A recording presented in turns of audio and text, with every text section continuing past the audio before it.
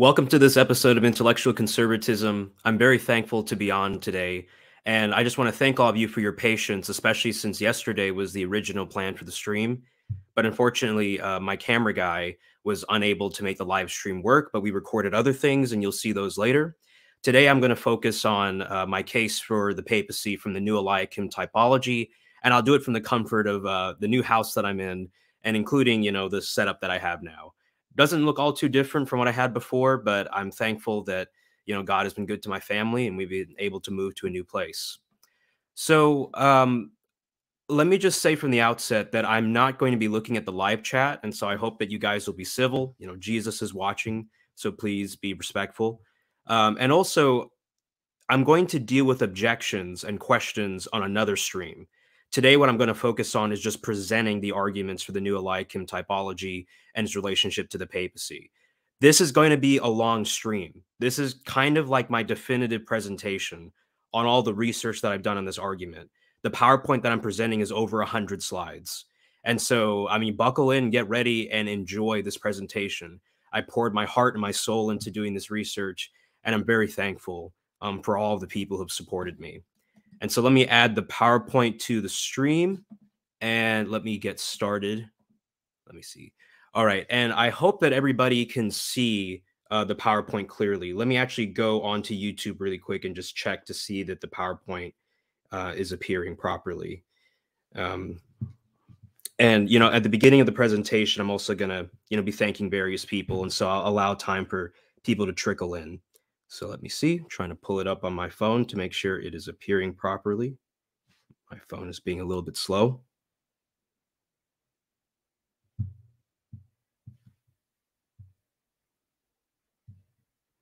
Um, okay, so I'm actually going to look into the chat now. Uh, can everybody see the PowerPoint clearly? And am I on screen or off screen now?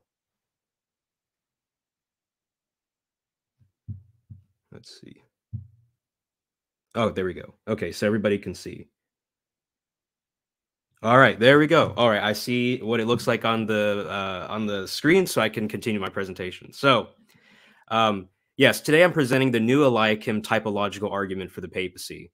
Let me begin by thanking um, Saint John of Cologne. He's played a huge part in kind of giving me the inspiration and courage that I needed to present today, and he's also a fellow Dominican he was martyred for his refusal to recant the doctrine of transubstantiation and papal supremacy.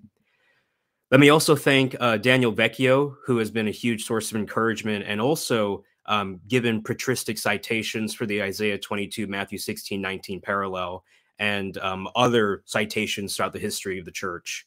Let me also thank Joe Schmid. Um, so, Joe Schmid helped me formulate the argument in a nice, rigorous way. So he didn't do any of the ex- exegetical work or compiling the research, but Joe has been a good friend of mine and he helped me put it in premise, premise, conclusion format. And so I want to thank Joe for that.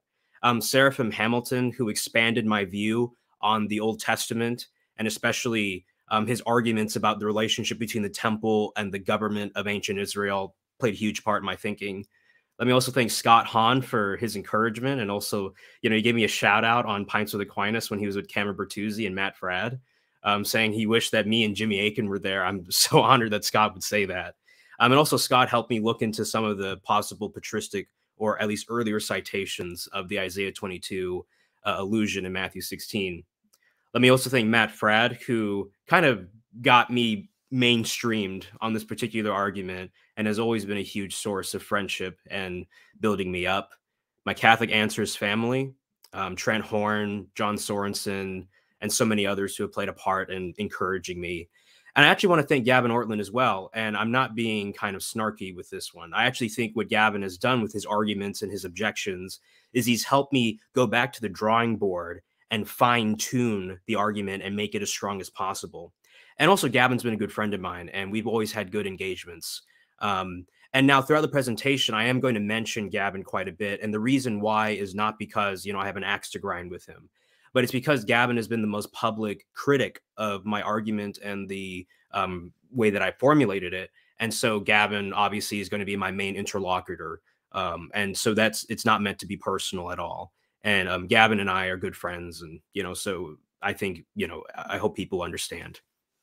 All right, so here's the argument. So I've divided up into three phases, but let me just explain the premises in turn, right? So phase one, textual illusion. There is a textual illusion between Isaiah 22, 22 and Matthew 16, 19. Phase two is establishing the typology. Two, the best explanation for the textual illusion is either A, a Jesus Eliakim typology, B, the similar function of the keys, or C, a Peter Eliakim typology. Three, the best explanation is not A to B, therefore the best explanation is C. If the best explanation is C, then the textual illusion is probably a Peter Eliakim typology. Six, so the textual illusion is probably a Peter Eliakim typology. Uh, phase three, then, then to the papacy. But the textual illusions being a Peter Eliakim typology is much more expected on the hypothesis that the papacy is true than on its negation. Premise eight. If the textual illusion is probably a Peter Eliakim typology, and this is much more expected on the papacy hypothesis than on its negation, then the textual illusion strongly favors the papacy hypothesis over its negation. Now, I just want to make a few comments here about the argument. So, for example, um, Joe pointed out that we can't conclude in premise eight that the papacy is definitely uh, hypothesis is definitely more true than false because we didn't include the initial probability. Um, this argument is kind of fra- is framed in a Bayesian format, and so you would have to also include the initial probability and then assess whether or not this argument can overcome any barriers in the initial probability. Now, I think based on you know Cameron Bertuzzi's research, the initial probability is not going to be less than 0.5. Um, it might, it might be 0.5 or even above, but I think there's good initial grounds for believing, okay, God would establish an office like the papacy in the first place. And then what this argument does is supplemented with that initial probability. I think it gets us all the way home. Uh, the other thing too is that I formulated the argument in this way so that um, before what I did was I kind of, you know, put a bunch of similarities and textual illusions and, you know, clustered them all together. And that ended up kind of making the argument that I was presenting sloppy. And it made me stumble and even say that, oh, scholars agree that there's a typology, when in reality, they agree on a textual illusion, which Gavin has very helpfully pointed out. And so this argument actually helps me reorganize a lot of those um, pieces of evidence so that it's not sloppy it's very precisely fine tuned and it focuses on what needs to be defended in each of the parts. So, for example, textual illusion is there one or is there not? Okay, if there is, then why is there a textual illusion in Matthew? And then what this what this does is it forces the opponent of the um, you know Catholic interpretation to offer their own interpretation of why there is a textual illusion. And in turn, then that's when I think the case for the Peter Eliakim typology comes out strongest. All right. So let me explain what I mean by the papacy hypothesis, right? So the papacy hypothesis is simply the following Christ established a successional Roman Petrine oh, office or ministry that is supreme and infallible. All right. So obviously, Christ is being the one who's establishing it.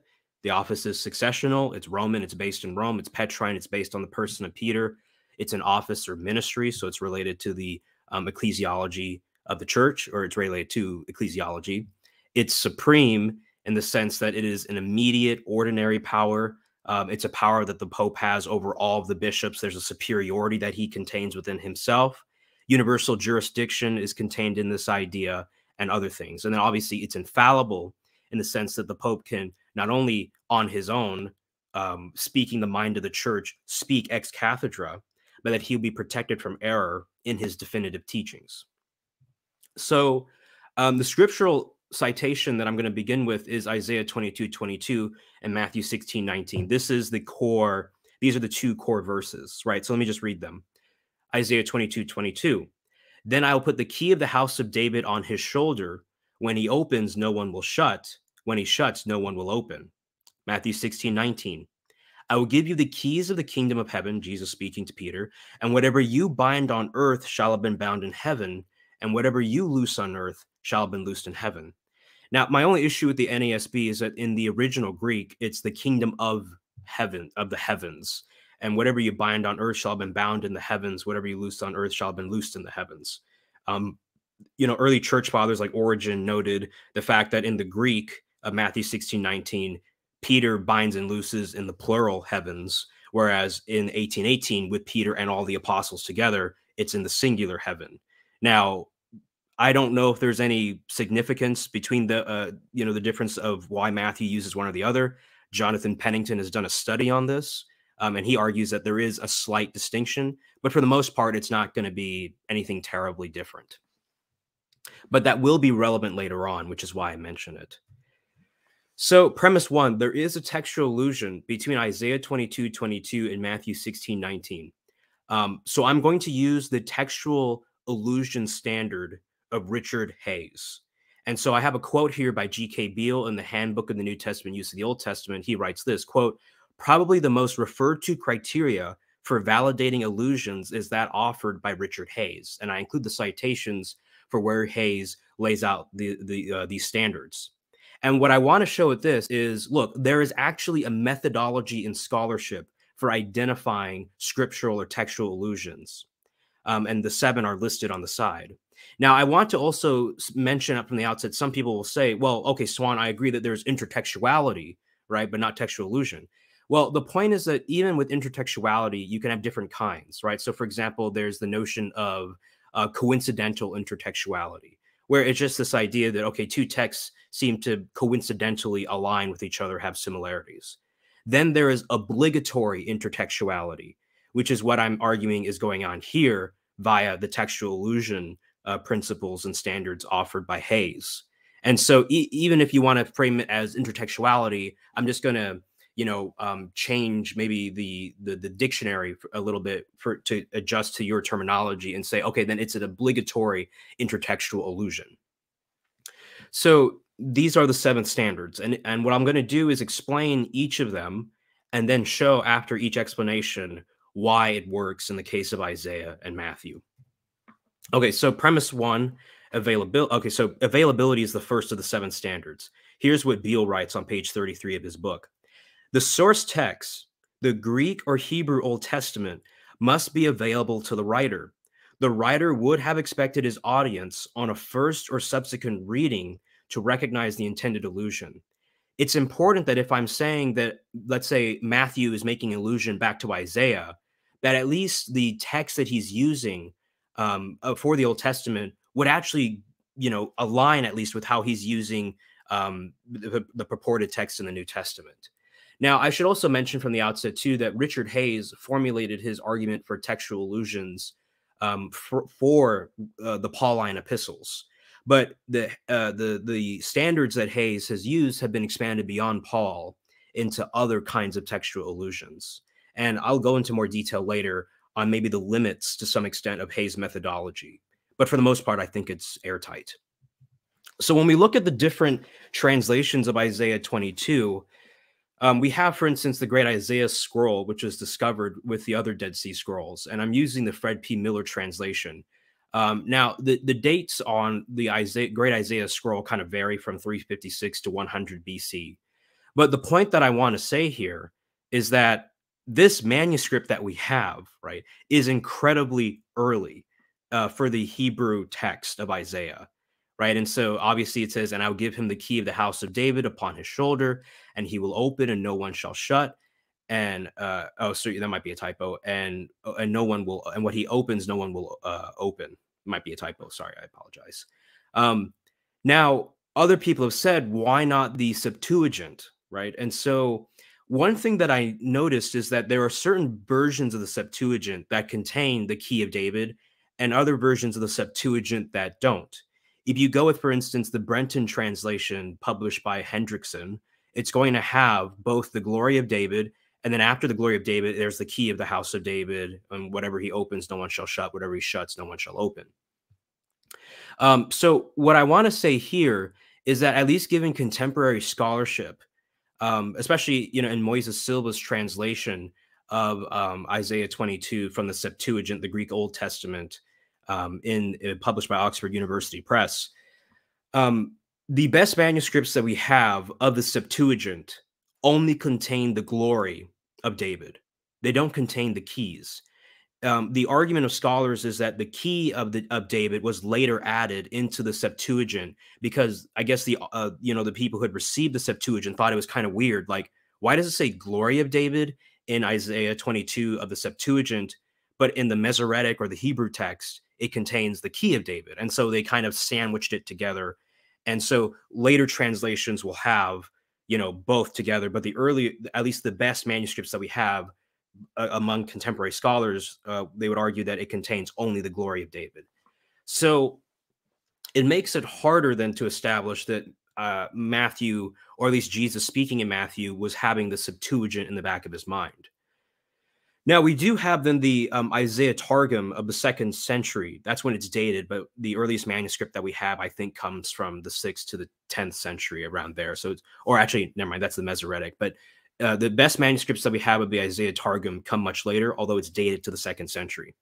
So this is Bruce Chilton's translation, you know, and I will place the key of the sanctuary and the authority of the house of David in his hand, and he will open and none shall shut, and he will shut and none shall open. Okay, now the Masoretic text, obviously um, formulated from the 6th to the 10th century. Um, and this is the JPS 1917 Tanakh translation. Um, and this is usually the one that you see in just, you know, NASB and other translations. And I will give the key of the house of David on his shoulder, and he shall open and no one shall close, and he shall close and no one shall open. The question before us now is when Matthew uses, if Matthew uses Isaiah 22 in uh, in 1619, which version of Isaiah was he using? Well, I think we have a clue in the fact that we know Jesus spoke Matthew 16, 17 to 19 in Aramaic. As Anthony J. Saldarini points out in the Eerdmans commentary on the Bible, quote, this blessing and promise to Peter appears only in Matthew, verses 17 to 18. But the Aramaic influences on the language of the passage make it uh, probable that it derives from an earlier tradition early tradition of the Jesus community. The Greek of Matthew contains a transliteration of Simon's Aramaic name, Simon Bar Jonah, and uses the Semitic idiom flesh and blood for human. So, given then the fact that Jesus uses Aramaic to describe Simon Bar Jonah, Bar Jonah being you know Aramaic for son of Jonah, if he was Hebrew, it'd be Ben Jonah, um, and then even the Semitic idiom of flesh and blood for human, we see that okay, Jesus spoke 6, 17, and 19 in Aramaic. Um, there's a strong likelihood maybe Hebrew was used as well, since we have a Semitic idiom, or at least you know since he uh, since uh, Aramaic is a dialect of Hebrew, right? Both are kind of in the, in play for being a possible background on what I what version of Isaiah Jesus was using. So, what I'll say is this: Jesus' phrase appears to more closely align with the Hebrew text of Isaiah, at least the way that he is allegedly using it in 1619. He says, I'll give you the keys of the kingdom of heaven. He only mentions one kingdom. He doesn't mention the sanctuary um, in addition, which is what we would expect if maybe he was using something like the Targum of Jonathan or a precursor to the Targum of Jonathan. Um, but regardless, since Jesus does not quote Isaiah 22 22 verbatim, we can't locate the precise source. It's either going to be the Hebrew or the Aramaic. Now, given the fact that Jesus only mentions the kingdom and not the sanctuary, or maybe he combines the two together. Who knows? It's either going to be the Hebrew or the Aramaic. I side with the uh, maybe Jesus's was raised on the Hebrew text of Isaiah, since we have a good manuscript tradition for that. BC probably would have carried into the first century. But regardless, this text was available to Jesus in such a way that he could have made the illusion, especially given the language that he was using um, of Aramaic, a dialect of Hebrew. Now, the second thing that we can then go to is volume, right? So by volume, uh, Richard Hays means three different things. So the first is repetition. The primary factor is the degree of verbatim repetition of words and syntactical patterns. Um, the second is precursor, right? So volume also depends, however, on the distinctiveness, prominence, or popular familiarity of the precursor text. So, for example, like let's say that um, you know, he, he gives the example of when Paul uses in First Corinthians 8 6, for there is one God and one Lord. And this is an allusion back to the Shema in Deuteronomy 6 4, right? Where it says, you know, behold, behold, your, you know, Israel, your God is one, right? So there's this idea that if the precursor text is strong enough, where if you only cite a few words, but everybody knows what you're talking about, then that gives a strong indication that in the um, in the new text or in the text that is alluding back to the original text that that is what it's doing so for example if i say something like four score and seven years ago, you know that I'm talking about the Gettysburg Address. Or if I say Our Father, right, you know I'm talking about the Lord's Prayer, right? So if there's something like this going on that can strengthen the idea that there is an illusion going on. The final thing is rhetoric. And I believe this is mentioned by Hays um, in, in the 2005 book, Conversion of the Imagination. He says, finally, the volume of an echo is affected sub, uh, subtly by the rhetorical stress placed upon the phrases in question, both within the precursor text and in Paul's discourse, or simply the later text, right? So, for example, if in the text of Genesis 1 3 to 5, I believe it mentions, you know, light being created, right? Well, and then in Second Corinthians 4 6, we see light being mentioned once again. If the same rhetorical stress is being used in the old text and in the new text, then that probably means that Paul intends to use the precursor text because it has the same rhetorical use. And so it would fit the rhetorical use of the later text, right? So, for example, let's suppose that in the Old Testament, I have something like, um, you know, there's this grand uh, reveal of the Son of Man, right? And let's say in the New Testament, there's a moment where, you know, for example, you know, you know, Jesus says you'll see the Son of Man riding on the clouds of heaven, right? Obviously, a, an allusion to Daniel 7.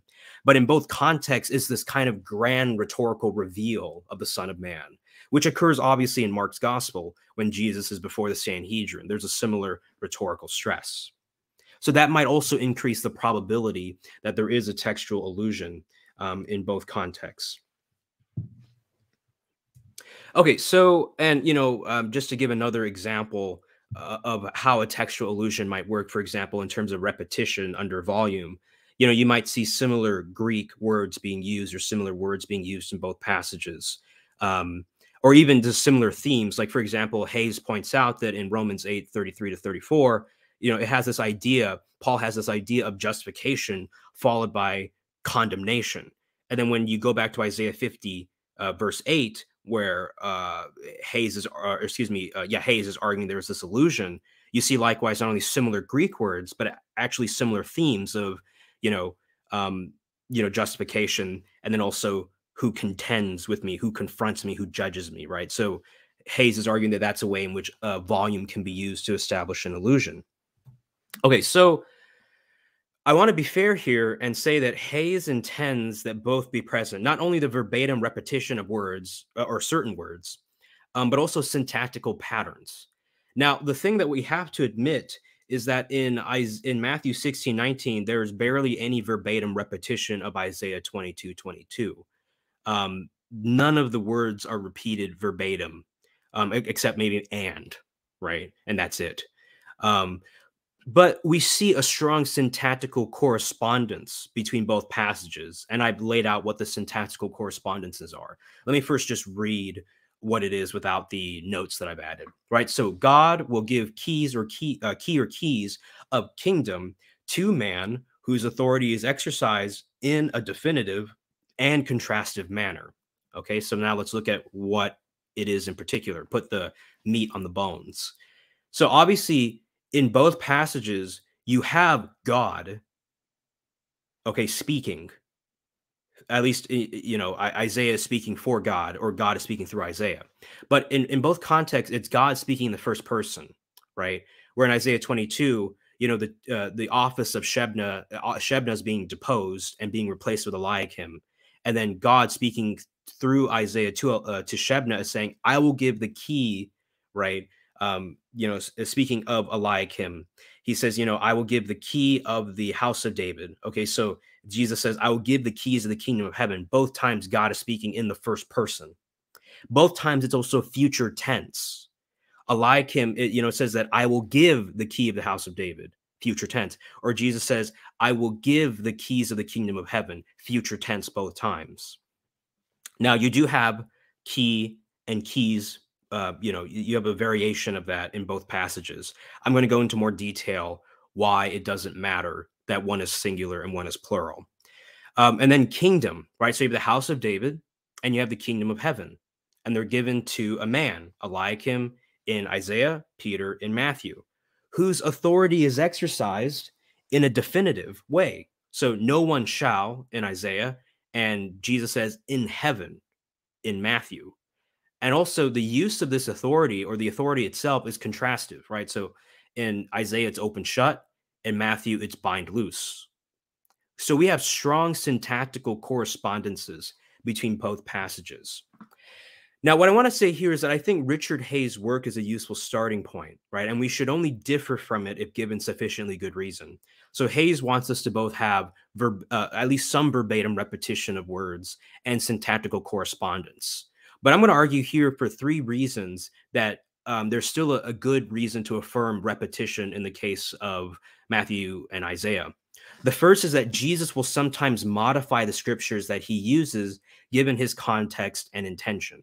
And so this doesn't preclude then Jesus actually citing Isaiah, but Jesus might be kind of modifying it for his purposes in Matthew. The second is that a reasonable explanation can be offered for the lack of verbatim word repetition here. The third is that the syntactical correspondence are accepted by scholars as a valid means for sustaining an illusion. And so, where I think here we can say that Hays's argument might work for Paul, but given the context of the Gospels, we might need to kind of modify it a little bit.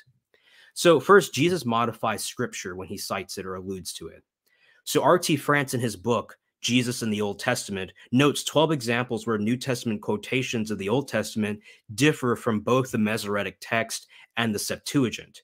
Now, I want, I want to focus on these examples. So, in Mark 10 9, Matthew 19 18 and 19, and Luke 18 20, Jesus places the command to honor one's parents last or near last in a summative list.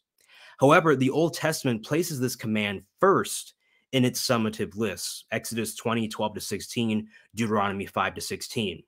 So, in all contexts of the synoptics, this is when the rich young ruler approaches Jesus, and you know, there's this Jesus gives a statement on what the basic tenets of the commands of God's law are. And he lays out these basic commands. And the list that Jesus lays out matches Moses's summative list in Exodus and Deuteronomy. But the thing is, is that Jesus kind of changes the order a little bit. Now, it's interesting that he places the command to honor one's parents near last.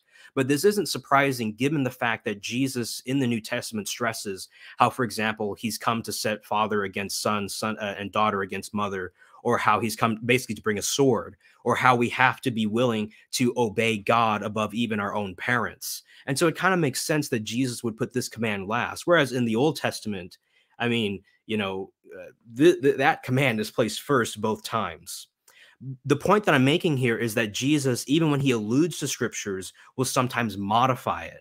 And so we wouldn't necessarily expect a verbatim repetition of what's going on in the Old Testament, even if Jesus is using an allusion in Mark 14, 27 and Matthew 26, 31, we see that Jesus quotes Zechariah 13, 7, but changes the mood from imperative to indicative. So in Zechariah 13, 7, it says, strike the shepherd. So it's kind of giving a command. Whereas in um, Jesus' usage, he says, I will strike the shepherd when he references Zechariah 13, 7. Now, the reason why Jesus does that is because he's alluding to his own death that is yet to come. And so Jesus changes the mood of the Zechariah 13 7 passage from imperative to indicative and future tense to convey what is yet to happen. And so notice when Jesus cites Old Testament scriptures, he can modify it given his purposes. And so it's not surprising then that Isaiah might be modified in Jesus's usage in Matthew given his purposes there. In Luke 17, 31 to 32, Jesus alludes to Genesis 19, 17 and verse 26.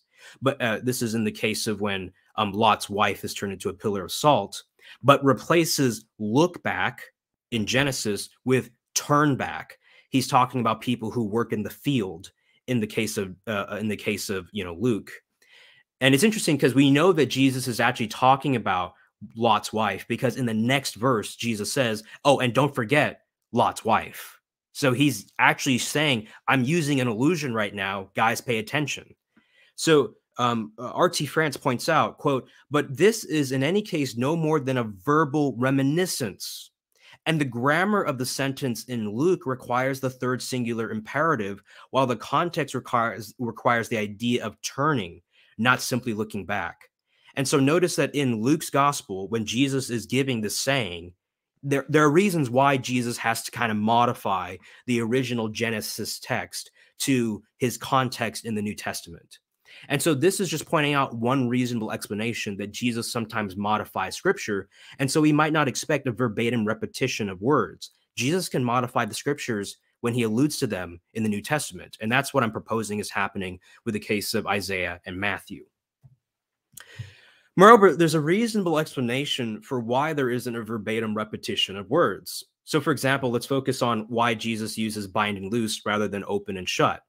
To quote Timothy Rucker, who has offered probably the most extensive study on Isaiah 22 and Matthew 16, 19, he quotes, he says this quote, the fact that the actions of binding and loosing occur in Matthew 16, 19 instead of opening and closing indicates that opening and closing were not natural options to refer to teaching authority at that time.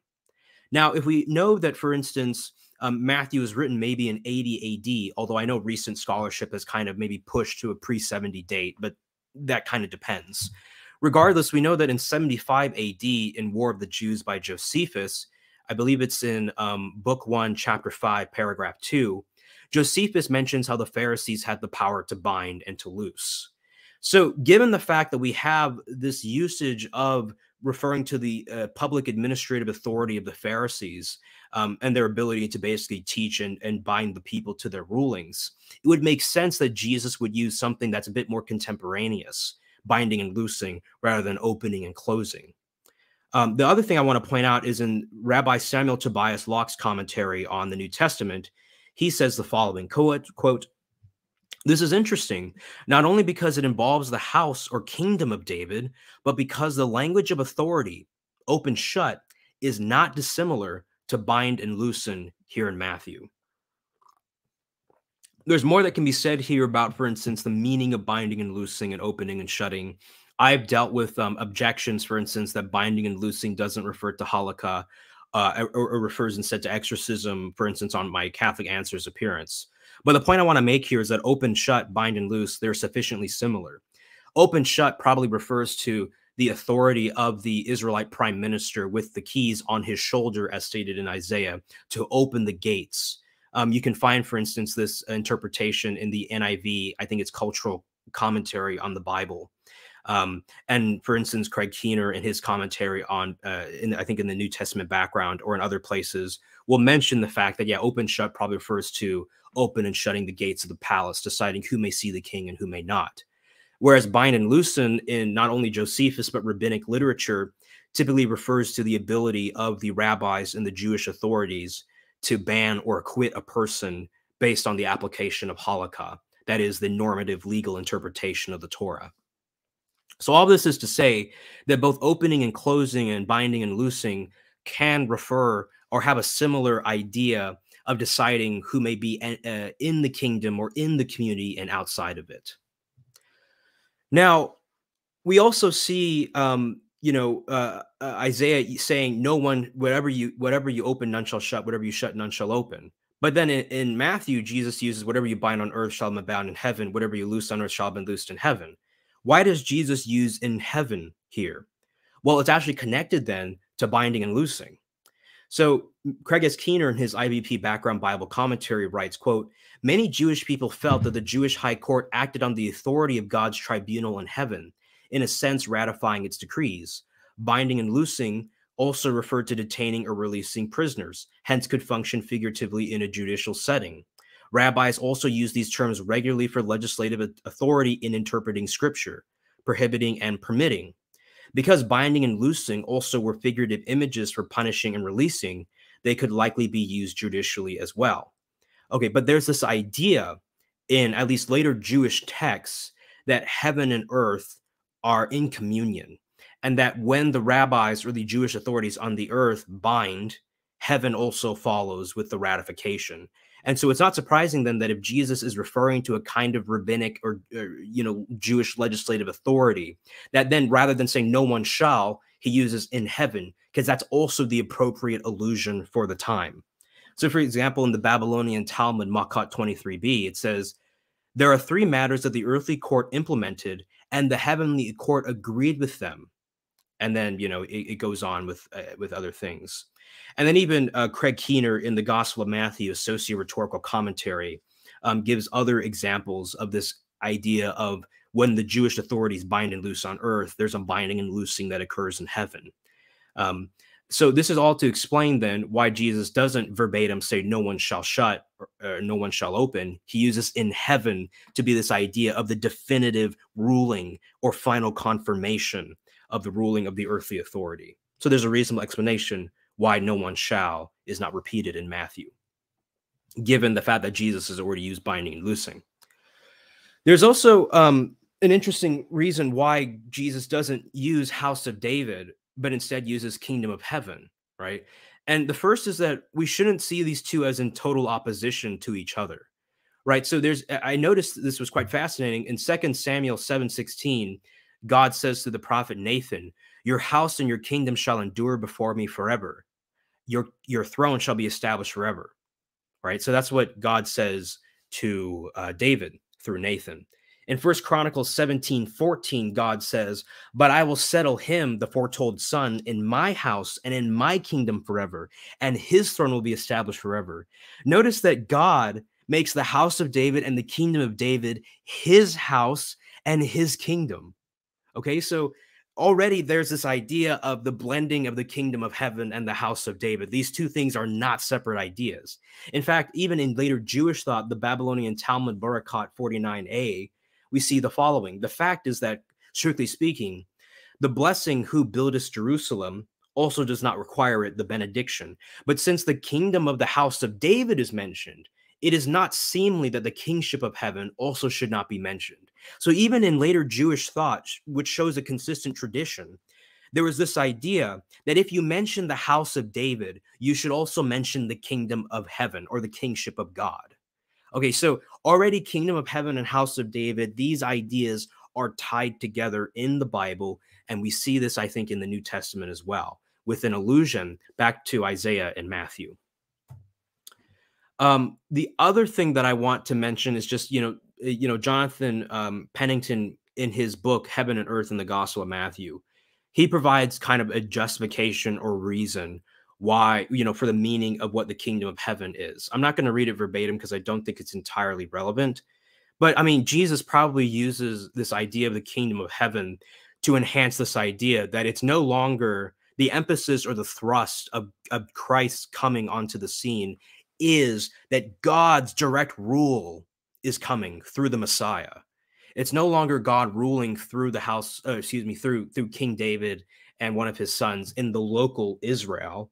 This is a cosmic rule of God that is going to be spread. And so there's a reason then why Jesus would want to say kingdom of heaven rather than house of David because that if Jesus maybe uses house of David, it sounds like he's a Messiah for only the Jews and not a cosmic Messiah for even the Gentiles. Okay, so why does Jesus use keys and not key? Well, one is that I think this is a trivial difference. It really doesn't matter. So even on Pints with Aquinas, when I appeared the first time, you know, I asked Matt to produce his car keys, and actually, I I have my car keys here, right? And technically, it's only one key to get into the car, but we refer to it in the plural anyway. And so I propose maybe this is what's going on here, right? But I later found, looking back through the book of Revelation, that the book of Revelation actually does something similar. It actually switches between the key singular and the key plural. So in Revelation 118, obviously Jesus, who has the keys, it says here, and the living one, and I was dead, and behold, I'm alive forevermore, and I have the keys of death and of Hades, right? And a lot of people will say this is an allusion back to, you know, Matthew 16, um, uh, 18, where the gates of Hades will not prevail against the church. And so, you know, Jesus has the keys, right? But then you see in Revelation 3 7, when the allusion to Isaiah 22 is made, it says, He who is holy, who is true, who has the key of David. Notice that the same keys, if you will, are referred to in the singular and the plural. So, in the mind of at least, let's say, John in the book of Revelation, key versus keys doesn't make a huge difference for him. Likewise, G.K. Beale in his book, The Handbook of the uh, New Testament Use of the Old, um, he says the difference in singular key and plural keys is likely not significant. But I mean, one could maybe argue that um, the reason why keys are used in the plural is because Jesus is the son of David and the son of God. and so they correspond to these two kingdoms in the one Messiah. And I mean, I like that interpretation, um, but I just don't think that key versus keys is relevant. But when I look through um, R.T. France's commentary, uh, New International Critical Commentary on the Gospel of Matthew, um, France actually offers an interesting footnote, and he cites uh, Ulrich Luz. And Ulrich Luz proposes there's a reason why the keys are plural. So here's what he says: "Quote: Now Peter's function as a rock is stated. The issue is no longer the church's building, but the keys to the kingdom of heaven. Whoever has the keys is either the gatekeeper or what is more probable, with several keys, the manager who has authority over his Lord's rooms and buildings. And so perhaps the reason why you know uh, peter doesn't just have one key but multiple keys given to him by christ is to convey his expansive authority. It's not over just the gates of let's say entering the kingdom of heaven but it's over all the rooms of the kingdom of heaven multiple keys that would exist perhaps on a chain. And i remember um, somebody criticized daniel vecchio for having a similar interpretation but i think that uh, daniel is in right standing with even some of the scholars on this issue that there that the keys might refer to perhaps something like a, a, a chain of keys that peter has received but that's one possibility for why keys is used in the New Testament and not simply key in the Old Testament. The third thing I want to mention is that the syntactical correspondences between both passages have been accepted by scholars as enough to establish the illusion. So, for example, Bruce Chilton, in his essay, Shebna Eliakim and the Promise to Peter, he writes the following quote, our finding in respect of the attitude conveyed in the Targumic paraphrase of Isaiah 22 would be strengthened if a similarly voiced promise to Eliakim could be found elsewhere, but in the relevant period. As it happens, a generally recognized reference to Isaiah 22 22 is to be found in Matthew 16 19. Notice that even in 1997, it was generally recognized. This is not a new thing that Catholics have invented where Peter is promised that whatever he binds on earth will be bound in heaven, and whatever he looses on earth will be loosed in heaven. Despite the distinction of the diction or the word choice from the Masoretic text and the Targum, the syntactical similarity has been taken to be enough to warrant the judgment that they are textual allusions. Moreover, Benedict Green, in his commentary on Matthew, he notes, quote, here a reference to Isaiah 22, 22, speaking of Matthew 16, 19, despite the apparent absence of the words from the LXX or the Septuagint, is inescapable. Okay, so the scholars are in agreement that there is a textual allusion and they base it upon the syntactical correspondences, even if there aren't verbatim repetition of words that isn't necessary to establish the illusion. Okay, so I think we clearly have the standard of repetition met for the illusion between Matthew and Isaiah. How about the precursor text? Now, one thing that I want to point out is that, um, let me see if I have it on the slide here. Um, okay, well, one thing that we have to point out is that the use of Isaiah in Jewish, the, the use, Isaiah 22 22 was not popularly used in Jewish thought. Rucker shows that later, you know, post apostolic times, you see this appear more in Jewish commentaries. But the whole episode with Shebna and Eliakim is not used much or referenced much um, in, in Jewish thought. So it seems as if the phrase was not as popular as, let's say, obviously, the it's not as popular as the Shema. Um, it's not as popular as you know something like the Our Father, right? But we should note that the New Testament, especially Matthew, has um, you know new interpretations of seemingly obscure passages right? So for example jeremiah 31 15 and hosea 11 1 is used by matthew to talk about i believe the slaughter of the innocents. And the thing is nobody had used this before to refer to a messianic kind of connotation but Matthew goes back into the scriptures when he when he you know receives his tradition on what happened uh, with King Herod slaughtering the innocents and finds these scriptural passages and views them messianically right? And so just because we don't have let's say these other kind of popular jewish usages for the passage that doesn't mean that matthew is bound to those customs. Matthew is as we see in his own usage of the old testament goes back and sees these connections and will bring them into the forefront. And even Jesus, you know, because I believe this this saying is historical, it wasn't invented by Matthew as a redactor, but Jesus actually historically said it. Multiple arguments for why that's the case. You can find this in um, Craig Keener's, I think, 1991 commentary on a Tyndale commentary on Matthew, and even it's reiterated, or actually it originally is found in W.D. Davies and Dale Allison's International Critical Commentary, Matthew. All of this is to say that um, that was an aside about the historicity of the passage, that Jesus, I think, definitely said these words. Um, but the point is that Matthew can use passages that weren't popularly used in Jewish thought for with messianic connotations and he can go back and use them with messianic connotations in his gospel. And so simply because Isaiah 22 22 was not popularly used in Jewish thought for messianic overtones or you know for for the covenant to come, that doesn't mean that Matthew is bound by that custom. The final thing is rhetoric, right? And so I think there there's definitely the same rhetorical stress between Isaiah 22 and Matthew 16. And there are multiple ways to establish this, and I'll get the, into this in the next few slides. But the basic idea is that in in Isaiah 22, Eliakim's office is being revealed, and it's being given to him in a significant, congratu- almost congratulatory way, um, and prophetic way. And Jesus in the New Testament, when he gives allegedly this office to Peter, it's also done with the same rhetorical stress of revealing this identity of Peter, of this kind of climax, right? Of this great vestiture of authority. And so I think there are definitely the same rhetorical stresses in both passages. So let me go then to recurrence.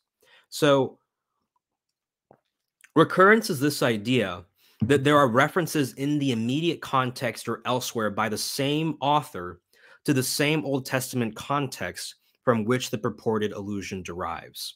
So, for example, if uh, Matthew uses Isaiah 22, 22, um, we would maybe expect, or at least we would, to strengthen the case, we would want there to be other times where he uses other parts of Isaiah. That increases the probability of an illusion. So I think that one place where we can see uh, other parts of Isaiah being used by Matthew is, for example, in the reference to the son of the man being given, uh, excuse me, the father of the man being given the keys. So in Isaiah 22 20, you know, it says Eliakim, son of Hilkiah. Well, in Matthew 16 17, it says Simon Bar Jonah, Aramaic for son of. So Simon, son of Jonah. Okay, so we see both times fathers are being mentioned. That seems to be an allusion to Isaiah 22 20 and Matthew 16 17.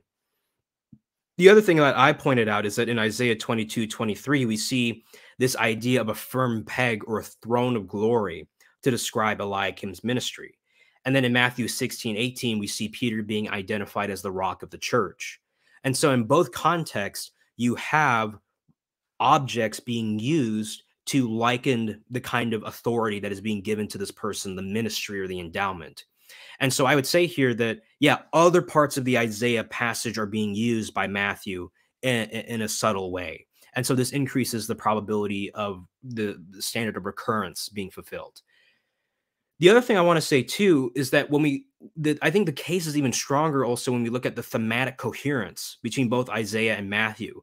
Similar themes appear in both passages, and scholars have also noted this point and have argued that this is another way of establishing that there is an allusion going on in Matthew back to Isaiah. So let me first explain what I mean by thematic coherence. So, thematic coherence is this idea that, quote, the alleged Old Testament allusion is suitable and satisfying in that its meaning in the Old Testament not only thematically fits into the New Testament writer's argument, but also illuminates it. So, for example, Rucker in page 162 of his um, Mohr Siebeck book, he makes an argument that um, Isaiah 22 appears in Matthew 16 with this idea that as you know, there's a transition from Shebna to Eliakim. Jesus is arguing that there's a transition from the Pharisees and the Sadducees to Peter. So here's what he says, quote, Rather, the actions of binding and loosing are fitting substitutes in context, a transfer of teaching authority for the kingdom of the heavens from the Pharisees and Sadducees, 16, 5 to 12, to Peter, 16, 16 and 19. Additionally, the shift of leadership from one authority to another understandably evokes the context of Isaiah 22 22 for some scholars.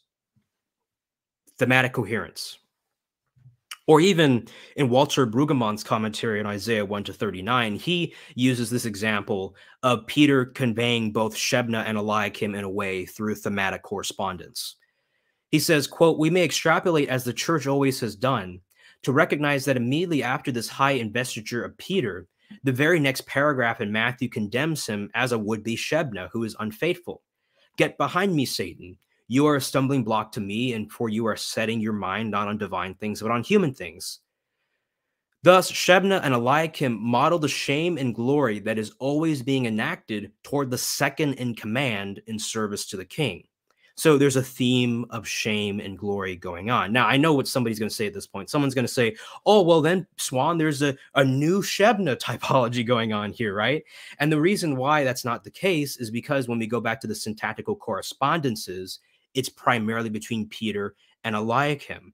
The theme, however, of Shebna's disloyalty can appear again, I think, elsewhere to enhance the illusion back to Isaiah. But I don't think that uh, that Peter is a new Shebna, especially given the fact that Peter actually successfully completes his ministry for Christ. And so to say that Peter's the new Shebna is unfitting um, in that way. Or at least maybe you could say that Peter's the antithesis of Shebna. But regardless, I don't think there's a new Shebna typology going on here. Only the themes of shame and glory are being repeated. And moreover, the syntactical correspondence nails Peter and Eliakim together. Anyway, um, and then John T. Willis, in his essay um, on Isaiah 22 15 and its function in the New Testament, um, John T. Willis has done extensive studies on Micah and Isaiah. He points out that there's also this idea of Peter's, or excuse me, Eliakim's rise and fall that is repeated in uh, in Matthew. So he says this quote: the sequence of Peter's God revealed confession of Jesus, followed by Peter's Satan motivated objection to Jesus' proclamation that he must suffer and die, corresponds strikingly to the sequence of God's elevation of Eliakim to Shebna's office, followed by a prophetic announcement that he and all his household will fall. The language of Jesus' promise to give Peter the keys of the kingdom of heaven calls to mind God's promise to Eliakim um, to Isaiah 22 22. That might be in that might be the proper um, word there. And the sequence of peter's confession of an opposition to jesus calls to mind the sequence of eliakim's rise and fall. So notice other scholars who are defending the textual allusion between both passages are noting the thematic coherence between both of them now if you recall uh, when satisfying the recurrence criterion i not only cited isaiah 22 20 and um, you know, and another part of Isaiah.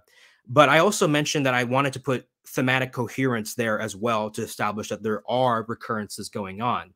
Now, someone might say, Suan, that's an illegitimate kind of, you know, hodgepodging the two standards together so that you can build up your case, right? When in reality, you're admitting that the case for recurrence is weak. My response is that actually scholars know that Hays's criteria can overlap. And so sometimes you could have something that is in thematic coherence that could be a piece of evidence for recurrence as well. So, for example, G.K. Beale, he points out using other standards that overlap, quote, Indeed, thematic coherence and satisfa satisfaction, which we're going to get to later, are so overlapping that they could be combined into one criterion. So, for example, if I present evidence for one criterion, it could overlap with another criterion, and both can be used, uh, the same evidence can be used to verify both criterions or criteria. They both focus on how the theme from the Old Testament context functions in the New Testament theme, in the New Testament context, and how much that Old Testament theme, so notice you could even throw in thematic coherence with what Beale is saying, illuminates the New Testament author's argument in the context. Likewise, the first, availability, and fifth criteria, historical plausibility, have some overlap. Thus, one could reduce Hays's seven criteria to five. The point is that um, Hays's criteria can overlap. The same evidence that you might use for one criteria could also a criterion could satisfy another criterion. All right, so the fifth um, one for establishing a textual illusion is historical plausibility. So here's what Hayes writes, quote, could Paul in fact have intended the alleged meaning effect of any proposed illusion? And could his first century readers have understood it? Um, and then Hays also says in his 1989 work, um, let's see here, the value of the test is to make us wary of readings that turn Paul into, say, a Lutheran or a deconstructionist. One implication of this criterion is to give serious preference to interpretive proposals that allow Paul to remain a Jew. So basically, what Hays is saying here is that, okay, if we're proposing a textual allusion, the textual allusion should not knack of anachronism. Eh, you know, the illusion shouldn't be grounded or somehow justified on, let's say, oh, well, Paul is, you know, kind of arguing in, in a way that would not actually jive with the, the Judaism of his time, right? And so uh, I, I, can't think of an example off the, off the, top of my head, but there's this idea that, okay, let's respect the historical context. And if you're saying there's an illusion, does that illusion make sense in the Jewish context of the New Testament? Now, obviously, Hays is referring here to Paul, but you could re- let's replace Paul with Matthew, and I think you get the same idea of what I'm saying.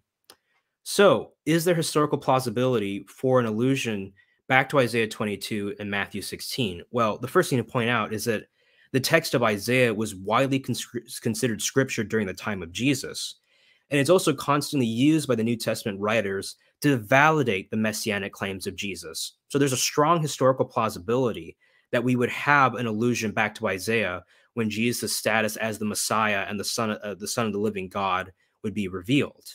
Um, moreover, I mean, given the fact that the keys of the house of David belong to the house of David, the allusion uh, back to Isaiah 22 makes Jesus not only stand in the person of God, because you know God is the one who gives the keys of the house of David to Eliakim, but it also makes Jesus stand in the place of the Davidic king because the keys belong to the house of David.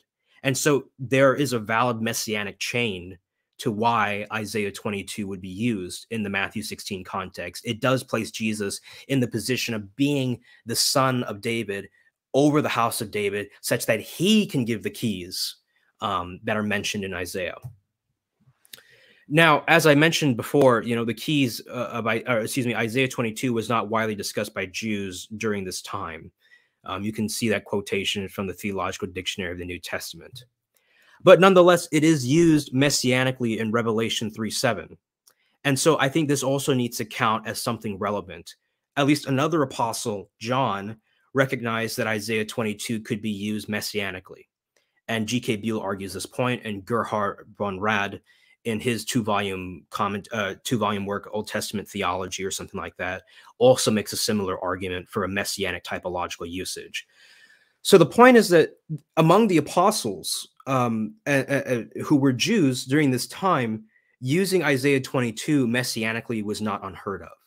And so even if other jewish literature does not use isaiah 22 um, you know messianically the apostle Paul uh, John used it that way, and so at least that increases the probability that this was not absent from even the mind of Matthew. Um, so I think there's definite historical plausibility between an Isaiah Matthew allusion. Um, let's see here, and then also you know I explained elsewhere you know what where I think that this allusion works for establishing the Davidic messianic claims of Christ. Um, and I want to point out that John T. Willis likewise makes a similar argument. He says, quote, fifth, Matthew 16, 13 to 23 assumes the reader knows the context of Isaiah 22, 15 to 25.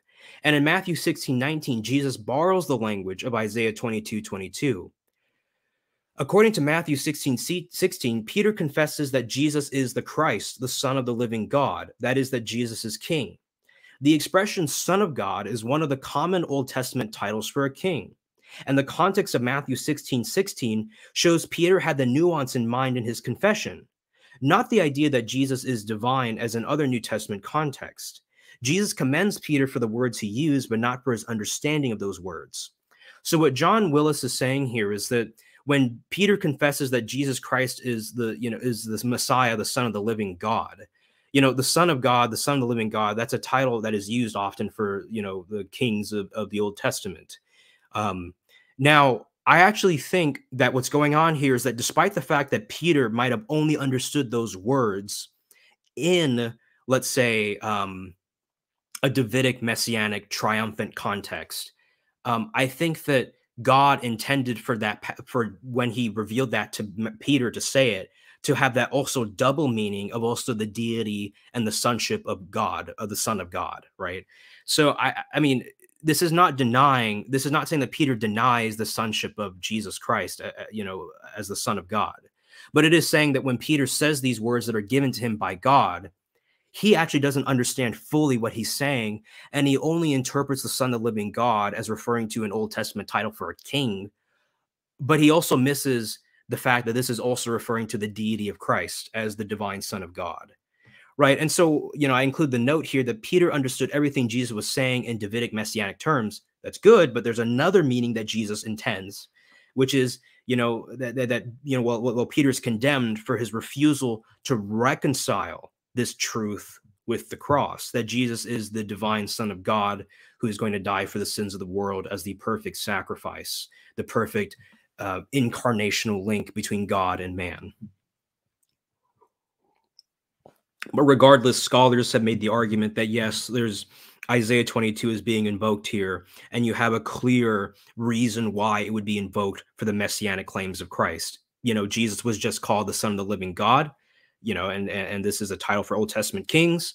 It would make sense then that Jesus would, you know, I don't want to say play along with this, but he would also then go on to use a passage that describes the royal house of David. Um, okay, so then this is the sixth standard, which is the history of interpretation, and this is um, one that I know that a lot of um, kind of Orthodox and even Protestants have used against identifying a textual allusion. They say that oh, there's not enough citations or support, right, for this allusion. So let me just explain the standard and defend why I think there is a good history of interpretation with Isaiah 22 and Matthew 16, 19. Quote, it is important to survey the history of the interpretation of the New Testament passage in order to see if others uh, if others have observed the allusion. That's a typo. Yet this is one of the least reliable criteria in recognizing allusions. Though a study of past interpretation may reveal the possible allusions proposed by others, it can also reveal to a narrow uh, lead to a narrowing of the possibilities, since commentators can tend uh, to follow earlier commentators, and since commentary tradition always has the possibility of distorting or misinterpreting and losing the fresh and creative approach of the New Testament writers' intertextual collocations. So notice that even though this can be an important kind of guide to help identify an allusion, it is recognized as not being one of the most reliable. And so this idea that some people have raised of solus patribus, that it must be totally found in the fathers or else it's an invalid allusion, that's kind of uh, taking that standard a bit too far. I think it's I think having the fathers is a good uh, indication and verification that okay, you know, it's not just you know someone anachronistically imagining this, but at the same time, though, you know, to to take that as the one standard that's everything that also is a bit of a stretch. Likewise, Richard Hays in his 1989 commentary says the following quote, The readings of our predecessors can both check and stimulate our perception of scriptural echoes in Paul. While this test is po a possible restraint against arbitrariness, it is also one of the least reliable guides for interpretation because Gentile Christian readers at a very early date lost Paul's sense of urgency about relating the gospel to God's dealings with Israel, and slightly later began readings Paul, reading Paul's letters within the interpretive matrix of the New Testament canon. So it's possible that over the course of time, as we get disconnected from the original context, you know, commentators might be giving their own proposal on what they think is a plausible interpretation. Now, I, I want to stress that some people say, well, Suan, then why don't you reject then, you know, when the fathers have a tradition? The reason why is because there's a difference between when a father is claiming they have a tradition from the apostles and when a father is engaging in exegetical in an exegetical tradition that may or may not have come from the apostles, right? And so I think there's a difference between the two in that I think the latter can be mistaken or it, it has to be judged by its merits. Whereas the former, I think, stands on its own. If it's a tradition from the apostles, then that, as you know, Paul talks about in Second Thessalonians 2:15, that counts as a valid like guide for the church. But regardless, I'm kind of getting, you know, out of topic here. But the point is that, yeah, history of interpretation can help point out certain things, but it's not the end all be all. Now, I was delighted to learn from Daniel Vecchio and actually from uh, Father Christiaan Kappes and uh, William Albrecht that we do have an early uh, patristic uh, reference to Isaiah 22 22 from Matthew 16 19 in a church father. So let me quote uh, Johanna Manley, who writes in Isaiah Through the Ages, um, you know, published by St. Vladimir Seminary Press, quote, the principal patristic commentary, commentators on the book of Isaiah were Theodoret of Cyrus, St. John Chrysostom, St. Cyril of Alexandria, and Eusebius of Caesarea. Now, we have in Theodoret of Cyrus an allusion, a recognition of the allusion back to Isaiah 22 and Matthew 16. Now, I know I've seen people say when Daniel presented this on my YouTube channel, oh, but Theodoret was a controversial church father. You know, he's not a saint. He might be blessed, um, you know, but like, you know, and it's like, no, you're changing the goalpost, right? You're changing the goalpost to that point. What we want to see is in the history of the interpretation of Isaiah 22 and Matthew 16, 19 was an allusion recognized. And this is the earliest one that we have on record, and it goes to the fifth century. So the translation that I have here is from Father Kappes, and it's from an unpublished book manuscript that he's working with uh, William Albrecht, titled "A Pope Gone Wild." And this is the manuscript that he gave me um, from the March fifteenth edition of the trans uh, manuscript. I, I don't. I, maybe he's updated it. But here's what Father Kappes notes. Um, he notes, "quote uh, This is quoting Theodoret now." Um, first he's citing the Greek uh, uh, so Theodoret uses a certain version of Isaiah and then gives the commentary. So, and I will give the glory of David to him, and he shall rule, and there will not be someone contradicting. And I will give him the key of David's house upon the shoulder of him, and he shall open, and no one shall shut, and he shall shut, and there will not be someone opening. Now, I know what someone's going to say here. Oh, but Suan, you said that this isn't the most reliable manuscript according to the scholars while that's true among the scholars, that doesn't mean that you see, uh, excuse me, that Theodoret didn't have access to at least a version of the LXX. That's what matters here, right? If he, you know, what version of the LXX did he have? And then, okay, so anyway, going on on this matter too, our own realities are prototypified. It's a typology. He's using the word prototype. For he, Jesus says, Whatever you should bind upon the earth shall be bound in the heavens, and whatever you should loose on the earth shall be loosed in the heavens. Now, this is going to be a battleground passage because, um, you know, Johanna Manley, when she interpret when she translates this passage, she thinks that it's an allusion back to Matthew 18, 18 and not 1619. And even when I had Daniel Vecchio on my show, he thought that since the words for you are plural, um, that this is a reference to 1818. But what Father Kappes found was that the use of heavens is plural, and that is only found in 1619. So what's going on here? Well, so Father Kappes makes the argument that it is, you know, it's only referencing 1619. Um, now he might change his mind and also say it references 1818, but I'm saying that what he told me was that it's 1619 what I what I proposed to Daniel Vecchio, and I was able to convince Daniel of this point, was that it's possible that Theodoret mashed the two verses together, so that he uses the you plural of uh, 1818, but uses the heavens plural of 1619. And so he's Theodore is making the allusion back to both uh, back back to both uh, from 1619 1818 to Isaiah 22. Okay, so that means that definitely 1619 is being considered a typological allusion to Isaiah 22 22. I should also mention that uh, Johanna Manley, um, in her in her translation of this passage, she considers um, the version of Isaiah that she thinks that Theodoret used was only the one with the glory of David, not the key of David. But I but I think that what makes more sense is that it would be the key of David as well, because with the glory alone, you won't really get and yeah, without without you know um, the key of David and the open and shut, I don't think it's possible to really see the allusion back to Isaiah. And so I think that Theodoret has the Greek variant that Father Kappes is proposing, and not the one that Johanna Manley proposes in her um, translation. So, anyway, let's see here. And I will get okay. So, and I shall establish him as a ruler in a faithful locale. So Theodoret moves from 22 to 23. Uh, and he shall be unto the he shall be uh, uh, unto the throne of glory by the house of his father. So then Theodoret says, according to this quote too, he gives to him Saint Peter the priestly and governing jurisdiction. Wherefore too he was mindful of David, for David is not a priest but a king, but all the same he Jesus orders the priesthood.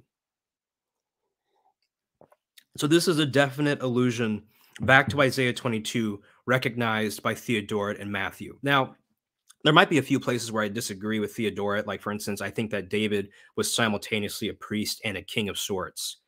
Um, but the, the, the, fact is, is that even when you look at, for instance, the the, the Patrologiae Cursus Completus Series Graeca, um, Thomas 11 uh, LXXI, which is, I believe, 81, um, on page 355, on the footnote of that translation of Theodoret's commentary on Isaiah, the commentator, or maybe it's Theodoret, I don't know who exactly it is, but the footnote under this passage says that Theodoret is citing Matthew 16, 19. So this is definitely an early citation of uh, allusion of Isaiah back to Matthew. Also, the reason why I'm looking this way is because I have a large screen that I'm using to kind of help me see because it's a bit hard here. Um, and I should also mention um, that you know throughout history, you know, so if we had to make a chart of the amount of allusions, of the the times that these allusions were made, you know, from Isaiah to Matthew, uh, in this in 22 to 16, you know, eh, admittedly in the early patristic period, maybe only Theodoret, um, maybe Ephraim, but I, I'm I'm more convinced of the Theodoret one. You know, you would have the chart kind of go low and then during about the time of um, Saint Albert the Great, Saint Thomas Aquinas, uh, you know, post schism, it shoots up. And then during the time of the Reformation, it's go through the roof, right? So Isaiah 22, Matthew 16, 19 definitely has a history of interpretation. Now, and notice that the standard for history of interpretation is just the history of interpretation. At any point, even today among scholars, it's a consensus that there's an allusion here. So it doesn't really matter like someone might say, oh, history of interpretation, you can only count the patristics in the first thousand years in pre schism. It's like, no, that's not what the standard says. If there's a history of interpretation, regardless of when exactly it appears in the history of the church, so be it. Like it counts as history of interpretation. But I mean, this is icing on the cake. We have one of the principal patristic commentators on Isaiah making the allusion. And if you want to see more of um, kind of these allusions, Daniel has posted. Uh, I, I, had uh, you know Daniel on my channel, and um, he's addressed in the comments section some objections to his research. Okay, so let's get to satisfaction then. So satisfaction is this is this idea quote with or without confirmation from the preceding six criteria. So obviously this stands alone. Does the proposed allusion and its interpretive usage make sense in the immediate context? Does it illuminate the surrounding context? Does it enhance the rhetorical punch of the point being made by the New Testament writer? Does the use of the allusion result in a satisfying account of how the author intended the allusion and how this use of the allusion would have made its effect upon the reader? So ultimately, uh, the idea is that does this allusion, if it is valid, um, fit within Matthew's theology? Does Matthew have a reason uh, to make such an allusion? And I mean, I mean, what we find is that in, in, both contexts, right, of Matthew and Isaiah, you know, identities are being revealed. So there's a rhetorical punch that is consonant in both Matthew 16 and Isaiah 22.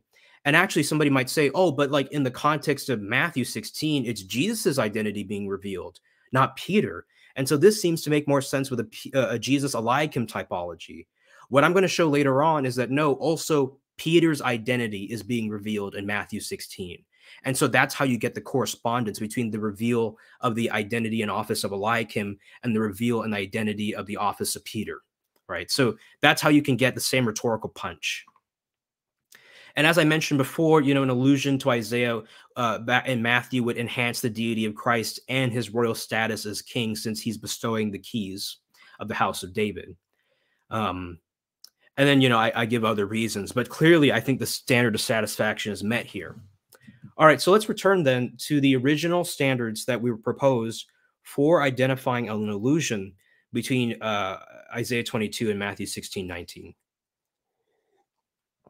Clearly, we saw in the sources availability being there for Jesus when he's saying this phrase in Aramaic. I, I mean, I think maybe given our the manuscripts that we have, maybe Jesus had the Hebrew text, but when he's speaking in Aramaic, a dialect of Hebrew, you know, he has, um, you know, he's speaking with the, the Hebrew text in his background, in his mind. Maybe that's what he was raised with, right? Or maybe there was a Targum that Jesus had access to, although Targums became more popular during um, like Talmudic times, or at least post first century. Um, but I mean, it's possible that you had Targums even during the first century. Although I'm saying that I think what's most likely is that Jesus had the Hebrew text as his referent. There's um, volume uh, in terms of repetition. Um, maybe not so much in the um, kind of prominence, although I think a case could be made for the prominence of the Isaiah 22 text, given how even um, John uses it messianically in Revelation 3 7. And then finally, um, I think there was this idea of uh, I'm trying to remember what it was like rhetorical stress, right? And I think there's the same rhetorical stress. So I think the criterion of volume is clearly met, especially since scholars accept the syntactical correspondence as being enough to establish the allusion. Um, you have the standard of recurrence clearly being met, I believe, as um, you know, as we reviewed, for instance, the ways in which other parts of Isaiah seem to be referenced or alluded to in Matthew 16, and even the thematic coherence that's there. I, I think there's a clear historical plausibility. There's also the history of interpretation of seeing an allusion between these two verses and their satisfaction within Matthew's theology. Okay, so clearly here, I think there is a textual allusion. The other thing that I want to mention too is that if anyone wants to argue that there was not a textual allusion between Isaiah 22 and Matthew 16, they have to do two things. The first thing that they have to do is that they have to first propose a standard for how they identify textual allusions upon which to adjudicate. The second thing is that they have to show somehow that either um, the text that I'm proposing does not, the allusion that I'm proposing does not meet Richard Hays standards, or there are problems with Richard Hays standard.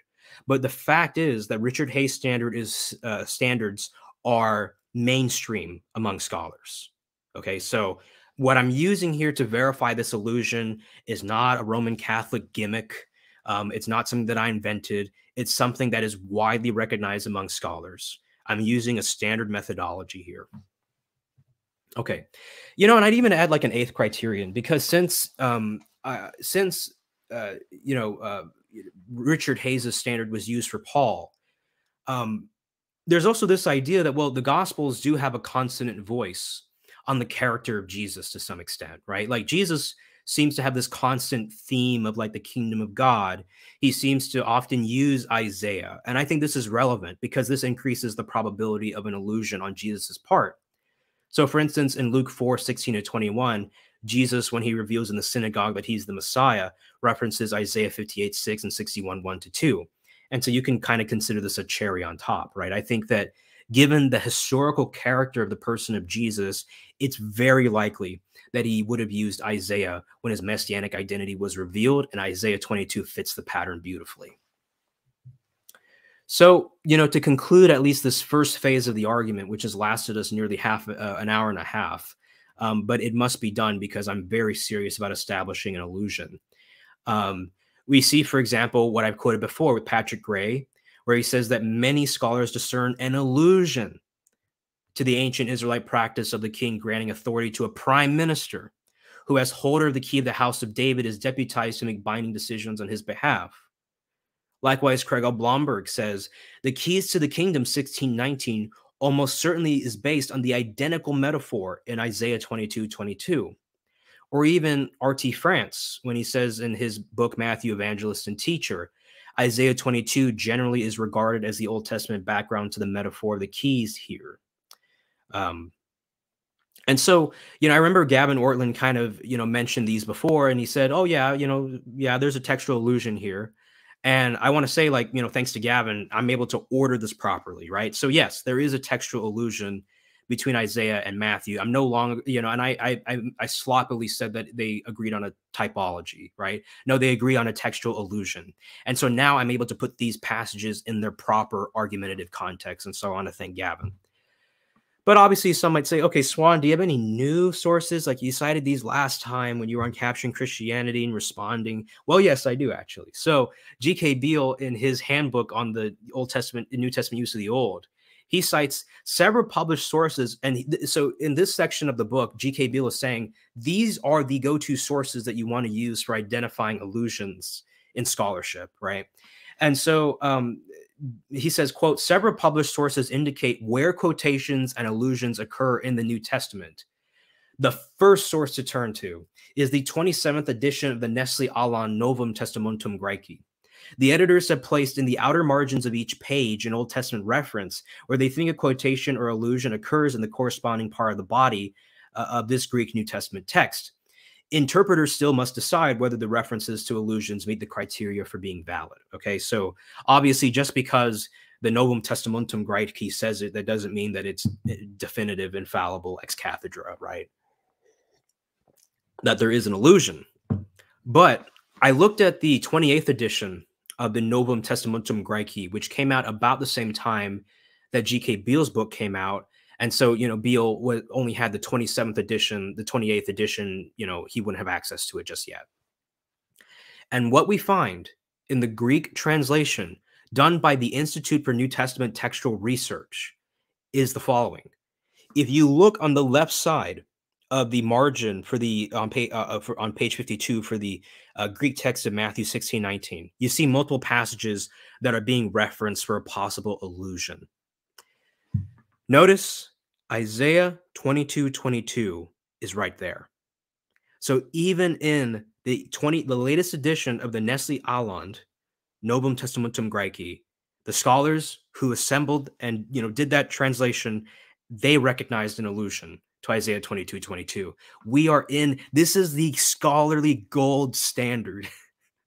and we have it here for the textual allusion back to Isaiah.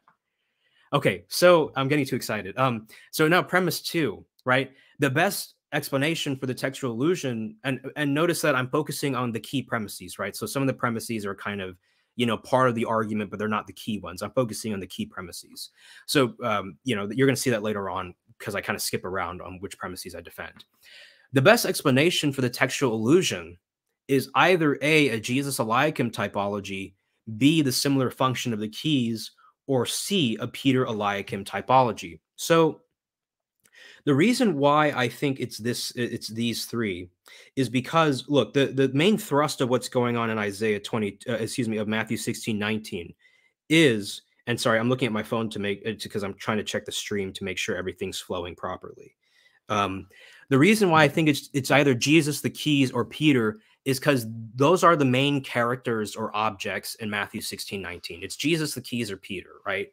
Um, so I mean, you could probably add other things, like maybe you want to make an argument that um, there's an allusion going on with, uh, you know, the allusion that's going on here is due to maybe I don't know, kingdom of heavens, right, or you know, something like that. Um, so maybe this might not be exhaustive, but these are the three main proposals, and I think that what I'm going to show in the course of this argument here is that regardless, the Peter Eliakim typology is the definitive best can, uh, reason for why this textual allusion is happening. So I'm focusing on just kind of these three main candidates that could be proposed. Okay, so let's focus on the Jesus Eliakim typology, right? So G.K. Beale argues for a typological relationship between Isaiah 22, 22 and Matthew 16, 19 in his handbook in 2012. And Gerhard von Rad argues the same thing in his two uh, volume commentary on the Old Testament theology. So I mean, obviously, then it's already established that Eliakim is a type for Jesus in the book of Revelation.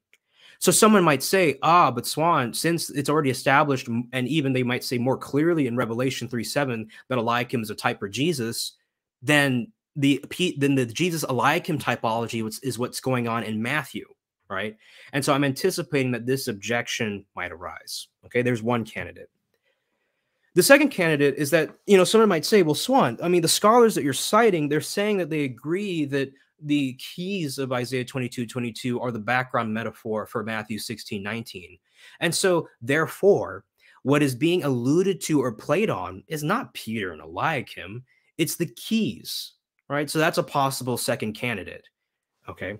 So let me tell you. Oh, then okay. Th then there's the one I'm proposing, which is the Peter Eliakim typology. Okay. So before I told you that I was working on research uh, on the nature and identification of biblical typology. Unfortunately, I wasn't able to finish the paper in time before I leave to the Dominican order.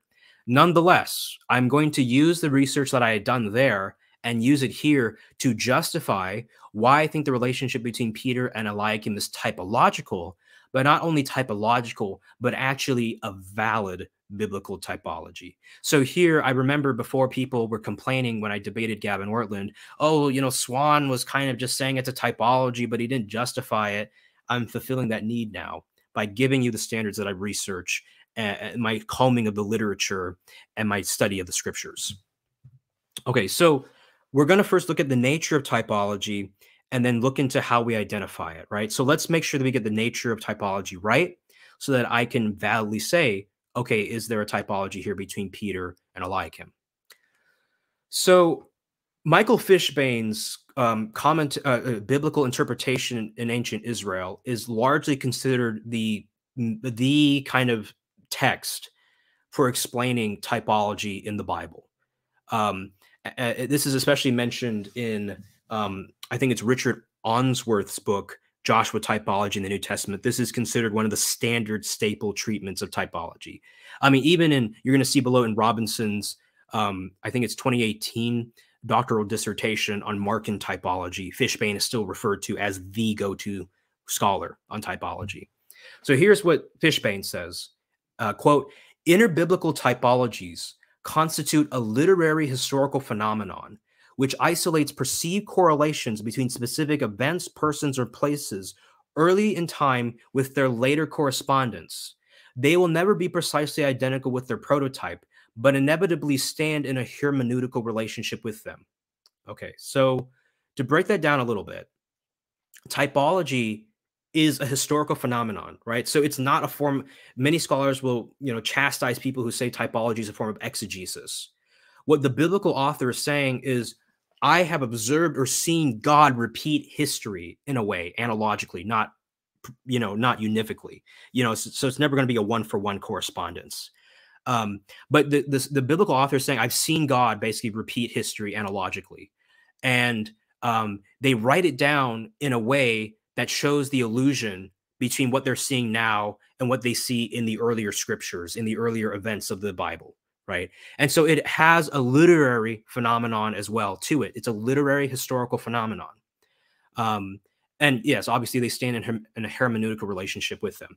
I should also mention that there are two kinds of typology. There's vertical typology and horizontal typology vertical typology you know occurs in the book of romans when paul talks about how you know the earthly things reflect the heavenly realm right so vertical typology is pointing out a correspondence between something in the supernatural realm and in the earthly realm whereas horizontal yeah vertical horizontal typology points to a correspondence within history within god's timeline and view of the world okay so then in jonathan robinson's um, oh, it's 2020, not 2018. I apologize. A doctoral dissertation.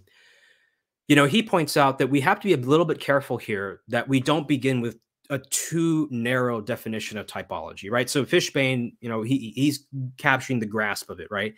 But I don't want to go out, you know, guns blazing with what my standards are for typology because I don't. I want to point out that typology is a very delicate thing. It's very nuanced, right? So Robinson says the following quote Young's definition, he's citing a scholar, is who's citing Fishbane, is chosen here to avoid anachronistic categorical precision. For example, in commentaries on Galatians and First Corinthians, debates over whether Paul employs allegory, typology, or analogy potentially miss the point. These are not distinctions Paul would necessarily have made. When applied to ancient authors, these distinctions create unnecessary and potentially misleading analytical categories. Correspondences of all kinds were potentially significant and could be employed. Thus, the term typology here is intended to be heuristic. The reason why I'm kind of going through the stress of why, you know, the nature of typology is because when I do propose my standards later, uh, you know, some people might say, well, Suan, you know, so what I'm going to do is show examples of typology, right, that are in the scriptures. And some people, some people might say, well, Suan, this is circular because you have to know what typology is in order to know the examples. But Suan, you haven't given us the, the definition of typology. You're just giving us the examples, you know, and so that's kind of circular. What I'm saying here is, okay, from the outset, we can vaguely identify what typology is. Once I give you the examples, then I'll give you the precise, um, you know, categories and, and precision that I think is necessary. So I, I, kind of am in, in disagreement with Robinson here because I think, you know, maybe from the outset, Paul would not have used typology you know, he wouldn't have, for instance, thought like typology is this one rigid thing. Maybe any correspondence for Paul would have been typology. But when we look in the corpus of the biblical literature, I think we can then start narrowing down what's typology, what's allegory, what's analogy. I hope that that explanation wasn't too confusing, right?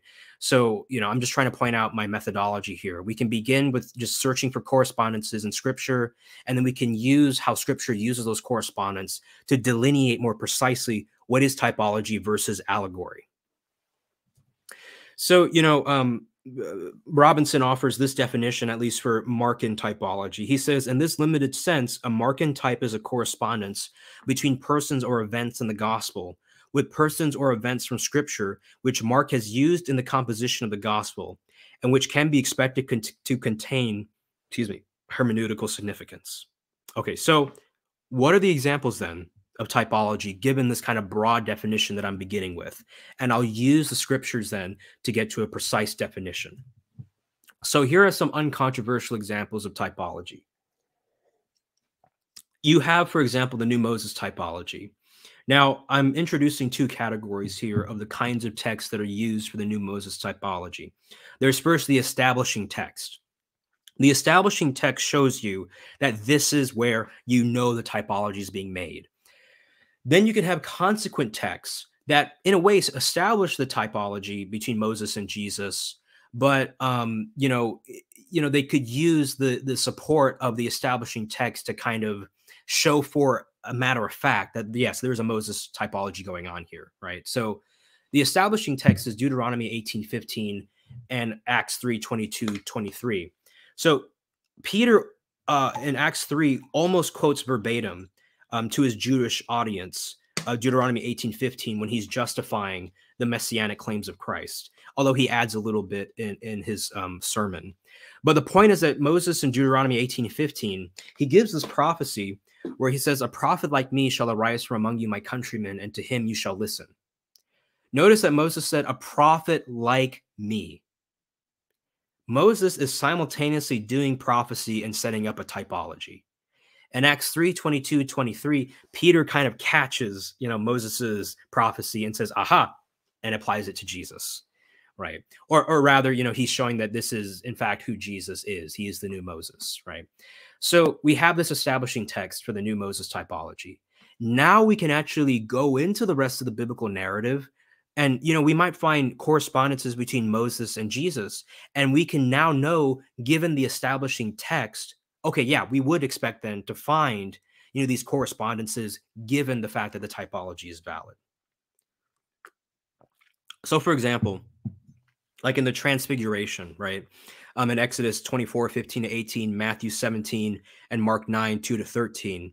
I mean, you see in both contexts multiple correspondences, right? So, for example, six days are mentioned. So after six days, then the the at least in the New Testament, the Transfiguration in the Old Testament, Moses ascends the mountain with the elders or with the three main disciples. You see, you know, six days being mentioned. That's a very strong indicator that you have a correspondence going on when the exact same number of days in the Old and the New Testament events are, you know, connected. You also see that, you know, Moses ascends the mountain with three main disciples um, Nadab, Abihu, and I forget the third one always. But then with the within um, you know uh, the the synoptics, you have um, or at least Matthew and Mark, you have um, John, Peter, and I believe it's James, um, but I might be mistaken. Anyway, you have three main disciples, and then you have a cloud that speaks in both the Old and the New Testament. So these correspondences are clearly establishing Moses as a type and Jesus as the antitype. And then, given the establishing text, we can say for certain, yes, this is what we would expect in the rest of the biblical narrative. Or even the kind of innocuous phrase or, kind of, you know, innocent phrase, sheep without a shepherd, right? You know, Joe Heschmeyer points this out in his book, Pope Peter, that this is also going to be a new Moses typology because the phrase is mentioned in Numbers 27 16 to 17 when Moses is about to die and he prays to God, Lord, let appoint a successor so that my people will not be like a sheep like sheep without a shepherd. In matthew 9:36 and mark 6:34 when jesus looks upon the people of israel with pity he says he looked upon them like sheep like they were sheep without a shepherd right? This establishes then jesus as being corresponding to Moses because both of them are looking upon the children of Israel like they are sheep without a shepherd, right? So there's a natural substitution that goes on here between Moses and Jesus with this phrase. Likewise, we see, for example, the 70 elders in Numbers 11 16 be, uh, are corresponded to in Luke 10 1. Although some people believe that the, you know, th- there might be a copyist error here because some translations will say 72. So maybe this isn't the best example, but the point being is that there are scholars who will argue no, the number should be 70 given um, the new Moses typology, right? There might be a the, the the 72 might be a copyist error, but since we know that there is a new Moses typology, it's very likely that Luke meant 70 disciples and not simply 72. So notice there that typology is actually being used sometimes to actually help us get back to the original wording of the text of the New Testament. That's how powerful typology is. In John 3 14 to 15, Jesus talks about how the Son of Man must be lifted up just as Moses lifted up the serpent. So this is interesting, right? Because um, you know, the action of being lifted up applies to both the bronze serpent and the Son of Man. And in verse 15, Jesus says, for the sake of the, you know, saving the, the world right? Just as the bronze serpent, you, if you were bitten by a poisonous snake, you had to look upon it in order to be saved from death, right? I mean, so we see a correspondence then, I think, not only between, um, you know, between Jesus and the bronze serpent, but you see a kind of gesture towards the Moses typology as well. Now, before, uh, you know, and I, I wasn't able to finish my paper on typology, but I also made an argument that there's a John, there's a John 6, uh, and there's a John 6 and uh, Exodus 16 typology that's going on here. Because in John 6, you have, for instance, the mentioning of the Passover. Um, there's eventually in the bread of life discourse talk of manna. In the previous, uh, before the bread of life discourse, you have um, the people talking about the prophet who is to come right? The prophet obviously being an allusion back to Deuteronomy 18:15. And they even say, given this sign, you know, some of them came to, or the people came to believe that he was the prophet, right? Now, the sign, what is the sign? Well, Jesus had just done the miracle of multiplication, the feeding of the 5,000. Um, in John 6, the people asked for a miracle or a sign like what they had received from their fa- from that their fathers had received in the Old Testament from Moses of the manna. So I think there's a clear, strong indication that Jesus in John 6 in the bread of life discourse is a new Moses because he's performed the sign, the miracle of the multiplication of the bread. He's fed his people, he's fed Israel, just as Moses fed Israel from heaven. And Jesus obviously being the bread from heaven as well. So, yeah, I mean, there obviously then you can see how correspondences can suddenly then become, you know, established typologies right? That's another okay. So with the Passover meal and the lamb, you see in John 1 29, you know, Jesus is referred to as the Lamb of God. In First Corinthians 5 7, Paul, I think, refers to Christ as our Passover. Clearly in Romans 5 14 and 1 Corinthians 15 45 to 49, we have the second Adam typology. And even Paul literally says that um, that Adam was a type of him, of he who was to come, right? And he uses the word type or typos, which is where we get the word typology from. So I don't that's as clear as you can get. You have Jonah in Jonah 117 being in the belly of the sea monster for three days. Ma Jesus says in Matthew 12 40, so too must the Son of Man be in the heart of the earth for three days, right? So you have this clear allusion. And it's by virtue of the three days that you get the connection. And I think Jesus actually mentions Jonah as well. And so, regardless, right, you see a typology going on between Jonah and Jesus where what is done to Jonah in the Old Testament is done to Jesus in the New Testament, except in a slightly different context. Jonah has to be in the belly of the sea monster for three days. Jesus has to be in the heart of the earth for three days. There's a natural substitution that occurs there. Or even 1 Peter 3 18 to 22, which is largely regarded as a valid typology for you know the bapt- uh, the flood of Noah being a precursor to baptism, and how before the flood condemns, in baptism we're saved. Um, or Jesus and Eliakim in Isaiah 22 22, Revelation 3 7. Okay, so these examples of typology help us then get a better grasp of how exactly typology is being worked out in the New Testament. We see the correspondences, but we see other things like a natural substitution that occurs, right? You know, so for example, when we look at um, Exodus 16, Moses feeds Israel. In John 6, Jesus feeds Israel. Notice there's a natural substitution such that we can say Jesus is the new Moses. There are other things that I'm going to mention too but let me get to some definitions of typology now that we've established examples, right? So here's what some scholars have said on the proper definition of typology or a type.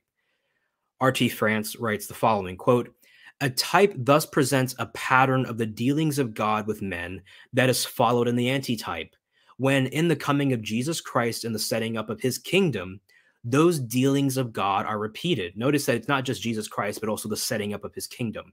That'll be relevant, obviously, with the Isaiah Matthew parallel though with a fullness, and he does use one L there, I believe, and finality that they did not exhibit before. So France proposes that maybe there should be an escalation that occurs, and obviously there's you know um, there there's some reason maybe to believe this. I know that um, what is it? Um, Craig L. Blomberg and others in Introduction to Biblical Hermeneutics makes a similar argument that you know there's course there's usually escalation that occurs between Old and New Testament typologies um, because the apologetic of the type in uh, anti-type in the New Testament is to show the superiority and the messianic claims of Christ and His church. Um, but other scholars have pointed out typology uh, typology doesn't always require escalation. Okay, now I think escalation does occur in the case of the Isaiah Matthew typology, in that, as I mentioned before, Eliakim is compared to a collapsible peg. If you read later down, like eventually the peg is taken out whereas Peter's described as a rock, and in Jewish tradition, rocks are known as permanent objects that are immovable and secured. So, and I've argued this extensively elsewhere. So, I mean, escalation is a part of at least Old to New Testament typology, but typology in and of itself doesn't always require escalation. Likewise, Craig L. Blomberg, in his book, A Handbook of New Testament Exegesis, he says the following quote, the best solution is to understand the ancient Jewish and Greek use of typology, the word typos means a pattern or model. Um, and if you go to the Theological Dictionary of the New Testament, it's volume three or volume seven um, of 10. Um, it mentions how, you know, typos implies a kind of imprint or indent that's left behind. Usually in craftsmanship and, and, and work, you would have typos being used to refer to like when you make an indentation for something that is, you know, yet to come or be placed in. Um, but anyway, one helpful definition is the recognition of a correspondence between New and Old Testament events based on a conviction of the unchanging character of the principles of God's working and a consequent understanding and description of the New Testament event in terms of the Old Testament model. And there he's citing R.T. France in his 1985 InterVarsity commentary on Matthew. Um, in the theistic worldview of the ancient Mediterranean world, the assumption was that God revealed himself in consistent and discernible ways. For the Christian, it could not have been coincidence that just as the children of Israel had to come out of Egypt when God gave Moses the revelation on Mount Sinai, now again Jesus, the inaugurator of the new covenant, had to return to Israel from Egypt before he began his ministry. The same God must be disclosing himself in both contexts. And notice that jibes well with the syntactical correspondence between God speaking in the first person in Isaiah and God speaking in the first person in Matthew. The events of old are being filled full or given additional meaning, but it's but it is meaning consistent with and even analogous to the original meaning. The apologetic is less straightforward than with direct predicted prophecy and its fulfillment, but no less powerful. Likewise, Richard Ounsworth, and this is who I meant to be the author of Joshua typology in the New Testament. I think I might have called him David Ounsworth, or you know, mis- misstated the author's name. He says this quote, with all these corresp- what all these correspondences do have in common, and he does an extensive study of typology uh, of you know New Testament types. However, is at least implicitly the notion that they are all determined by the divine will. It is of the nature of God's providence that he should, as it were, stamp salvation history and the religious practices of his people with the character of his saving power, making them reflections of his heavenly glory. The correspondences are of the nature of things, revealed, but not created by the way in which the Old Testament is written. This is why typology is not a form of exegesis. You can do typological exegesis insofar as you're trying to show that the biblical author is identifying a typology. You can do typological exegesis that way. But typology is not, let's say, purely a, an exegetical exercise right? That wouldn't be fair to the intent of how typology was used. It's saying that there's this thing that has happened that has been revealed, and then it's simply, you know, shown to us from the biblical author's viewpoint through the text that they've given us. Okay, but the point I'm making with that is that the most important standard for validating a type is going to be divine intention or divine authorization. And this is, in fact, what I believe Walter Kaiser also argues in the New Testament use of the Old Testament. So the typology that uh, definition that I'm using then, given this study that I've done so far, is simply this. Typology is the divinely authored historical correspondence between an earlier prefigured type and later fulfilling antitype, such that God's providence is made evident to his people. Okay, so let me just break down a few things. So it's divinely authored. It's a historical correspondence and I maybe I should also put analogical, historical analogical correspondence. Although that's a lot of um, adjectives before correspondence. Um, between an earlier, so notice it's historical, prefigured. Now, what do I mean by prefigured? Now, some people might say, well, Suan, you you critiqued Gavin Ortlund's definition of typology because you said that the definition seems too prospective. And I still stand by that criticism because his argument was that the type sets up the antitype. Now, there might be a more charitable way to understand that. But when he says the word sets up, that sounds prospective. But as other scholars have noted, for example, um, typology in scripture, um, it's a, let me actually get the source so that I'm, I'm giving you the way that you can find it in the book Typology in Scripture by Richard M. Davidson, what he points out is that the old consensus was that typology always had to be prospective. That is, that something in the Old Testament always had to somehow point, like say, like, oh, this thing is going to be typologically played later, right? That's how it has to work. But scholars have noted that no, actually, the New Testament sometimes will retrospectively say that something had prefigured the antitype in the New Testament. And so it doesn't always have to be perspective. That and so when I mean prefigured, I mean prefigured simply in the sense that either prospectively or re- retrospectively, the type foreshadow or the type kind of mirrors the uh, antitype in the New Testament. It prefigures it. Doesn't that doesn't imply necessarily only being prospective. It can go in either direction. I hope that makes sense and the later fulfilling antitype. And so fulfilling can mean all sorts of things, right? It could mean maybe something like, you know, there's an escalation that's going on, or maybe simply fulfilling could just mean that the correspondence is there and that the old, that the prefigured type finally has found its correspondence in its New Testament antitype, right? So that's all that fulfilling could mean. It doesn't necessarily imply escalation. The final thing that must be included is the reason why God manifests history typologically, and that is that his providence and his sovereignty is made evident to his people. It is directed to an audience. God wants his people to know I am faithful, I am consistent, and I am the same God of your forefathers. For example, Roger David Aus points out in the among the rabbis, there's a saying, as it was with the first Redeemer Moses, so it shall be with the last. Michael Fishbane points out another saying among the Jews, which was, What happened to the fathers was it meant to be a sign to their sons. So, yeah, very clearly there's this idea of typology in Judaism, and it has an audience, and the audience is God's people to show the faithfulness of their God.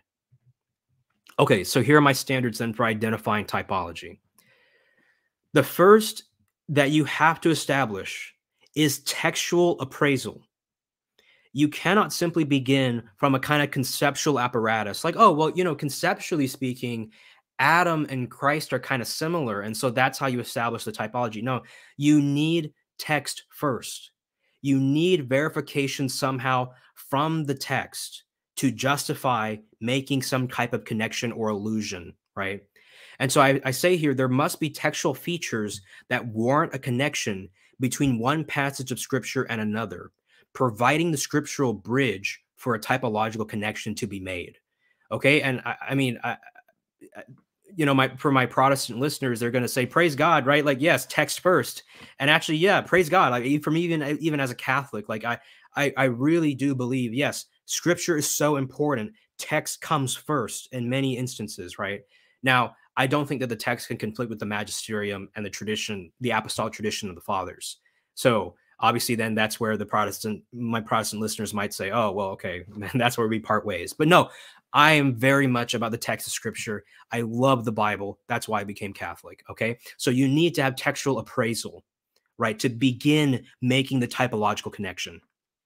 The second thing is that the type that you're proposing or the antitype that you're proposing needs to have a natural substitution. I've used that word multiple a phrase multiple times. Here's the explanation. The antitype must naturally substitute the type in the context or even the construction of the later passage. By context, I mean like for example, you know, go back to Exodus 16 and John 6 in both contexts, you have Moses feeding Israel, you have Jesus feeding Israel, right? Okay, so there's a natural substitution that occurs in the context. Um, but then, even in the construction of passages, you can find a natural substitution. So, for example, when Jesus says, just as Moses lifted up the bronze serpent, so the Son of Man must be lifted up. Okay, the natural substitution in the passage is that so as the as the serpent must be lifted up okay? So the serpent's being the lifted object so the son of man must be lifted.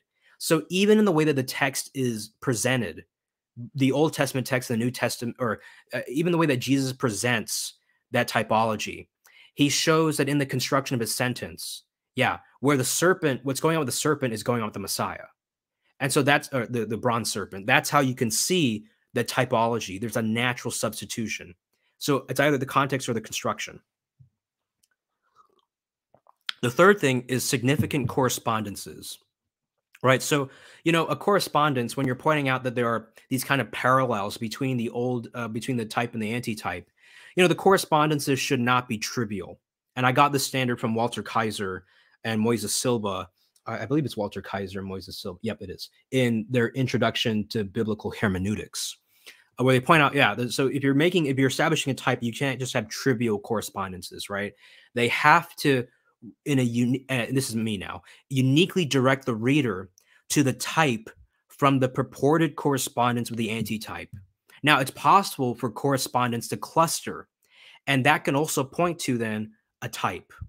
So, for uh, so let me give you an example of the former, right? So, you might have a case in which um, you know, for example, uh, for example, let me give you an example, uh, a, a bad example. Mo- Jesus being a prophet, okay?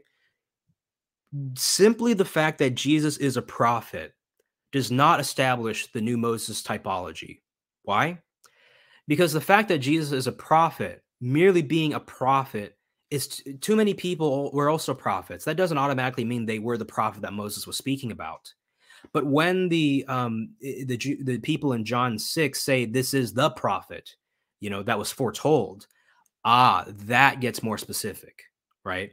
And so you want a correspondence to very specifically point back to something in the the antitype to point back to the type, right? So for you know, eh, so so now going back to this idea of correspondences clustering, imagine for a moment that we did not have um, uh, we did not have Deuteronomy. Let's say we didn't have Acts 3 22 to 23. So we don't ever have Peter actually directly quoting Deuteronomy 18 15. But we had all the other examples of instances where we seem to see a new Moses typology. Could the type be established even without the establishing text? And the answer is absolutely yes. the typologies that occur between Jesus and Moses in the other passages, they are strong and they can all cluster together collectively to show that the type is definitely there. Um, now, of course, people might, you know, and one reason, you know, somebody might say, well, I mean, Suan, the reason why those work is because those correspondences are really good. They're really strong. But then again, I think in the book of Psalms, it's describing Israel as sheep without a shepherd, right? So someone might say, oh, well, that doesn't show with enough specificity that it's a Moses typology being played on in Matthew and Mark. Maybe it's just the Psalms being repeated. But I think we have good reasons for believing that no, there's a there's this it's in the context of Jesus looking upon Israel. And in Numbers, we see the same context repeated again. So the correspondence might not have 100% narrow precision back to one and only one text. But we can establish that, okay, there's a good reason to believe probabilistically that the correspondence between the type and the anti-type, or excuse me, that the, the correspondence in the anti-type is pointing back to the type. And I hope that wasn't too confusing. But, you know, basically to summarize my point here, you usually want the correspondence that you're proposing between the type and the anti-type to be significant enough that yeah, you could see how it points back uniquely to the the anti-type points back uniquely to the type that you're proposing. The second thing is that you could have correspondences cluster and thus increase the probability that the type is uh, that the anti-type is going back to the type. All right, obviously number 4 being one of the, the most important is divine intent, right? So there needs to be some way in which you can show that the typology that you're proposing has divine approval or authorization. And how do you do that? Well, you have, for example, you could use covenants to establish that if God has made a deliberate promise to his people and he has this motivation or intention to remain consistent in his dealings, perhaps a typology could be established with reference to a covenantal context.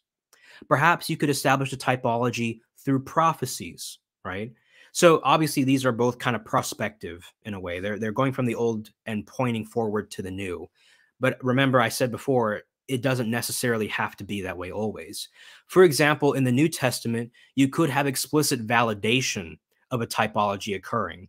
And since the New Testament is also the word of God, you could have that be basically substitute as a way of establishing divine intent if the New Testament author makes it sufficiently clear that he wants to establish something in the new going back to the old, right? So explicit validation could be a way of getting divine intent. The fifth thing that I want to point out is authorial motivation.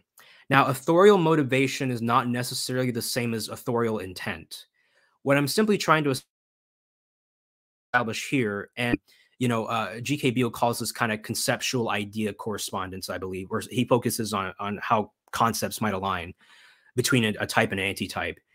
The point is that you you know you at least want to establish that the author has conceivable motives for wanting to identify a typological correspondence, right? So, you know, for instance, with the typology between Isaiah and Ma uh, Isaiah and Revelation, G.K. Beale argues in his book on the Handbook of the New Testament Use of the Old that you know yeah it makes sense that john would want to make a correspondence here because you know eliakim has the key of the house of david and so why wouldn't jesus have it right?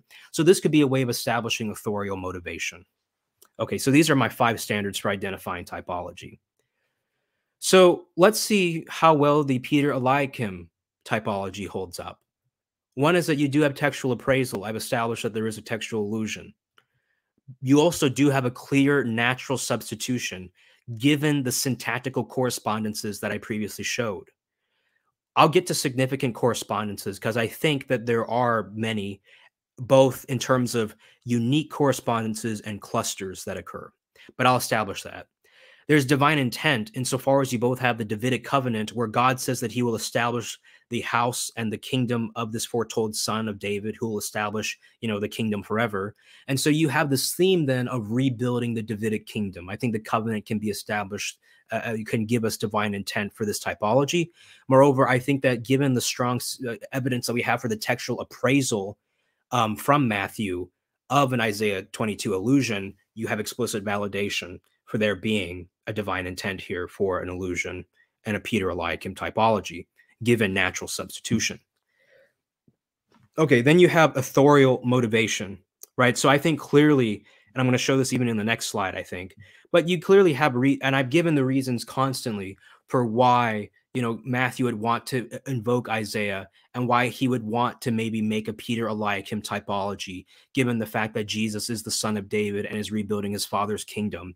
And so, if you have Jesus literally resurrecting an office from the Davidic monarchy and bringing it into the new covenant kingdom, that actually enhances the case that no, Jesus was very self aware that he was rebuilding his father's kingdom, that is, his father David. Okay, so significant correspondences, right? Um, so I think you have, for example, the fact that Eliakim and Peter are always first on the lists in which they appear. I think uh, Second Kings 18.8 is one example that is cited. Um, but I, I, I, even have other scriptural examples later on.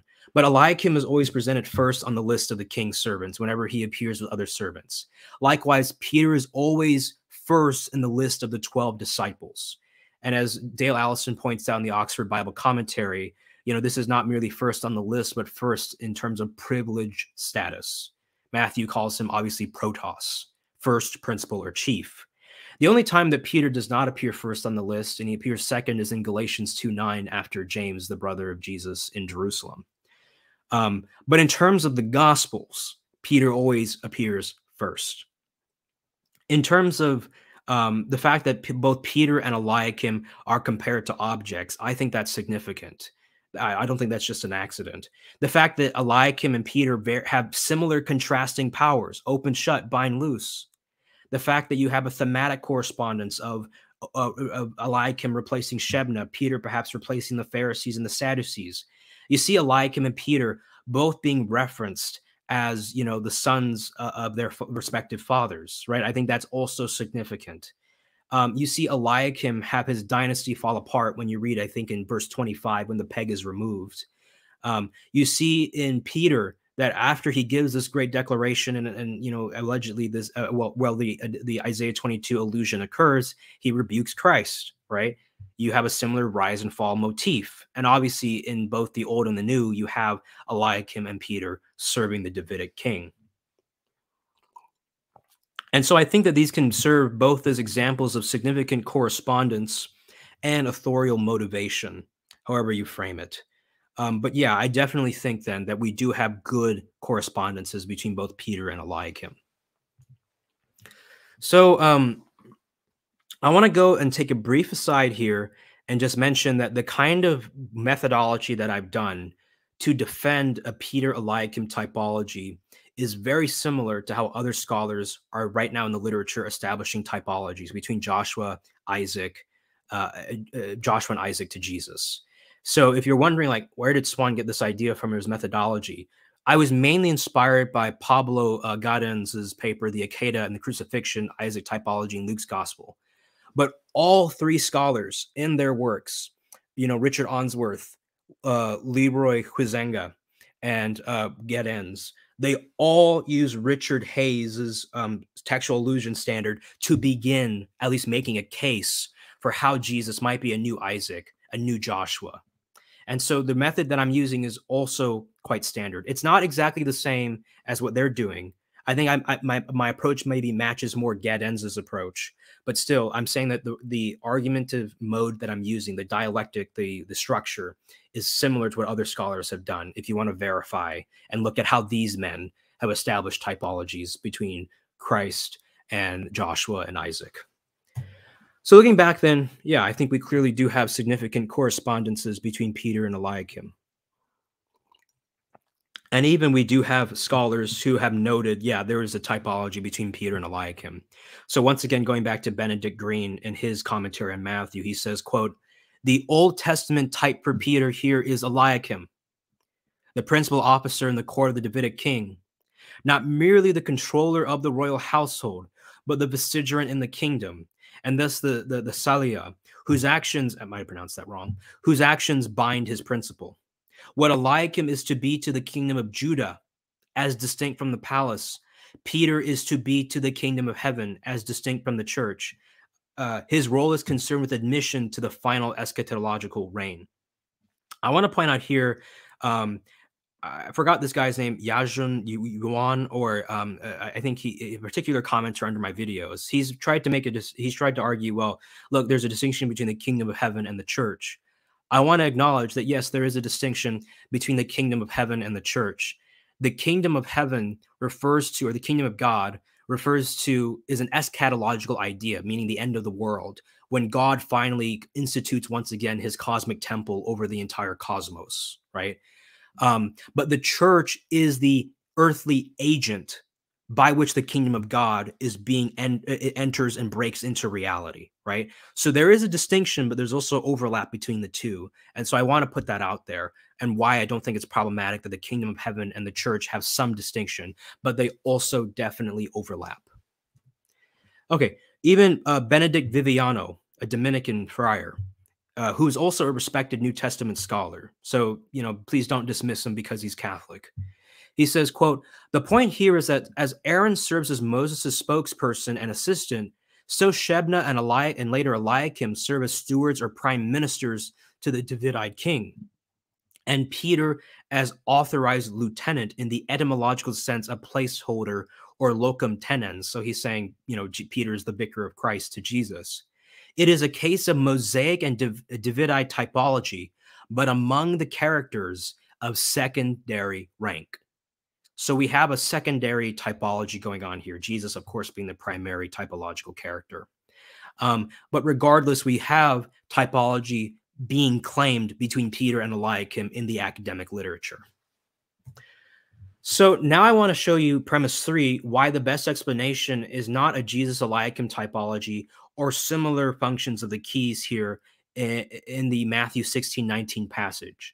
You know, so I'm not denying that there's a Jesus Eliakim typology in Revelation. I'm saying here in Matthew, that's not what's going on. And I'll offer three reasons. First, let's go back to the standard of natural substitution. Second, let's look at the nature of Christ's response. And third, we can actually harmonize the fact that there's a Jesus Eliakim typology and a Peter Eliakim typology. So, first, natural substitution. Let's go back to the syntactical correspondences that I presented. Notice that you have God in both contexts. Um, you have the correspondences between the keys, the house of David, the kingdom of heaven, and the recipient of the keys in both Isaiah and Matthew. It's it's Eliakim and Isaiah. It's Peter and Matthew. The natural substitution for the one receiving the keys is Peter and Eliakim. That's how we know that the typology, as I explained before, given other scriptural examples, that's how we know that the typology more naturally applies to Peter, uh, between Peter and Eliakim, and not Christ in this example. Because Christ here is being represented as the builder, he's being represented as the one who gives, not the one who receives, whereas Eliakim is definitely in the Old Testament the one who receives. So to give you a quote from Oscar Cullmann, he writes the following quote, just as in Isaiah 22, 22, the Lord lays the keys of the house of David on the shoulders of his servant Eliakim, Okay, Old Testament. So Jesus commits to Peter the keys of his house, the kingdom of heaven, and thereby installs him as administrator of the house. There exists a relation between the house of the ecclesia, whose building was mentioned just before, and whose foundation, Oscar Cullmann, Lutheran scholar, defends that Peter's the rock, and the heavenly house whose keys he receives. And I want to point out here too that um, it's really so I you know, don't try to defend the entire papacy just on Matthew 16, 18, with Peter being the rock, even though that's established among scholars. And I've looked into the academic arguments, I've looked into popular arguments. I it's simply I you know, Catholics, we we have nothing to worry about in terms of the fact that Peter is the rock of the church in 1618. We have people like D.A. Carson, Oscar Cullmann, um, uh, you know, and others who have defended um, you know, th- this this translation, this this interpretation of Peter as the rock. Krister Stendahl in the Peake's commentary in the Bible, noting that it's mainly Protestant bias that has prevented people from identifying what seems to be the obvious. And Krister Stendahl, I believe, was a professor at Harvard, and he was a Lutheran, so he was not have any he did not have any acts to uh, any reason to defend the Catholic interpretation. So anyway, um, what we see here with the Oscar Cullmann quote is he shows the natural substitution between the Lord giving the keys of the house of David to Eliakim and Jesus giving the keys of the kingdom of heaven to Peter.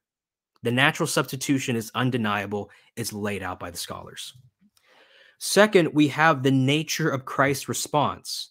It is a declaration about the person of Peter. In Matthew 16 19, Jesus, being the speaker, is making a claim about the person, the identity, the nature of Peter. And that's why the type in the New Testament that is being played here is going to have to be Peter. Let me show you why. So R.T. France, in his commentary on the Gospel of Matthew, um, he writes, quote, the wordplay and the whole structure of the passage demands that this verse is every bit as much about Jesus' declaration about Peter as verse 16 was Peter's declaration about Jesus. Notice what's going on here. When Peter gives his confession or declaration about Jesus, Jesus then gives his declaration about Peter. Let me give you more examples though. So going back to R.T. France again, quote, the Greek phrasing of this declaration, when compared with that of verse 16, conveys a reciprocity which can be rendered in English only by heavy over translation. Simon has declared, You are the Messiah, to which Jesus now responds, and I in turn have a de declaration for you. You are Peter. Each naming also goes on to mention the Father, Son of the living God, Son of Jonah. Messiah was a title for implied fun- uh, uh, for which implied a functional role, though that has not yet been spelled out. Now Jesus gives to Simon a title, a nickname, which, like the famous renamings in the Old Testament, Abram, Abraham, Sarai, Sarah, Jacob, Israel, also speaks of his future future role. Excuse me, and that role is spelled out in verses 18 to 19. Now, I will point out that um, some scholars have made the argument. I can't remember off the top of my head who it was that P- that Jesus, even though he's speaking in the future tense, it doesn't exclude the present giving of the keys as well to Peter, um, because the, the the translation would be something like "I will to give the keys of the kingdom of heaven." Right. Well, technically, that could be both present and future, but that's an aside. Right. The point is that uh, France is showing that in the grammar of the declaration back to Peter, Jesus is revealing the identity of Peter. He's doing something direct to the person. Likewise, David Turner in his commentary on Matthew, he says, quote, Jesus is speaking of Peter in 1618 just as clearly as Peter is speaking of Jesus in 1616. Likewise, W.D. Davies and Dale Allison and their critical com- and exegetical commentary on the gospel according to St. Matthew, they also provide arguments for why the declaration uh, uh, of Peter to Christ is now being from Christ to Peter. In the grammar, they write, quote, you are Peter matches you are the Christ. And they show in the Greek how similar words are used in Matthew both times. And just as Peter spoke revelation, so now does Jesus. Moreover, given the fact that we know that 18, 16, 18 refers to Peter, we also cannot separate 17 and 19 from the fact that all of this is being said to Peter as one exegetical or yeah, one unit. So more significantly, verse 19 cannot be isolated from verses 17 and 18. And in these last, Peter is spoken of in terms not applicable to anyone else. So notice that these scholars are arguing, not Catholic scholars, that yes, Jesus is now giving a declaration about the identity of Peter. So that's how we know that the typology not only has a syntactical correspondence between Peter and Eliakim, but Jesus is saying 1619, it's I'm making this about Peter. Jesus being the master builder, being the kingdom, being the king of the Davidic kingdom, is now making this emphasis on Peter and his role in his kingdom. Moreover, I should mention that there are natural ways of harmonizing um, the fact that you have a Peter Eliakim typology and a Jesus Eliakim typology. So, you know, Patrick Gray, as I mentioned before in his 2017 Routledge uh, Guidebook to the New Testament, he mentions that, you know, the house of David belonged to the king. And so in Revelation 3 7, it's not problematic that Jesus has the keys because he has the. Well, one is that it's interesting because in Revelation 3 7, it doesn't says he has the key of the house of David. It says he has the key of David that's interesting because then if he has the key of David, I mean, he, he has it right as the Davidic king. Whereas Peter, it seems to be the case with the kingdom of heaven and the house of David, he has in the context of a kingdom, whereas Jesus has simply the key of David, not the key of the house of David, simply the key of David. I mean, there might be a reason why John shortened and just said the key of David. But the point being is that the key belongs to Jesus. And so it's not problematic that Jesus would have the key later. But Jesus has given the keys to Peter as well. Now, it's not the case that he has the keys, uh, that Jesus gives the keys to Peter in a zero sum way, where Peter has the keys and Jesus can't have the keys. That is a false uh, dichotomy. Uh, moreover, uh, uh, you know, when we look at, for example, how images and typologies are applied in their immediate context, we can affirm that in the immediate context of Matthew's gospel, Peter has the keys. In the immediate context of Revelation, Jesus has the keys. There is no conflict here. In fact, D.A. Carson makes this very point when he's defending the fact that even though Christ is described as the cornerstone, Peter can also be the rock of the church. Here's what Carson says, quote, the objection that Peter considers Jesus the rock is insubstantial because metaphors are commonly used variously until they become stereotyped, and sometimes even then. Here, Jesus builds his church. In 1 Corinthians 3:10, Paul is an expert builder. In 1 Corinthians 3:11, Jesus is the church's foundation. In Ephesians 2 19 to 20, the apostles and prophets are the foundation, and Jesus is the cornerstone. Here, Jesus has the keys. And Revelation uh, here, Peter has the keys. In Revelation 118 3 7, Jesus has the keys. In John 9 5, Jesus is the light of the world. In Matthew 5 14, his disciples are. None of these pairs threatens Jesus' uniqueness. They simply show how metaphors must be interpreted primarily with reference to their immediate context. I couldn't have said it better than D.A. Carson. So now to premise seven. But the textual allusions being a Peter, and I think I've established therefore that this is a Peter Eliakim typology since we've eliminated the other two options. But the textual allusions being a Peter Eliakim typology is much more expected on the hypothesis that the papacy is true than on its negation. And so I want to defend this premise with three different observations. The first is that Eliakim's office corresponds quite well to Vatican I claims of papal supremacy and infallibility. The second is that Petrine typology is highly unexpected under a Protestant or even maybe even Orthodox interpretation uh, uh, uh, view of Scripture. Peter gets his own typology. Peter was foreshadowed in the Old Testament. That is incredibly significant. The third thing is that when we look at what's the most plausible interpretation of Matthew 16, 19 in light of Isaiah 22, 22, we find that with the Peter Eliakim typology, it means that in some way Peter received authority like Eliakim's. And if that's the case, then combining all these arguments together, that fits really well with the papacy. So let me just describe now Eliakim's office, and this is going to go into some detail. We're going to talk about Eliakim in Scripture, Eliakim's connection to Joseph in the Old Test in the Book of Genesis, the fact that this office is priestly, the office was supreme in nature, it was successional in nature. Um, and then I'm going to conclude by once again kind of tying the knot and, or, you know, tying the thread and discussing Eliakim's office, you know, showing why all these come together. So we see Isaiah, uh, we see Eliakim primarily in two places. It's in Isaiah and Second Kings.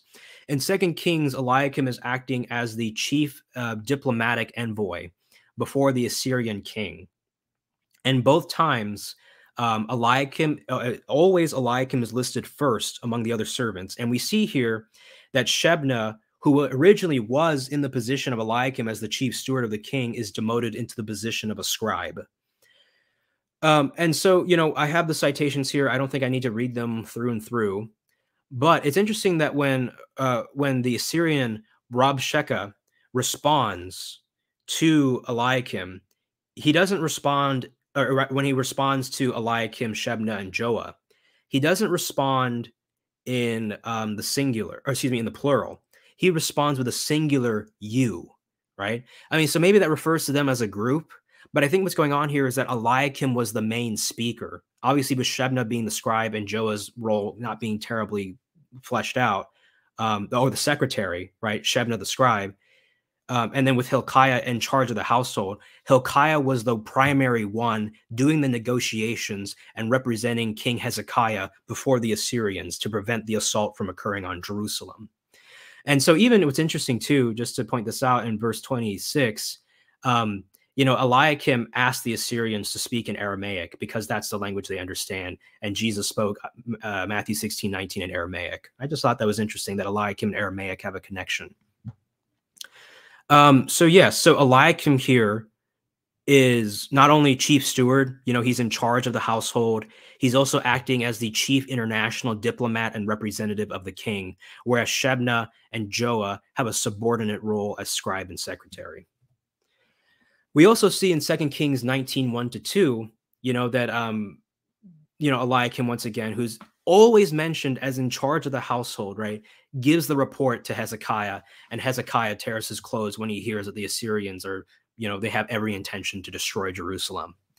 Um, in Isaiah 36, 3, uh, verse 11 and verse 22, again in 37 and uh, chapter 37, verse 2, Eliakim is mentioned again, and I believe in each of those instances, he's always mentioned with his office as in charge of the household of the king. Um, and the other time he's mentioned is Isaiah 22, 22. Okay, so Eliakim is definitely a significant figure. Um, and I should also mention, too, just going back really quick, um, I'm going to mention this later on, but I want to mention it now. It's interesting because uh, you know, in, in these kind of military negotiations, we would expect Hezekiah's um, commander of the army to actually be present.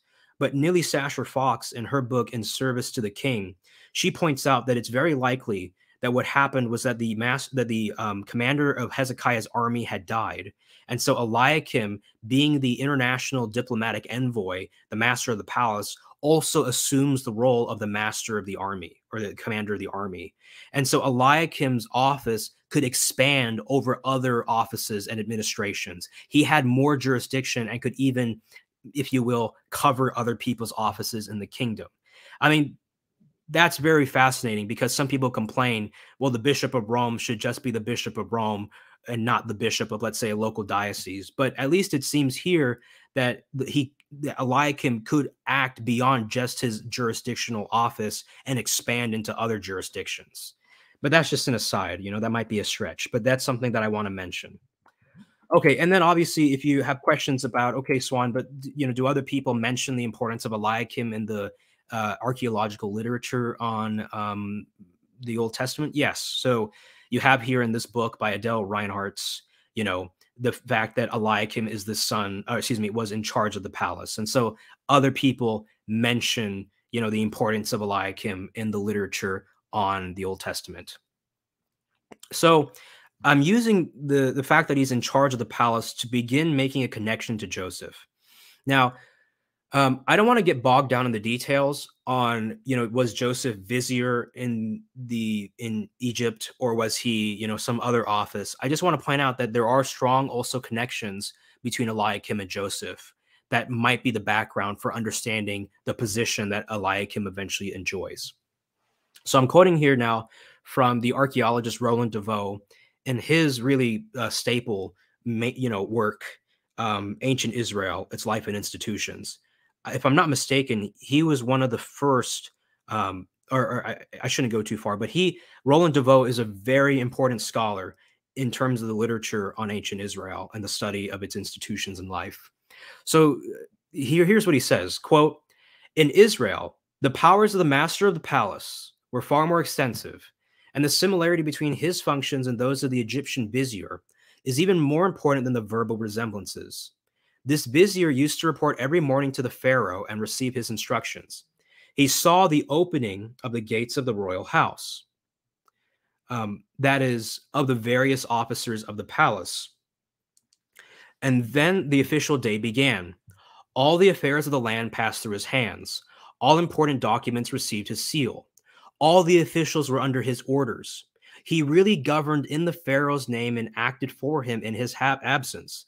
This is obviously the dignity which Joseph exercised according to Genesis. He had no one above him except the Pharaoh, and he was appointed over the whole land of Egypt. He held the royal seal.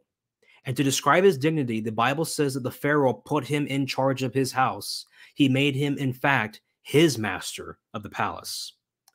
Going on, the master of the palace had similar functions at the court of Judah, announcing the promotion of Eliakim. Isaiah 22 22 says, You know, I lay the key of the house of David upon his shoulder. If he opens, no one will shut. If he shuts, no one will open.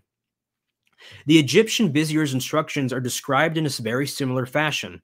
Every morning, the vizier will send someone to open the gates of the oh, excuse me the gates of the king's house to admit those who have to enter and to send out those who have to go out one is reminded of our lord's words to peter the vizier of the kingdom of heaven like the egyptian vizier the master of the palace was the highest official in the state his name comes first in the list of 2 kings 18 18 he alone appears with the king 1 kings 18:3. and Jotham bears this title when he acts as regent of the kingdom, 2 Kings 15:5, as the vizier did in the absence of the pharaoh. Okay, so de Vaux makes an argument that uh, that the office of the master of the palace was modeled after Joseph's office under the pharaoh in Egypt as vizier. So um, there there might be some criticism here because not the, the, the consensus of scholars on this issue, or at least most of them, they don't agree that um, the office that Joseph had was one of vizier. But what you know, but obviously de Vaux is offering an argument here, and it doesn't. What what matters is not so much that Joseph had this office of vizier. That's a kind of a, a minute, specific detail. What matters is that Joseph, uh, uh that Eliakim's office echoes of Joseph's position under Pharaoh. Um, and likewise, in my own uh, re research on this, in my article on Catholic Answers, if I may cite myself shamelessly, um, you know, I make the point that recall that all of Pharaoh's possessions, including his own house or palace, were placed under Joseph's care. Eliakim is similarly described as over the king's house. Um, some translations will call him the overseer, so they'll kind of ram, all, you know, and I think the Hebrew actually rams it all together. But other translations will definitely say that Eliakim was over the king's house. Some will just say he was the overseer, right? So it depends on the translation. So I was using particular one there as its master or chief steward. So let's look at some of these passages, right? So I'm using the JPS Tanakh, Genesis 39 5. And it came to pass from the time, oh, from the time that he appointed him as overseer. So sorry, that applies to Joseph, not to Eliakim, um, in his house and over all that he had, that the Lord blessed the Egyptian's house for Joseph's sake. And the blessing of the Lord was upon all that he had in the house and in the field. In 2 Kings 19 2, for example, it says, And he sent Eliakim, who is over the household, and Shebna the scribe, and the elders of the priests covered with sackcloth, unto Isaiah the prophet, the son of Amos. Now, what I did here was I highlighted the Hebrew because if you go on Bible Hub, and I know like I was critiqued for using Strong's Greek, but I think it's at least significant that if you go on Bible Hub and you look at the words that are used here, you'll find that both of the words used for, you know, Eliakim over the household, uh, Joseph being overseer over his house, the Hebrew there, they're variations of each other. They're similar words and in, in, in their, I guess, I don't want to be too, I want to be careful here in their roots, perhaps. Um, I know Louis D, uh, Dion, who good friend of mine, he probably probably can master the Hebrew better than I can. But the point is that the Hebrews, the Hebrew that is used here, are not disconnected from each other. There's definitely a connection that is going on, or a variation of the same idea. Okay, so let me see. I just check the stream again to make sure that everything is still functioning properly. I see something about a final end. So teleology is being mentioned. Very interesting. Um, okay, so Genesis 45 8 so now it was not you that sent me hither. Oh, this is the JPS Tanakh translation again. But God, and he hath made me a fa father to Pharaoh, and lord of all his house, and ruler over the land of Egypt. Remember that in Isaiah 22 21, Eliakim is also called father. And I will clothe him with thy robe and bind him with thy girdle, and I will commit thy government into his hand, and he shall be a father to the inhabitants of Jerusalem and to the house of Judah. I mean, notice that Eliakim literally receives the government of Israel on himself. And then he's called the inha- he's called the father to the inhabitants of Jerusalem and to the house of Judah. Uh, you know, the, the, uh, you know, so N.D. Mettinger, he makes us. I got this argument from him on page seventy-seven because he's saying here that in both contexts, Joseph and Eliakim are called fathers over their respective jurisdictions. That's incredibly significant. Um, not only because it shows that there might be a connection between there's strange connections between Joseph and Eliakim, but also, I mean, you know, uh, you can't really say like if Jesus in the New Testament says, "Call no man father," um, well, you know, Eliakim was called a father, but anyway, that's kind of a bit cheeky. Let me just focus on the Old Testament, right? The point is that you have um, a similarity between Joseph and Eliakim, and if we can see how powerful Joseph was that reveals even further how powerful Eliakim was. And if Eliakim is the type for Peter, that reveals even more how powerful Peter is in the New Testament, given the typology. So, likewise, Mettinger, once again on page 77 of his work, Solomonic State Officials, he says, quote, against this background, it becomes rather difficult to assume that the circles in Jerusalem that handed on this piece of literature regarded the office of the Israelite house minister as something fundamentally different from that of Joseph. Now, I remember Gavin, uh, you know, kind of rebutted in our original debate, and I responded to him since on Reason and Theology, where I offered, um, you know, a response to him, and then I created an updated version where I responded or I received Gavin's emails about my response, and then I updated it, you know, to be more fair to Gavin. But I want to mention mm. once again, and I haven't heard a response from Gavin. I understand he's busy. But the fact that he, you know, he asked the question, why would there be an Egyptian office in Israel? Well, the reason why is because we would expect, given the fact that the Israelites were in Egypt once, that they would continue certain practices or ideas from that they had inherited in Egypt. And what we find is actually this in multiple other contexts, increasing the probability here once again. So, for example, uh, David Falk, who appeared on Capturing Christianity with Cameron Bertuzzi under the video This Egyptologist Has Strong Evidence for a Real Exodus. He notes multiple ways in which you can show in Israel and in the Old Testament allusions back to Egyptian practices that show or strongly indicate that Israel was, in fact, once in Egypt. And I think this is a perfect candidate. The other thing that I should point out, at least, okay, and I need to be careful here, at least what I think it shows is an allusion back to Joseph's time in Egypt. Is it precisely a reincarnation of the office of vizier? Maybe not. Maybe what happens is the office of house minister or master of the palace or chief steward increases to the point that then it later becomes modeled after Joseph's office as vizier or maybe something else. You know, um, Mettinger proposes perhaps uh, the great house minister in Egypt, which was another title, not necessarily the vizier the point I'm simply making here is that okay, we this is not surprising that we would see this connection back to Joseph uh, in Egypt. Even Mettinger suggests that the word ephod, which Eliakim wears in verse 21, might be of Egyptian origin. Okay, so that increases. Then we have might maybe a Joseph allusion. Um, and obviously, if you uh, if you read the book, the Old Testament use of the Old Testament, it, the Old Testament does quote itself. So this is not an absurd proposal that I'm making up. Um, the other thing I want to say too is that you know, so I think there were Joseph slash Egypt inspired influences on the description of the chief steward's office in the biblical text, especially in Eliakim's case. Okay, so now I just want to go into some questions and limits because recently, you know, de Vaux and Mettinger's work has been heavily criticized by Nili Sacher Fox in her book In the Service of the King, which I referenced earlier. Um, and so there needs to be some nuance introduced here because, and I, you know, because some people are going to pick up the source and they're going to look at it and say, "Oh, Suan, this destroys your entire thesis." So anticipating people looking into this book and somehow trying to destroy my thesis, let me anticipate and respond. So the thing that we know that everybody agrees on is that Joseph received an incredible degree of authority under Pharaoh. But it is unknown if his office is vizier, great house overseer, or an entirely unique office. Um, the Vizier hypothesis has largely been dismissed.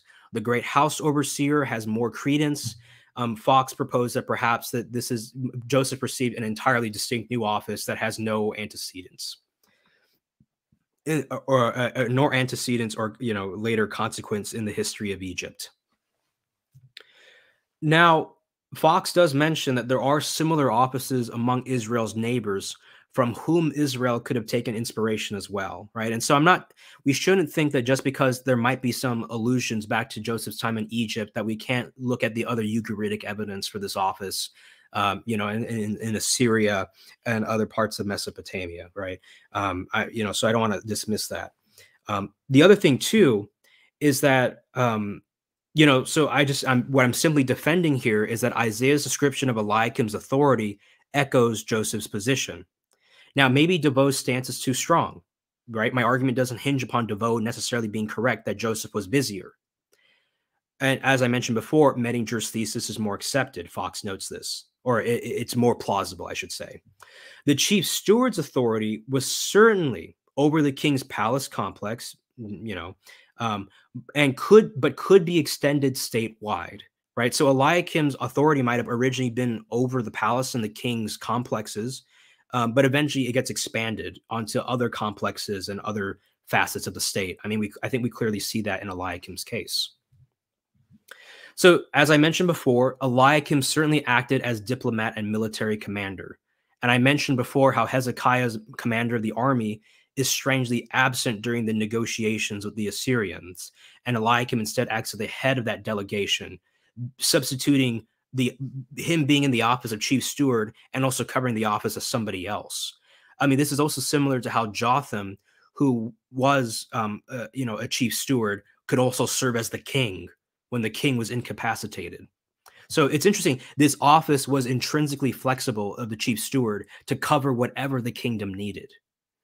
It had a kind of, if you will, unlimited jurisdiction. Finally, Eliakim's tenure constitutes the highest point of the chief steward's authority. He is the right hand man of Hezekiah's kingdom. You know, Fox points out how I think in second, uh, uh, you know, when Solomon lists out his um, king, his the offices in his kingdom, I think it's in Second Kings six. Um, you see that the chief steward is listed eighth in the list, but later on, that same steward, I believe, is listed first. And then as more time passed, the chief steward is always kind of listed as the first rank and the chief officer. Um, I think what we see here, and Fox actually says this, is a development over time in the Davidic monarchy that Davidic monarchy denoting the monarchies that followed in the vein of the house of David. Um, that the, the the king the the position of this prime minister or chief steward does gradually develop and expand. Um, to use an analogy that I hope is not too um, comical or that is unprofessional, you know, think about, for instance, um, you know, Batman and and and his Alfred and his butler Alfred, right? You you see how the how Alfred is kind of like this chief butler. And there are other, of course, other workers in Wayne Manor, but eventually Alfred kind of becomes this kind of second right hand man, right? In, in terms of like, you know, what Bruce Wayne does. And so I'm using that analogy. I know it's kind of silly, but using the analogy, the point is that Eliakim is like this chief butler who eventually gets entrusted with the king's most intimate personal uh, administration of the kingdom right? I think that's how the office developed gradually over time. You had the you had the chief steward acting as originally kind of just the chief butler of the house and then eventually because he's always next to the king he's managing the most important properties of the king. He's you know charging who can enter and not enter the palace. He becomes elevated into this position of being the right hand man of the king. Okay so now that I've established kind of these facts about Eliakim's office, let me go into the fact that Eliakim's office was priestly. And this is in direct response to some of the arguments that Gavin Ortlund gave for why Eliakim's office is not priestly. So let me go over the sources that I originally mentioned. And the reason why I'm saying previous sources here is because I have new sources and new arguments as well. So I mentioned last time um, in the work of, uh, of G.K. Beale, edit, edited by D.A. Carson, he notes in the book The Temple and the Church's Mission that Isaiah 22 22 portrays Eliakim, prime minister to King Hezekiah.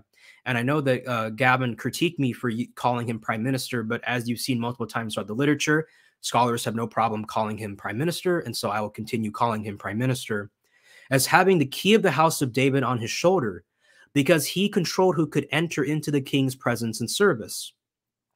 There were priestly connotations associated with Eliakim's kingly administration, since Isaiah 22 21 portrays him clothed with a tunic and a sash securely about him. The Aramaic translation of Isaiah 22 22 says that God will place the key of the sanctuary and the authority of the house of David in his hand. And then Isaiah 22 24 of the Aramaic version says that even Eliakim's relatives will be priests wearing the ephod. So notice here that among the Jew, the Jewish reception of Isaiah was that Eliakim was a kind of priest. That was the reception of the Jewish people of Eliakim's office, historically speaking. The other thing to point out is that given what Eliakim is wearing, this does imply something of a priestly connotation. Now, I know that Gavin said that he doesn't think a priestly connotation is enough. I'll respond to that in due time. But these were the sources I cited last time. There was also John Oswalt's commentary on the book of Isaiah, where he notes that Eliakim will wear the badges of honor and carry out the functions assigned to him. And notice that Oswalt cites Genesis with uh, Joseph.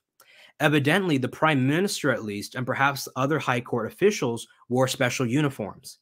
The terms here used for robe and sash appear elsewhere only for garb worn by the priests. This does not mean necessarily that the court officers had usurped the prerogatives of the priests, but rather that there were standard terms for ceremonial clothing. Now, Gavin responded in over email and said that he believes that Eliakim is not a priest and that the tunic and uh, what, what he's wearing is just standard ceremonial clothing. It doesn't imply anything about Eliakim being a priest or uh, of that sort, right? Well, I mean, I'm going to get into the nuances of how I respond to that objection. But I want you to note that at least what Eliakim is wearing is only typically applied to priests. And then in later Jewish reception, Eliakim and his relatives were viewed as priests. So that's interesting to point out. The other thing I should mention too is that there was not a neat distinction between church and state in ancient Israel. And I want to thank Seraphim Hamilton, as I did previously in the beginning and in the previous response to Gavin, um, for pointing this out to me, right? Because even David, the king, could take on priestly prerogatives. He could do things that only priests could do. And so there was not a neat distinction between priest and king, or rather between David's office as king and his ability to be priest in ancient Israel. Um, and, uh, and anybody who studied the Old Testament knows what I'm talking about here in terms of the fact that there was not a neat distinction between church and state and how even the temple was the primordial model for government in ancient Israel. I mean, for example, I cite First Chronicles 9:27, where we see the, the priests are described as having keys for opening the temple, which sounds awfully similar to what is going on in the case of Isaiah 22, 22. Um, although I, I think there is a distinction that needs to be maintained to some extent between the two. But the point is that it's not a sharp total distinction. Another point to mention is that even with things like the Urim and the Thummim in the Old Testament, um, which Moses receives and, and hands on to his brother Aaron and to the other high priests, uh, the Urim and the Thummim, this means by which the people of God, or rather the priests, could directly discern the divine will and receive a direct answer from God on questions concerning justice and the management of Israel, or even the interpretation of Scripture. Um, uh, the Urim and the Thummim eventually is used by Saul, I believe, in the book of Samuel. And so it's interesting here, uh, first or second. What's interesting here is that Saul is not a priest, or Saul is a king, right? The first king of Israel. And he's not typically conceived of as a priest. And yet he's maybe he's using the Urim and Thummim himself, or he brings a priest along with him when they're trying to figure out who had sinned against God and eventually it's discovered through the Urim and the Thummim that it was Jonathan, Saul's son. The point I'm mentioning here is that there seems to even be before David this idea that the king was something of a priestly figure. And so even those in the civil administration of government were not distinct from the religious cult.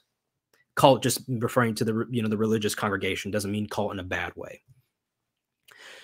Now let me go to some news sources that I have here. So um, this is from, I believe, Rucker's book. Let me see. No, this is from Patrick Barber's paper, Jesus as the Davidic Temple Builder and Peter's priestly role in Matthew. Here's what Barber says, quote, what is frequently overlooked, however, is the fact that there are several indications that Isaiah 22, 22 was understood as describing Eliakim as a priestly figure. In fact, that Eliakim was seen as a priestly figure is clear from the Targum, that is the Aramaic translation on Isaiah 22. He is given a turban, verse 18, and said to wear a cincture, verse 21, and receives the key of the sanctuary, verse 22. Likewise, the Midrash Rabbah specifically identifies Shebna, the man whose office Eliakim takes, as the high priest.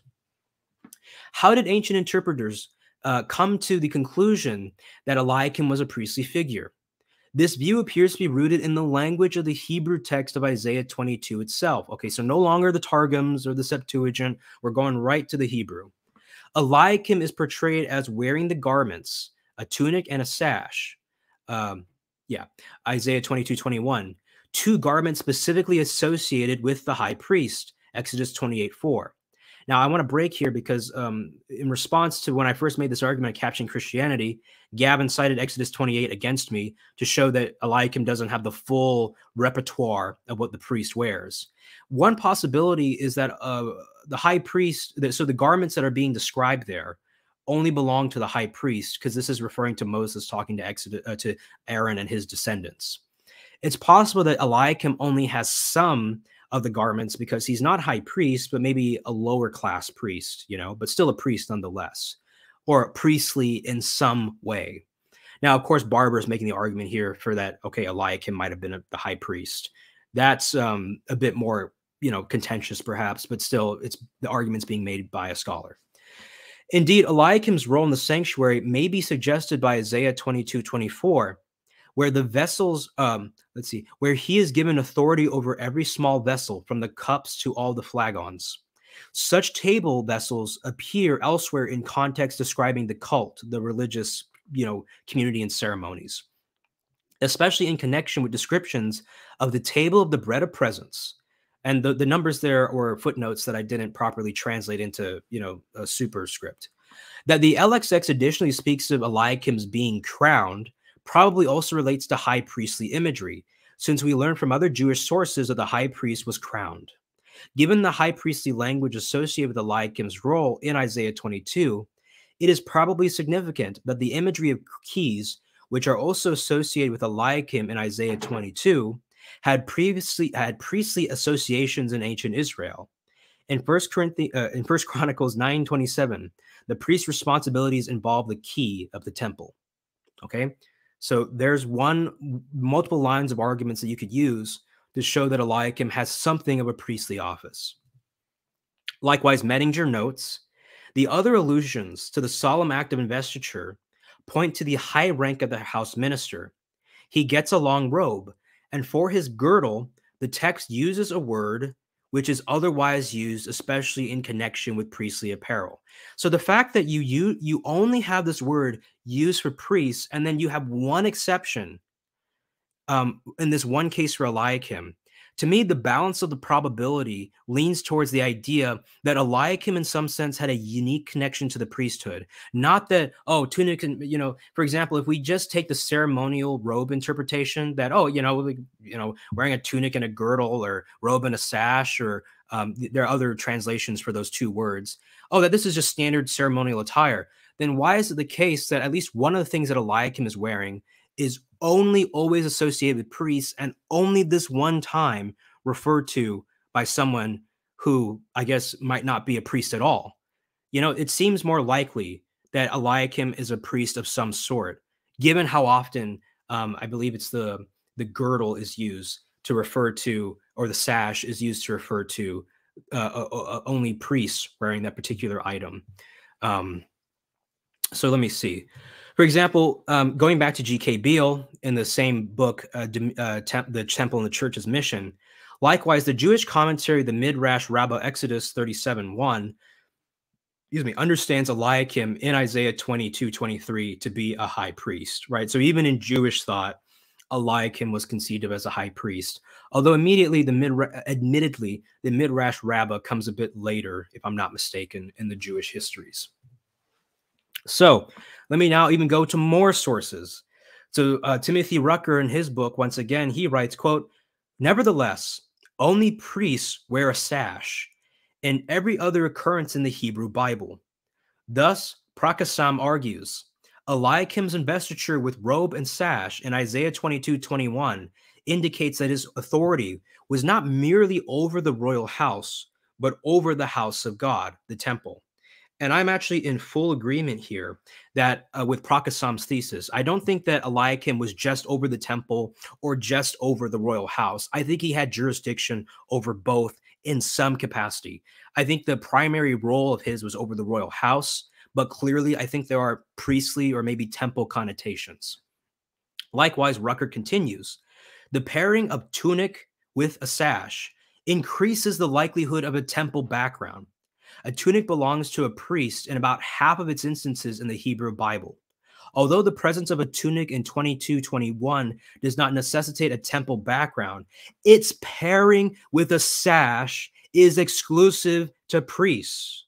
For example, he compares Exodus 28 4 with Isaiah 22 21. I mean, I, the evidence just keeps on mounting that, okay, there's something priestly going on with Eliakim. Um, and that the thesis that this is just a separate type of ceremonial wear that mimics the priests, that doesn't make sense what's going on here, I think, is that the priestly image of the sash, which is usually only associated with the priesthood, and even the robe being paired with the sash, is some type of allusion to the priesthood. Likewise, on page 95, he says, quote, in regard to the Hebrew text of 2215 to 25, the strongest piece of evidence for a temple background are the sash, the tunic, and the turban wrapping. These three, along with the key, so notice that all four of these things are coming together, comprise the four pegs of the Mesopotamian loom for the temple tapestry. Within the context of this loom, many other terms and phrases may be seen to contribute to temple connotations.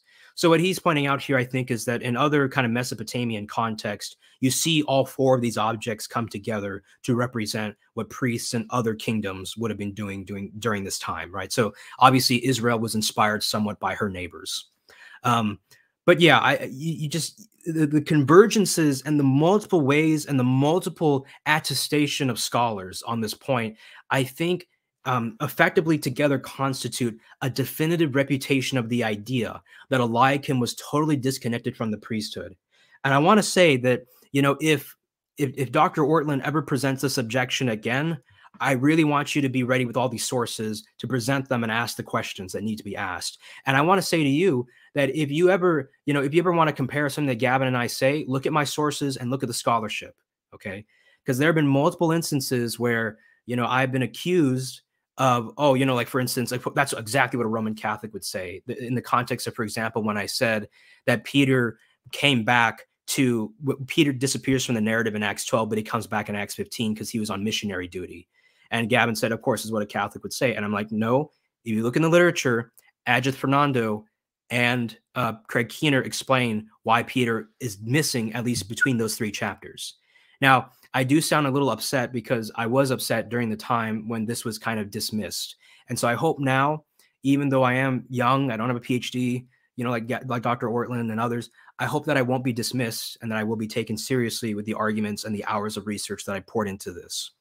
Anyway, now we know that Eliakim's office was supreme in nature. So, for example, Fox, despite her heavy criticisms of Mettinger and um, and of uh, de Vaux, she says it is generally agreed upon that occupants of this office were administrators of the highest status. So, regardless, they were of the highest status, um, regardless of what kind of authority the chief steward might have had. The jurisdiction of this official in Israel and elsewhere could cross administrative divisions when deemed appropriate. So, the, the, the jurisdiction of the chief steward could go beyond just the palace. There was a sense in which it had a flexibility and could expand into other things. Now, this is more directed towards my Orthodox brothers and sisters who might say, well, Suan, no, the Bishop of Rome should only stay in his diocese. Well, Eli- you could say, well, Eliakim should only stay in his diocese of the palace, and yet Eliakim expands into other offices or other dioceses, if you will. Right. So I'm, I'm saying here that, um, but even still, Eliakim's uh, office is described as a universal authority, but I'll get to that later. Um, the point is that okay, this office was quite flexible. It could expand and could do things that whatever it needed to do to preserve the kingdom. Now, uh, uh, at least up to the point of Eliakim. Eliakim, I think, represents the high point of this chief steward's office. Fox, however, does deny that the chief steward was second to the king or had authority over other officials. Now, I think it's a bit strange that she would say that you know they don't have the, the, the chief steward doesn't have authority over other officials because if he's the one with the highest administrative status or the highest administrators of the highest status, presumably he would have authority over those who don't have the highest status. or even second to the king, right? I think that if you take Isaiah 22, 22, where Eliakim says, you know, where instead of Eliakim, whatever he opens, none shall shut, whatever he shuts, none shall open. That's a pretty definitive authority that would at least suggest, at minimum, perhaps an authority equal to the king or second to the king above everybody else. Moreover, I do take issue uh, with some of her arguments because sometimes I do think that they're a bit rigid, and I do, but, but, we, I think we both acknowledge that the office probably evolved over time and gained greater authority in the Davidic house, and with Eliakim being kind of the cherry on top. Go back to my example of how that happened with but with the Alfred being the butler and you know all that. For example, she says that the Genesis account of Joseph is legendary. For me as a Christian, for me as someone who accepts the inspiration of scripture, uh, no, I I mean, maybe there are uh, there's hyperbole being done in Pharaoh's description of the office of Pharaoh, uh, the office of Joseph, but I'm I don't want to call the Bible legendary um in like a in a, the connotation that she's implying um of kind of being like kind of unreliable in its description um, for me, I, I don't feel at liberty to do that. I accept the authority of Scripture. Um, I accept the Bible as the Word of God. And also, I think that her position kind of conflicts with Isaiah's descriptions of Eliakim, because as I mentioned before, she doesn't believe that the steward was second to the king, and she largely considers Isaiah's oracle too uh, too poetic to be really substantial. But if it's in the case of a prophecy directly from God Himself, then God can use poetic language if he wants. But the point that he's getting across, the meaning is clear that Eliakim does have a definitive authority. And so, due to my submission to God and to the scriptures, um, to the word of God, uh, there are parts, there are ways that I'm going to part with uh, Sacher Fox's argument. And I know that, for example, some of those who are more kind of liberal in the scholarship are going to kind of laugh at me for doing that. But for me, as someone who accepts the authority of scripture or who believes that no prophecy was real and definitely from God, I'm I'm not in a position to to say it's legendary or unreliable. So, and as I mentioned before, right, this idea of when Isaiah says none shall shut, none shall open.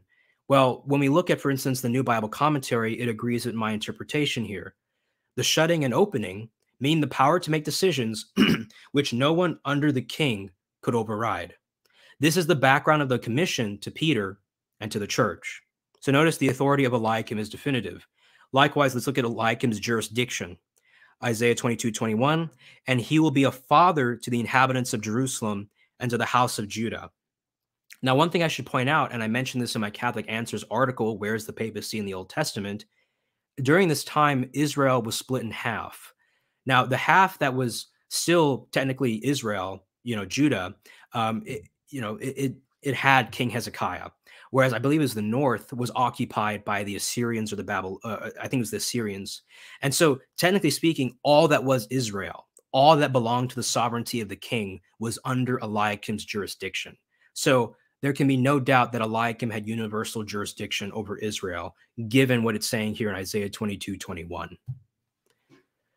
Now, I do want to mention another thing too, which is that an, there's another illustration of the height of authority that the chief steward's office could enjoy. And it was it's mentioned in Second Kings 15, 5, where Jotham replaces his father Azariah, who is the king, um, and covers him because he was smote as a leper. So it says here, and the Lord smote the king so that he was a leper unto the day of his death and dwelt in a house set apart and Jotham, the king's son, who uh, was over the household, judging, or in some translations, governing the people of the land. Now, I mentioned the Hebrew again because it's very similar to the Hebrew that's used to describe Eliakim's authority and even the authority of Joseph over um, the house of Pharaoh. Now, uh, Sacher Fox kind of has some objections to this because she doesn't think Jotham was acting as the master of the palace. She thinks it was simply describing how Jotham took over over the household as um, you know the son of the king and co-regent, not as the master of the palace. I want to say two things, right? First is that here's one possibility. Although Azariah was technically still king, Jotham fills his father's role since he was already master of the palace, or he becomes master of the palace in his father's absence, right? I mean, after all, it says, and Jotham the king um, was over the household. We don't know exactly when the jurisdiction began. It's possible that what happens is since Jotham was already the master of the palace, already governing his father's properties and being his right hand man, he naturally gets elevated into co regent. The other possibility is that maybe Jotham is not in the office of the master of the palace, but his actions show what authority was possessed by such an individual through the same described action. So, for example, let's say that Jotham wasn't a master of the palace. Regardless, what we see here is that if he's described as over the household, and Fox notes that the authority that he's using here is the authority of the king of judging or governing the people of the land. If Eliakim is also over the household, then Jotham here gives a kind of clue to the extent of authority that Eliakim had. It was an authority equal, if not second in command to the king himself. And so, once again, that's another way that I'm disagreeing with Sacher Fox based on the witness of scripture. Eliakim's office was successional in nature. So we have here Roland de Vaux's succession list in his book on page 129. We have Ahishar under Solomon, Arsa, I think Azra is how it's otherwise translated under Ella, uh, Obadiah or Obadiah, Obadiahu under Ahab, and Jotham under Ozias, and Shebna and Eliakim under Hezekiah. And also, I should mention too that this office does appear okay in first, not Second Kings, First Kings four six under Solomon's administration, and continues onward to the biblical narrative up to Hezekiah. So this was an office that was consistently there in the Old Testament. It's unfortunate that a lot of people don't know about it, but it's there in the Bible. Now, I just want to mention briefly that look, Eliakim's office eventually does end. Um, you know, and so um, it does end after the dynasty kind of falls apart. Willis believes that the peg and the mentioning the relatives is an allusion to the fact that maybe Eliakim begins to um, accept bribes from his family members, and that's why Eliakim is deposed. Some people don't think that. Some people just think that Eliakim's office ends when the Assyrians attack, um, and then it needs to be picked up. Some people have argued, for example, that just as the reign of the sons of David ended, it, it, it kind of points to needing to be picked up again in the new covenant. And so Jesus picks up the line. He picks off where the story left off. And likewise, it could be the case here, given the nature of our Davidic king, the Lord Jesus Christ, that Jesus is picking up the office of Eliakim and continuing it with Peter. Um, and then also, you know, there are questions about Petrine succession. So, for example, were there actually successors to Peter's episcopal office? um, or, or, or, or, you know, were there successors to Peter in Rome? I've dealt with that question on, um, on, on Michael Lofton's channel, Reason and Theology, the case for Mono-Episcopacy. And so I just think here, what I want to say is that Eliakim's office, or at least the typology, it doesn't entail successors, but it anticipates or makes probable and unsurprising that there would be claims of succession to Eliakim's antitype Peter in the new covenant. So, at least, if you will, the type sets in potency succession. And I think the history of the early church actualizes that potency and shows that there were successors to Peter's office. One thing that I should mention, though, is that people often will say, well, you know, the succession from Peter was uh, in, in the episcopal office of Rome. Uh, these successions were kind of in the Greek school of thought in terms of being a philosophical succession of the handing down of doctrine, right? And so, I mean, to some extent, like I don't reject this idea because I think you would want to show a consistent episcopal line um, from the apostle who founded your church to the present day to show, okay, yeah, we we kept the office, we kept the the preaching of the of the message that was given to us, right? Um, I don't have any problem with the episcopal succession lists of Hegesippus and Irenaeus appearing sort of kind of Greek in that way of handing on doctrine. That's not incompatible with what we believe as Catholics. But the point I want to mention is that I believe it's either Hegesippus or Irenaeus who mentions the deacon of one of the popes, and then later that deacon becomes the pope. To me, I think that's a semblance that there's something Jewish going on too in this idea of succession, because um, ordination, the laying on of hands, was something that would occur to authorize somebody to be, speak. And oftentimes it would be in the case of a rabbi, a senior rabbi, elevating his student. And we know that uh, to vote on the Sanhedrin or to speak on the Sanhedrin. Likewise, we know that in the case of the bishop, his right hand man was the deacon, was a kind of assistant. And so, if we actually have an example, I believe I guess uh, Irenaeus is quite clear about this, that at least if the bishops of Rome were selected from among a specific episcopal class, and their deacons were always the next in line, right? Um, their deacons were selected. Then actually, this is both a Greek and a Jewish idea coming together. The Greek idea of handing on doctrine faithfully, and the Jewish idea of a senior rabbi elevating his younger rabbi into a position of authority. In the case of, for example, the senior rabbi being the bishop, the younger rabbi being the deacon, who's eventually elevated into succession. Now, I, I know I'm going, um, I'm going a bit long on this, but that, that's something I wanted to mention. Okay, this does make sense of Petrine succession, or anticipates it. When it comes to um, the other parts, I want to focus on Rome now and infallibility. So let's focus first on infallibility. So in Catholic thought, what you have to understand is that the chief kind of governing idea behind the idea of infallibility is that there's a definitive or unchangeable permanent ruling that is made at the core of infallibility. And that's why, you know, God inserts this protection so that, you know, the church will not be definitively bound to error. Infallibility is understood in Catholicism as a negative gift where God protects the church from error when she has to make these definitive, unchangeable rulings to permanently define and give definition to the apostolic deposit and the church in turn. So we see, for example, in um, the First Vatican Council, it's described how when the Pope says something ex cathedra, defines something in the apostolic deposit of the faith, it says, therefore, such definitions of the Roman pontiff are of themselves and not by the consent of the church irreformable. They are definitive, they are final. The authority of the Pope does not come from the church voting and saying, oh, yeah, we agree with you, right? Bishop, Bishop Gasser refuted that interpretation. Um, the idea here is that, you know, the Pope is speaking on the authority handed to him by Christ through Peter with the inspiration and the guidance of the Holy Spirit. And thus, what makes it in what what's part of this idea of infallibility is also irreformability. Like take even the indefectibility of the church right or the universal consent of the fathers. There's this idea that it has this definitive permanent character and so god will not allow his church to be bound to error definitively permanently or universally right? And so here the idea is okay? The core idea of infallibility the seed the the root idea of infallibility is really irreformability or definitiveness. The question that now arises is could eliakim make definitive rulings? And the answer is absolutely yes. Whatever he opens none shall shut. Whatever he shuts none shall open.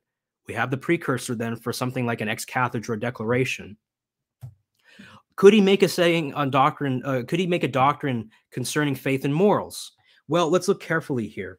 So, in the case of Jotham, who was also a previous chief steward, he had the power of judging the people in 2 Kings 15 5.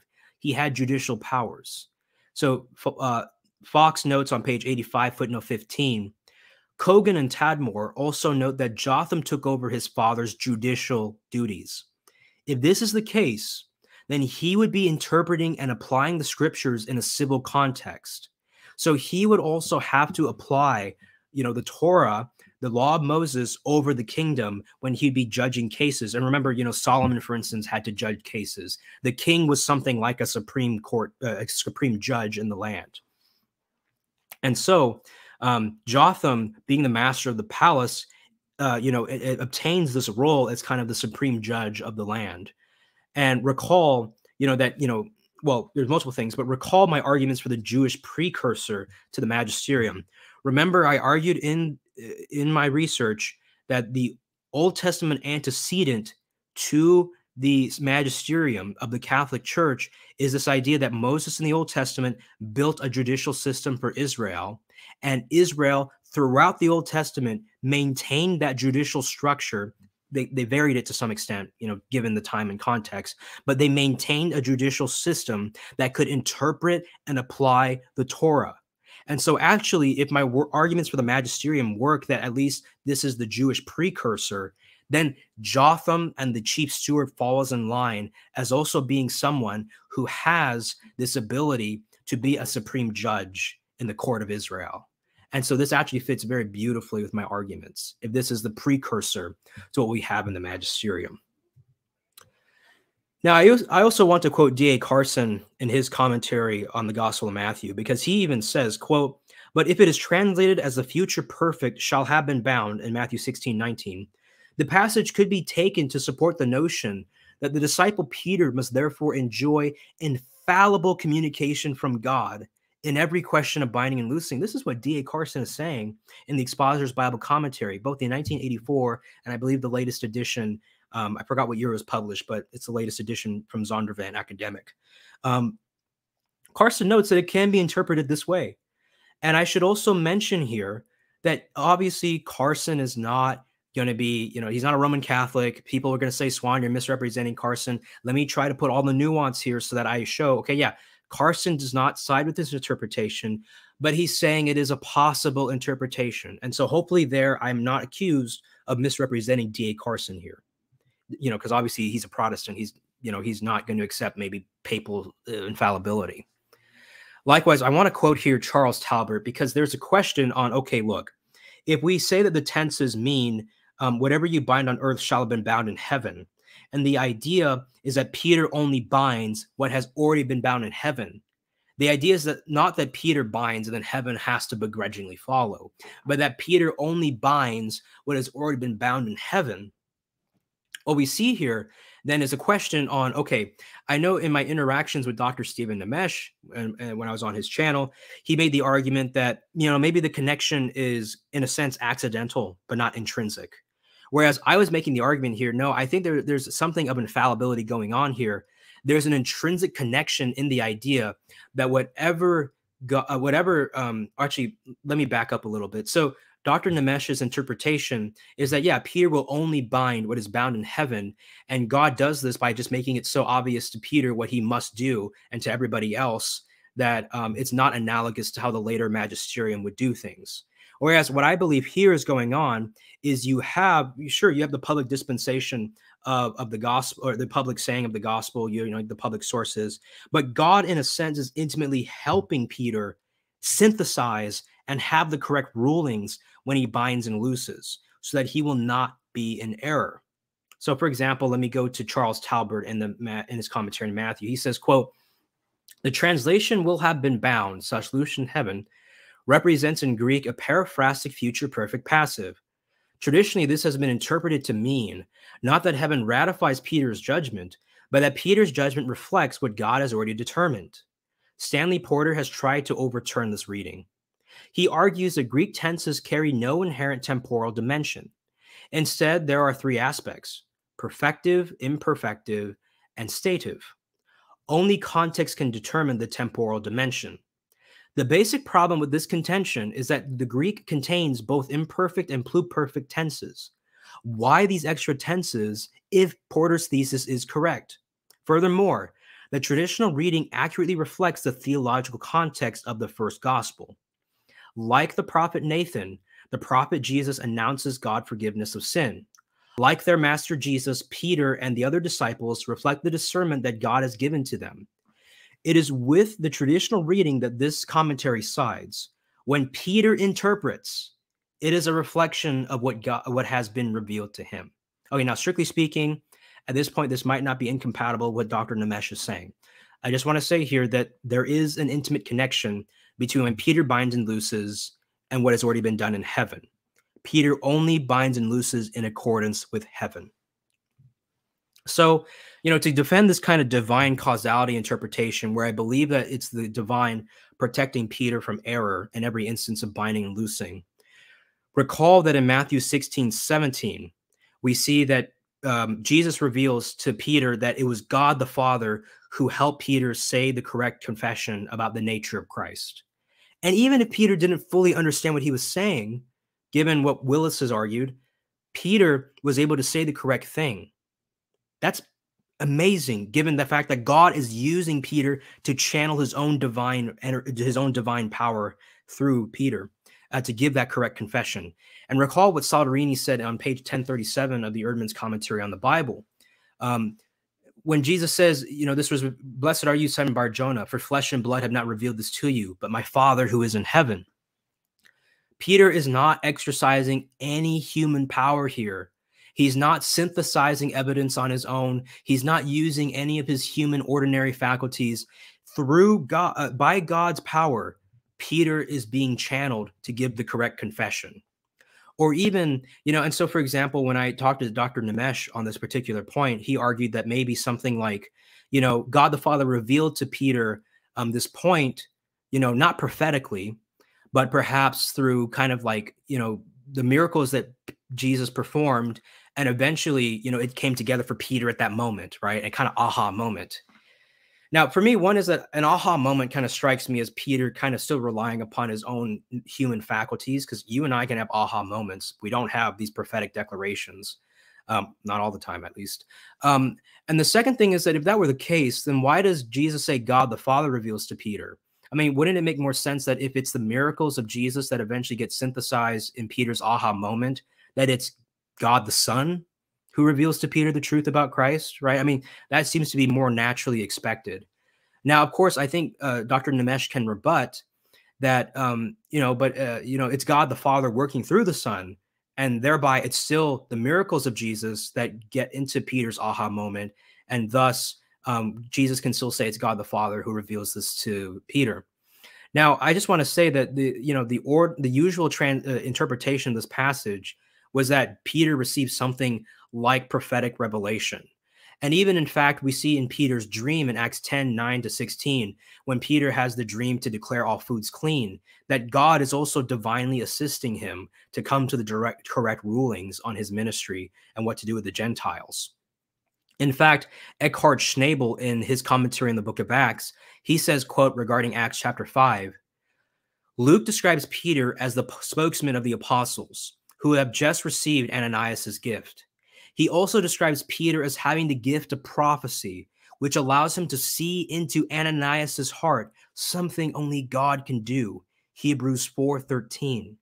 Remember in the Ananias and Sapphira case, the Christians are called to give their property to the Jerusalem church. And what ends up happening is Ananias and Sapphira withhold them, some of their property. And the people are surprised when Peter rebukes Ananias and Sapphira. Apparently, these wealthy members had great respect in the community. And Peter seems to know somehow that they've hoarded their property. And he even issues kind of almost an anathema upon Ananias and Sapphira and rebukes them in the name of God. You know, he says that you haven't just offended men, you've offended God. And so all this suggests a kind of divine power and authority being channeled through Peter at this moment to make sure that he can make this declaration. So, in total, then, I think that if we look at the balance of the evidence on the fact that Peter retained this gift of prophecy and could be guided to give divine revelation, um, this seems to be a strong indication then that um, there is a kind of divine causality where it's not simply accidental that Peter, if you will, comes to the, the correct ruling. Um, I should also just mention a few other things because um, I know that Dr. Nemes might reject to me characterizing his position as accidental. And if that's the case, then I do apologize. Um, let me try and kind of still show why I don't side with his interpretation upon these particular things. The first is that let's say, I remember I asked Dr. Nemes the question, could the apostles bind and loose incorrectly? And there he kind of I don't recall his answer fully, but I do recall kind of him having to kind of think about and chew on it for a little bit. For me, there's no question. Yeah, the, the apostles are not going to bind and loose incorrectly. If we understand binding and loosing as their official halakhic teachings, which are issued um, when they, for example, write scripture, and obviously they were infallible when they wrote scripture. The Holy Spirit inspired them to give an inerrant text. Um, the other thing too is that you know Dr. Nemes might argue, oh, but this is not analogous to the later magisterium because God constantly makes public, you know, that that P- what Peter's ruling is going to be, or, or that what Peter's ruling ought to be, even to other people, and not simply just Peter alone. Whereas when the magisterium has made rulings throughout history, it seems to be the case that it's highly controversial. The magisterium is kind of using its own mind and interpretation. I want to say that I disagree with that view because, you know, even in the case throughout history and throughout church history, the apostolic deposit has always been public, right? What's contained in the scriptures and the tradition and the consistent teaching of the magisterium and the fathers. So in that sense, then you could say, yeah, it's analogous actually to what Pete, what's going on with Peter, because the revelation about the Gentiles was given publicly by Christ. It's given publicly elsewhere. You can consider this how in the later magisterium, the, the apostolic deposit is also public. God is still performing miracles in the church. But in these controversial moments where the church needs to make a decision, Peter receives a dream. So notice that God is hel- even though God has made the deposit of the faith public, he still reveals to the apostles through dreams or through prophetic visions what the correct ruling is on the matter. And so likewise I would say that um, in the case and and even in the case of you know Peter, his ruling was controversial. It did not have universal acceptance. There were even in Acts chapter 15 Pharisees and other Jewish Christians who thought that the Jewish law had to be maintained and even who believed that Jesus taught the heightening of the Mosaic law, not its removal. And so, actually, from the very beginning, when the magisterium has made rulings in the Christian church, it has always been controversial, even with the public deposit of the faith being given by God through revelation and through um, visions. And so, regardless, what I want to say here is that sometimes when I hear Protestant objections to infallibility, I'm a bit worried that they prove too much. I mean, there's this idea, right, that humans are so intrinsically corrupt or maybe imperfect that God can't make them infallible. Or if he does, it's only God incarnate. But I mean, the whole theme of the New Testament, of the incarnation, is that God, even in the Old Testament, is that God is lifting up men to himself. He's lifting them up to divinity. Moses is described as Elohim in the Old Testament. In the intertestamental literature, uh, or excuse me, in the Testament of Moses, Moses is described by the Jews as being able to count the stars of heaven, something only God can do. In the Gospel of Mark, um, in the Gospel of Mark, the forgiveness of sins is a proof of the deity of Christ. In John 20, 23, Jesus gives that power to the apostles. In First John, it is said that we shall see Christ face to face, for we shall see him as he is, for we shall be made like him. In Second Peter chapter 3, it says that we will be partakers of the divine nature. And so all of these things are not surprising given the theology of the Bible that God is lifting up men to himself and giving them powers that on their own they do not have. In fact, we have multiple, I think, Old Testament precursors for infallibility. Whenever a prophet is consulted, or whenever the priest uses the Urim and the Thummim to answer the questions of the people, to get to the correct answer on a particular mystery or matter in fact, you know, I remember, um, you know, Gavin kind of said, well, you know, God always expected the people to be obedient to follow his word. There was no official office by which they could have their issues settled. I mean, I think the office of the priesthood is actually the best candidate because multiple times like, for instance, in the restoration of the kingdom under Josiah, Josiah asked the uh, priests to inquire or ask of God, you know, what is to be done. The priests somehow had a direct, immediate connection to God and they could channel his rulings. But of course, there are instances, I believe First Samuel 28 6 is the instance, where if they were acting immorally, then God would withhold his answer. I mean, but likewise, in the history of the church, I mean, I don't think I've ever seen a pope who was immoral declare something ex cathedra usually the evil the, the bad popes have no interest in doctrine or dogma. And i believe that the that god has protected the church. And so even in the case of god withholding divine revelation from the urim and thummim due to immorality it doesn't actually do away with the fact that he still used the priesthood to channel his authority. And one final objection someone might have is well you know Suan um, well, Suan, uh, you said that infallibility is a negative gift. All this sounds pretty positive in the sense that God is channeling direct divine positive authority through a human person. What I shall say here is that even though infallibility is understood as a negative gift, there is a positive dimension in terms of God's predestination and foreknowledge of events. Because God ensures throughout history that when, so God in his foreknowledge foreknew that when the church would make a definitive ruling, he would ensure that it would not be in error. So even the negative definition of infallibility has something of a positive component to it with respect to the divine predestination and foreknowledge of God. Um, I'm trying to think. Uh, well, you know, and the other thing too, I should say is that, you know, if you accept that God would not allow the apostles to bind and loose incorrectly, but you try to reject a divine causality interpretation, then I think that's mistaken because I think God even like if if God gave the apostles the power to bind and loose, and God knew that they would not bind and loose, that they would bind and loose correctly, right? Then there is a sense in which God, in his divine causality, in his predestination and providence, is ensuring that the apostles would never bind and loose incorrectly. So that's why you can't say that it's just an accidental connection, that it every time maybe it just so happens that the apostles get it right. Moreover, uh, you can't say something more like what Dr. Nemes is saying, where it's more disconnected, um, or you know, I, I mean, I definitely do think that there is a positive sense in which God is helping the apostles directly to correct to come to the correct rulings, even if they don't always know that in fact God is the one behind the scenes working on them. I mean, for example, when Caiaphas gives a prophecy in John 11, 51 to 52, he seems to not fully understand the words he's saying, but still God is working in the background. And Peter says this, but he doesn't fully understand what he's saying. God is working in the background to ensure that the apostles do come to this correct ruling, um, do uh, make sure that they are guiding the church properly. And so the other point that Dr. Nemes will make is that th- what's going on in the New Testament is not analogous to the later magisterium. And I, I effectively said, no, I think that's wrong. I think it's actually very harmonious and evident with what's going on in the later magisterium. The rulings of the magisterium, even the act of the Council of Jerusalem, were controversial. There were divisions. People interpreted the gospel differently. But nonetheless, God, through his public revelation, which eventually becomes the apostolic deposit of the magisterium of the church of all of us, becomes, you know, um, the magisterium can make rulings on the apostolic deposit just as it did in the Council of Jerusalem. Where exactly does Rome come in? Well, I think it comes in the case that what we see is that the bearer of the royal as opposed to private title is always attested in the biblical text in connection with a king or a capital city.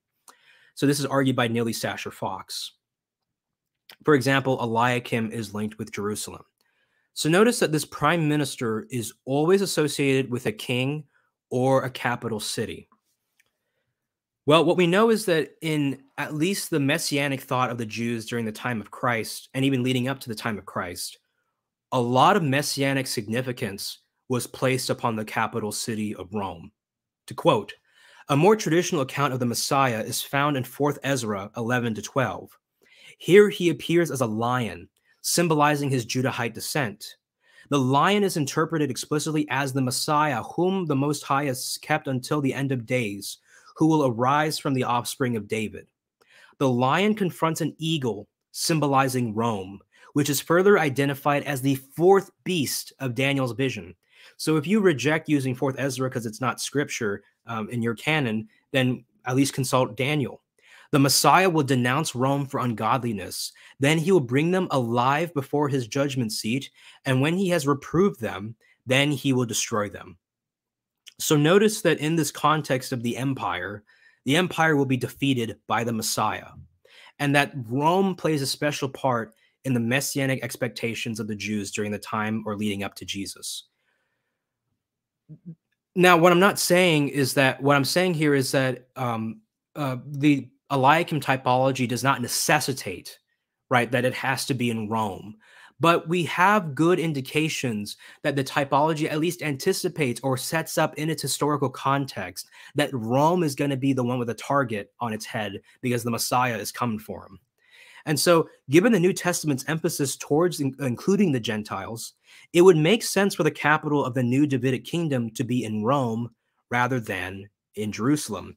And I believe that my friend um, uh, Gideon Lazar is actually arguing for the further kind of primacy of Rome uh, in messianic thought.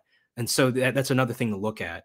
But still, it's not surprising then that Rome would have such a place, a special place in the new Davidic kingdom.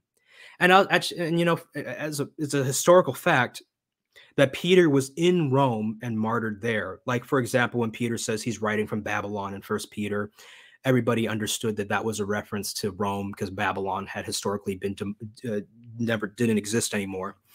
Um, and then even in Sean McDowell's book, The Fate of the Apostles, he also concludes it's a historical fact that Peter was martyred in Rome. And so, I mean, there are multiple lines of evidence to show that kind of this old Protestant objection that Peter was never in Rome is a myth. Um, so we seem to then have good correspondences for believing that at least Eliakim's office is a good type for the papacy. successional. Um, it fits within the context of a capital city, so Rome in the New Testament. Petrine, in that Eliakim links to the person of Peter. Ministry, in that we have a priestly kind of connotation to Eliakim. It's supreme, given Eliakim supreme investiture of authority, and infallible, given that Eliakim could make definitive rulings. So of course, like, you know, more data needs to be added into the evidential calculus in order to get the specifics. But the Eliakim type sets up or anticipates much of what's in the papacy hypothesis. And so I really do think that the Eliakim typology is a significant piece of evidence for the papacy. Now, when it comes to premise seven, in terms of uh, just going now to this idea of Petrine typology, it, I've been going on for a while, but this is the second of the three reasons that I'm defending premise seven as showing that the evidence show of the of the of the typology favors the papacy over its negation. Is the fact that you know in the Old Testament you also do have second order typology.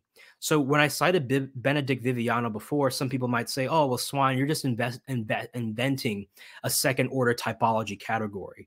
But actually, given the research of Scott Hahn, we do know actually in the Old Testament there was a Moses typology applied to Joshua, and so even Joshua was played up as an antitype to his type Moses.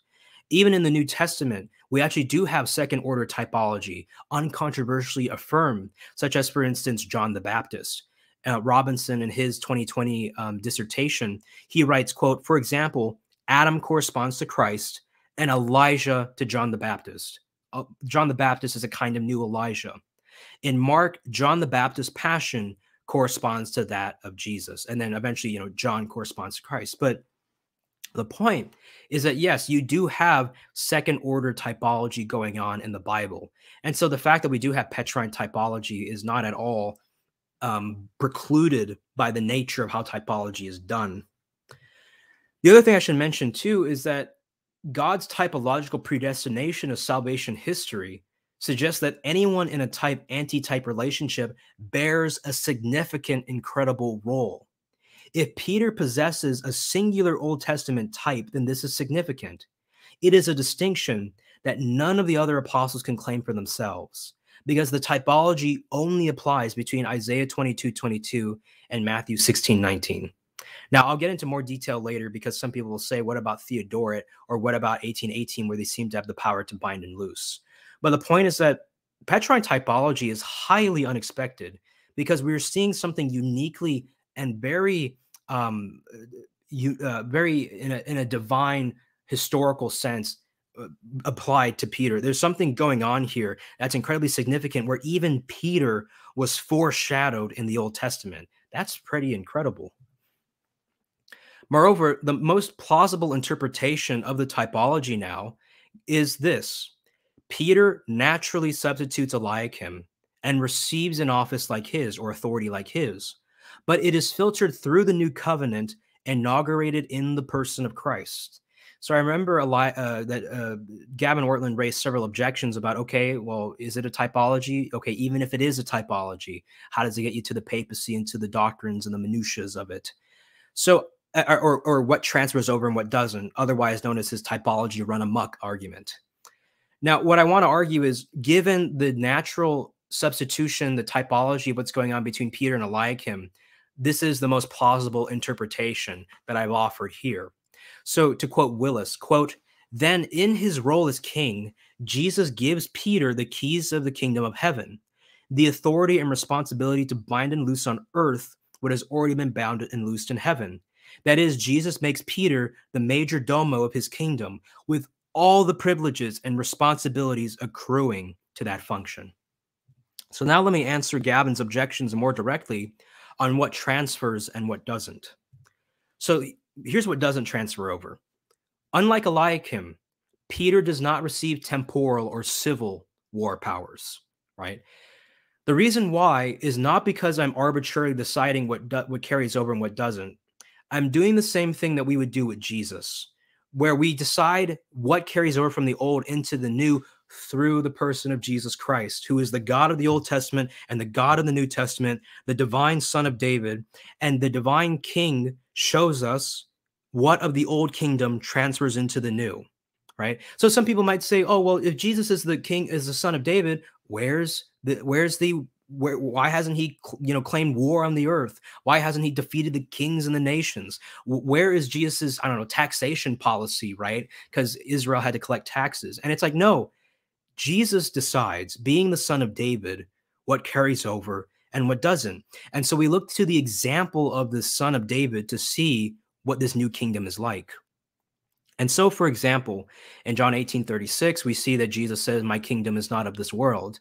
And what he means by that is that it's not of the world in the sense that it's not modeled to be, you know, a violent uprise against Caesar, right? Because he's dealing with this question of um, Pontius Pilate and the connotation that's given by the Jew, the Jews who have accused Jesus that he is somehow usurping the authority of Caesar and Pilate. So, in that sense, then, you know, the kingdom that Jesus is bringing is an eschatological final kingdom but it's not meant to be one that, let's say, is politically parallel, at least not yet. Acts 1 6 to 8, Jesus is asked the question by the disciples, you know, will you restore the kingdom to Israel? And Jesus says it's not time for you to know. Now, in some sense, this answer could be taken as a no. Now, it's not the now the idea is not that Jesus is doing away with the fact that okay, you know, he is the son of David, the house of David and the kingdom of God are coming together, or the fact that Jesus says that the kingdom of heaven is in your midst.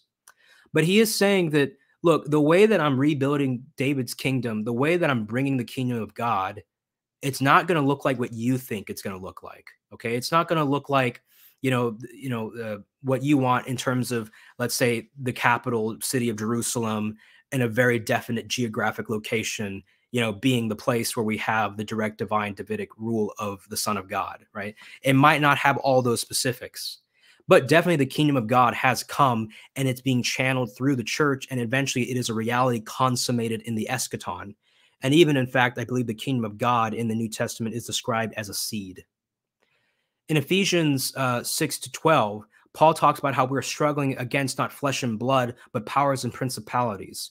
And so, in fact, we could say that Peter does not receive temporal war powers, but he does receive spiritual war powers. So we kind of maybe transition Eliakim's very earthly power into more of a kind of spiritual dimension. That, of course, you know, before you have a primary emphasis on the earthly kind of over the heavenly, but now in the New Testament, with the coming kingdom of God, the eschaton breaking in, the end of the ages that has come, you have a primary emphasis on the spiritual and then a secondary focus on the earth. Although I don't want to say they're subordinate, there's an important sense in which earth and heaven are together and being united by the kingdom of God, by Jesus Christ, just as in Jesus, he's fully God and fully man. So, regardless, there that's one way that you could say that the the type doesn't transfer over exactly one for one like uh, a Eliakim. Another thing is that, um, unlike Eliakim, Peter does not receive a biologically hereditary office. So I mentioned this point because Gavin mentioned it. Although I know some scholars who have argued that they don't, they aren't convinced that Eliakim's office is biologically hereditary. So we'll have to look into that in more detail. Maybe um, they're wrong and Gavin's right, but you know I'm not going to put a stake on that just yet. What I'm going to say is that even if it is the case that let's say Eliakim's office is biologically inherited that doesn't entail that, or uh, rather, there's reasons why it's not in the case of Peter. The office that he receives is biologically hereditary. And the reason why is because the New Testament has an expansive view of what it means to be family. Like in Matthew 12, 48 to 49, when Jesus says that my brothers and sisters, my mother and my brothers and sisters are those who do the will of God. Um, even in Galatians and in Philippians, Paul has an expansive view of how we constitute a new family by being believers in God by being believers in Jesus Christ, the one whom he sent. And so we don't have to have such a biologically rigid understanding of the office. In fact, I mean, the idea of expanding to the Gentiles who might not be biological descendants of Abraham, but nonetheless can receive his blessings. I mean, that shows us then that the New Testament is going beyond just the biological or the tribal or the ethnic connections that were there before. Of course, uh, Gavin might say, oh, well, this all strikes me as arbitrary. What I'm going to say is it's not arbitrary.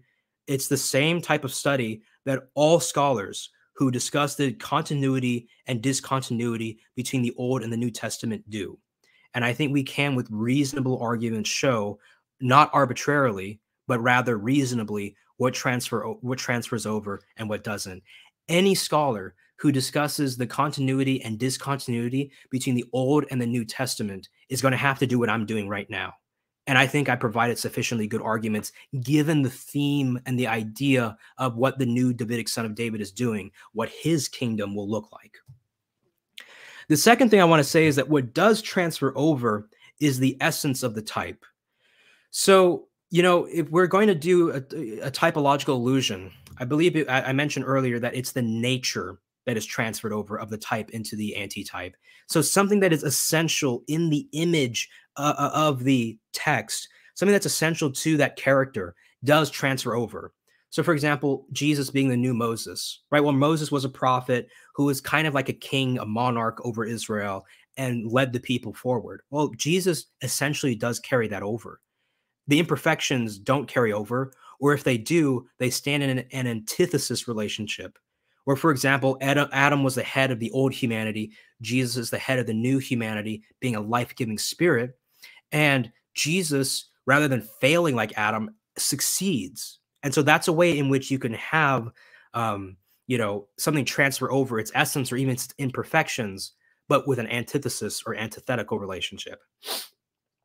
But anyway, the point I'm making here is that look, we should be able to identify why, in the first place, the biblical author identifies a typology. The why reveals to us something about the essence of the type and thereby something about the antitype. The why is clearly discernible in the context of Isaiah and Matthew. So, for example, it's not entirely a mystery what transfers over because we understand why Matthew would invoke something like the authority of Eliakim in the book of Isaiah and Matthew. Because in both contexts, we see someone receiving a great vestiture of authority. Their identity is being revealed. And so, one of the things that you cannot miss in Isaiah 22 22 is the supreme vestiture of authority. Likewise, in the New Testament, we see something similar happening with Peter. And so, what I'm saying is, is that if the typology is intelligible, then you can identify the essence of the type. And if you can identify the essence of the type, then you can, in fact, say something minimally about what carries over. And like Eliakim, Peter receives a vestiture of great, unique, and unparalleled authority. I mean, that's basically what's going on with the Eliakim um, type. Eliakim receives this great authority that singles him out and makes him unique from everybody else.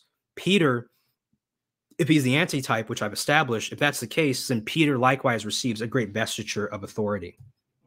And also, I, I put down C objection too, because I go into more detail on why this typology is unique to Peter um, and, and so on. So, I want to now address three objections that I've heard. And these are kind of popular objections, but I'll address them again in my later video responding to popular objections to the Peter Eliakim typology. The first is the objection that a priori typology cannot establish doctrine. So, you know, Suan, no matter how hard you make the case for this, uh, you know, typology, the initial probability, given the fact that typology cannot establish doctrine, and you need typology to establish doctrine in this case, because, you know, in principle, that cannot happen. No matter how much arguments you put, Suan, um, the a priori, the initial probability is just going to swamp your argument. Well, the first is that this is often asserted, but it needs to be defended, right? Like you can't just say typology cannot establish doctrine and do a hit and run and just go away once you've said it. You need to show why is it the case that typology cannot establish doctrine. The second thing is that I think this objection rests on a misunderstanding of typology. Typology does capture the literal sense of scripture. It's not just merely a spiritual sense of scripture, which is what I've heard people say is the reason why typology can't be uh, used because the fathers have referred to typology as the spiritual use of scripture, and therefore they even said that you can't use it to establish doctrine. I think there that the fathers would be mistaken if they're using typology in that way. Um, uh, because the what we know from the original idea and intent of typology is that it is a historical literal phenomenon that is simply recorded in scripture so for example in mitchell l chase's work 40 questions about typology and allegory he says quote typological connections are not based in the literary creativity of the human authors God's providential hand has truly been working within history. And so a type anti-type relationship has a transcendental origin and a historical manifestation. Now, typology typically manifests a doctrine, like, for instance, let's say Jesus' status as lawgiver and Messiah. We see this manifested through the typology between him and Moses. So, typology usually illustrates a doctrine, but I don't see how something illustrating a doctrine doesn't also mean it can't establish a doctrine. For example, if we were to debate whether or not Jesus is the Messiah, I would cite the new Moses typology to show, yeah, no, very clearly Jesus is the Messiah. And so there, that what, what was an illustration of a doctrine can also be used apologetically to establish a doctrine. So I don't see any way that this argument even makes sense. The other thing to note is in uh, Hans W. Frei's work, The Eclipse of Biblical Narrative. Um, um, people will object probably like, oh, Suan, you can't use this because it's a study in 18th and 19th century hermeneutics. But Kevin G. Vanhoozer in his work, um, Is There Meaning in This Text, um, page 119, uses it to describe the reality of typology itself. So even though he's saying something, maybe Hans about or Frei about 18th and 19th century hermeneutics, the point is clear that he's correct on his characterization of typology. Far from being in conflict with the literal sense of the biblical stories, figuration or, uh, uh, or typology, that should be or typology, was, uh, oh, nor typology was a natural, or or typology was a natural extension of literal interpretation. Yeah, so sorry, that that should not say nor, it should say or. Um, it was literalism at the level of the whole biblical story, and thus the depiction of the whole of historical reality. Okay, so I just want to make clear that nor there is in, it's a typo on my part. It's meant to say or. The objection also is counterintuitive in practical application. For example, I mean, suppose Jesus used typological language to establish an office, right? So just to give a kind of silly analogy, I will give you the pen of the White House. Whatever you veto shall be vetoed. Whatever you sign shall be signed. Who wouldn't think that Jesus was establishing an office with certain powers? And so, if Jesus uses typological language to establish a doctrine because he's basing it off of an Old Testament type for his New Testament kingdom, then I don't see why we couldn't say that no, this is establishing a doctrine of sorts. To me, this objection is just simply counterintuitive in its application. Objection number two, a posteriori, there uh, posteriori, there isn't verification beyond Matthew for this typology or its significance. And so now that I've used an establishing text in, um, just like I did, for instance, with the new Moses typology and its consequent texts, I'm now going to try to show from this establishing text of Matthew 16, 19, Isaiah 22, that you also have relevant consequence texts in the New Testament, right? So let me see what I have here. So Homer A. Kent who chastises the papacy as unscriptural because he's writing, you know, obviously from Moody Press. He's a devout Protestant. He notes the following, however The keys symbolize authority to open. To thee relates this promise to Peter alone. It refers to the choice of Peter as first among equals for officially opening the kingdom since Pentecost, including the whole sphere of Christian profession, um, to Jews and Gentiles. And so uh, home uh, Kent connects the keys of Peter to whenever he opened the church to the Gentiles and opened the church to even the Jews. This is the way in which we see this authority as vis- uh, as a second command or chief steward come out. And in fact, I mean, when we look at Acts 15 7, notice what G- Peter says here. After there had been much debate, Peter stood up and said to them, Brothers, you know that in the early days, God made a choice among you that by my mouth the Gentiles would hear the word of the gospel and believe. Now, I'm not sure what exactly Peter is referencing here when he says that he was exclusively uniquely chosen from among you, that it would be by his mouth that the Gentiles would hear the gospel and believe. But if Homer, uh, Ken Homer's, uh, Homer Kent's correct here, then it could be this Matthew 16, 19 passage where he is given the keys. And then Peter understood the vestiture of the keys as a choice from among everybody else to him. Similarly, I mean, uh, J. N. D. Kelly points out that in the first 12 chapters or the first half of Acts, Peter is the undisputed leader of the church. Now, what kind of stuff does he do? Well, let me quote him. The first half of Acts discloses that after the ascension, though his relationship to James, the Lord's brother, remains unclear, Peter was the undisputed leader of the youthful church. It was he who presided over the choice of a successor to Judas, who explained to the crowd the meaning of Pentecost, who healed the lame beggar at the temple, who pronounced sentence on Ananias and Sapphira, and who opened the church to Gentiles by having Cornelius baptized without undergoing circumcision. Notice that Jesus really is acting something like a chief steward or right hand man to God or to Jesus. Same thing.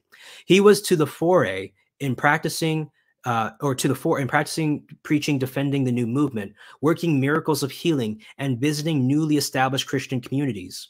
Arrested by Herod Agrippa I, he was miraculously released from prison. At the Council of Jerusalem, he successfully championed a liberal policy towards the Gentiles. It was from Peter that Paul sought information about Jesus after his conversion. And although Paul, he felt obliged to rebuke Peter at Antioch, the context suggests the respect in which Paul held him. Although Paul describes his ministry as directed to Jews, Peter was also prominent as a missionary and largely Gentile. Uh, uh, yeah, Paul describes Peter's ministry as directed to Jews. Peter was also prominent as a missionary in largely Gentile areas like Corinth and Asia Minor. Early tradition, perhaps relying on the visit mentioned in Galatians, connected him with Antioch, claiming him as its first bishop. So all this is to say is that we do see, I think, further confirmation in the book of Acts that Peter is this kind of second in command to the king, uh, chief steward, and really is uniquely selected from the rest with this mission to have the keys and open the church to the Gentiles, but even to the Jews. Um, uh, so let me continue on here. Um, now, here's the third and final objection that I'll encounter, and it's the objection that the other disciples possess the keys. So here's what uh, W.D. Davies and Dale Allison say in their commentary, um, uh, their, their well known commentary on the Gospel of Matthew, volume 2, page 635. Quote, if possession of the keys means the power to bind and loose, then one may urge that Peter is promised no more than the other disciples. For in 1818, the power to bind and loose is clearly held by others. But in verse 19a, it is broader in scope then one can make the case that for Peter having a unique function, and they cite Vatican II. In our estimation, it is most natural to think of verse 19a as being explicated by what follows.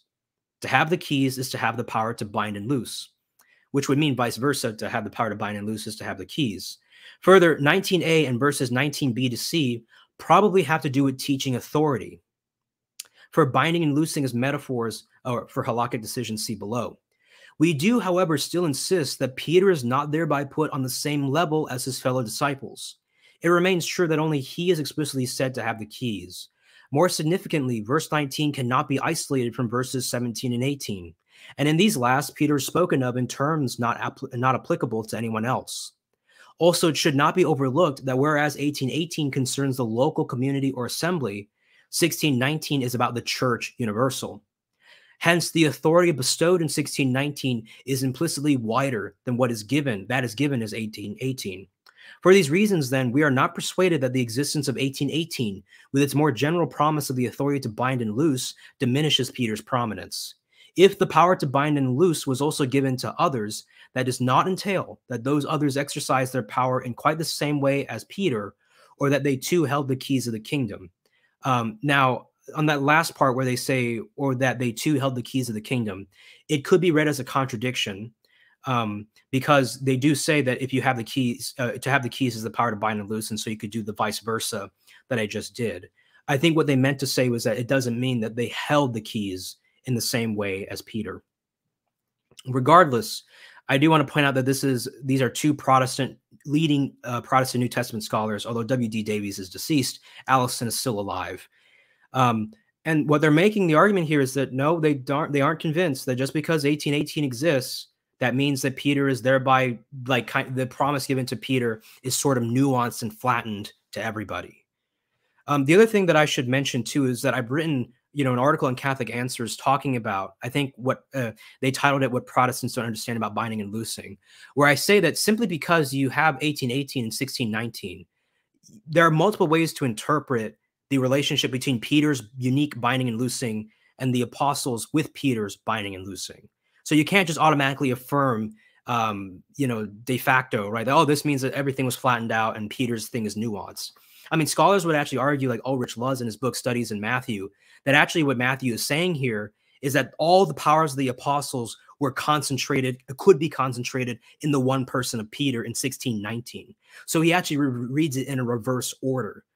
That's also a possibility. And I'm saying that you can't just simply say de facto because you see um, 1619 and 1818 um, in this successive order. That means that 1818 somehow flattens 1619. I don't think that's the case at all. Or it doesn't follow, it needs further argumentation. Um, the other thing that I should like to mention is that recently there have been arguments made that maybe Paul is a better candidate, or um, Paul is something more like a pope, or um, Paul shows that Peter didn't really have any unique kind of infallible supreme authority. I mean, my response to that, and I've given this in more detail in Trent Horn's channel, is that I think that Paul and the apostles could teach universally and infallibly, much like the Bishop of Rome or the Pope or like Peter, in the sense that um, in the sense that the apostles were uniquely selected by Christ and were therefore the chief guardians of the apostolic deposit.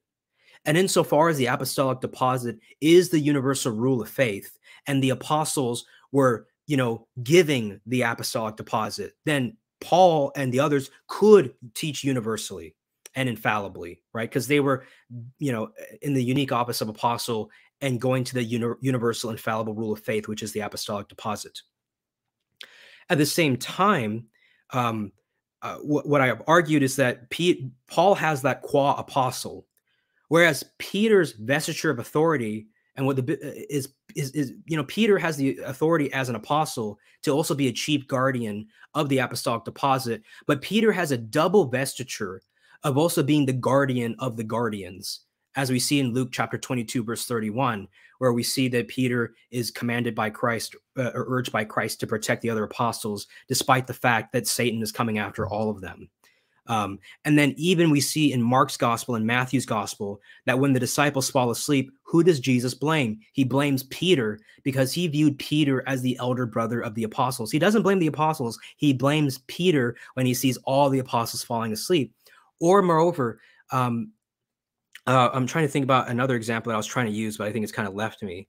Um, so what I'm saying here is that Peter does can teach like an apostle with universal infallible authority, qua apostle, by virtue of being apostle.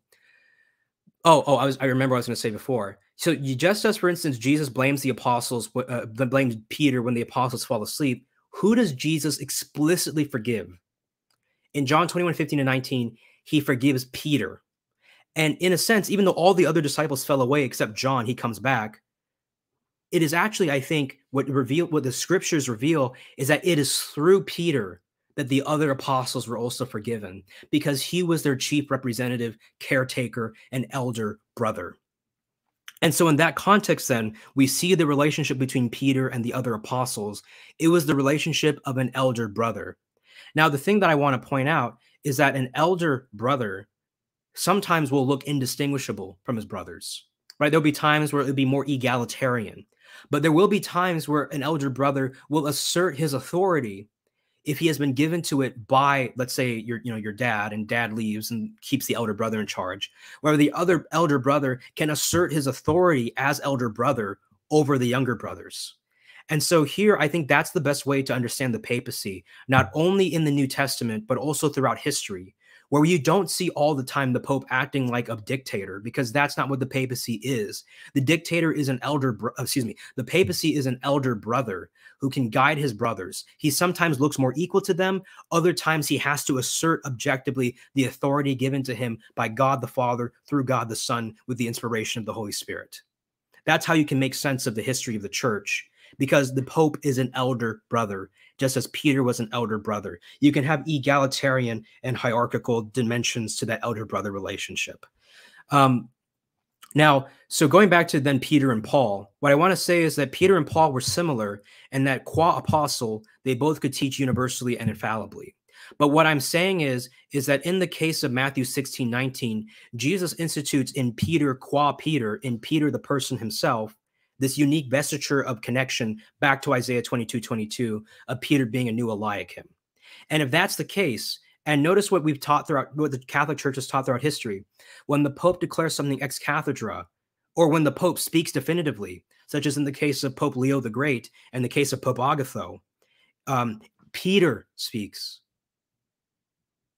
He's not speaking as well, he is speaking as a successor of the apostle, but he doubly, uniquely speaks as Peter. And it's because the, the Petrine office, the office of the Pope, is based in the person of Peter. Peter has a double role also as an apostle, and in that way, there might be some similarities between him and the other apostles. But Peter, qua Peter, Peter, in virtue of being Peter, has a unique endowment that was given to him by Christ as well. Peter is not only the chief guardian, along with the other apostles, of the universal deposit of the faith, Peter is also the chief guardian of the guardians. Another objection, oh, so, so continuing on to this last objection, I mean, what we can establish is that Isaiah 22 applies to Matthew 16, 19, and not 18, 18. And the reason why is because binding and loosing may be understood as substituting opening and shutting only if the keys are present, because it is primarily these two together, among other factors, that establish the allusion back to Isaiah 22, 22. So, on its own, if Jesus just said, Whatever you bind on earth shall be bound in heaven, in Jewish thought, this was already understood without necessarily entailing the reality of a key. And so it would not be possible then to extract from just 1818 alone the Isaiah 22 22 typology. But it is with 1619 of both the keys and the power to bind and loose that you get the allusion back to Isaiah 22. The keys being the same of the house of David, the keys of the kingdom of heaven. And then you have binding and loosing, opening and shutting. Moreover, the unique vestiture of power to a, a, of Eliakim more naturally latches onto one person whenever it is used. And so we can even say that the reason why Isaiah 22 applies to 1619 and not 1818 is that it naturally applies to usually one person. So in the case of Isaiah 22, 22 is Eliakim, Revelation 3, 7, it's in the case of Jesus himself. The other thing I want to mention is that, in fact, one could argue that the disciples obtained the keys through Peter in a sense. For example, we need Peter's explicit possession of the keys in order to infer possession of them by the, the whole apostolate in 1818, right?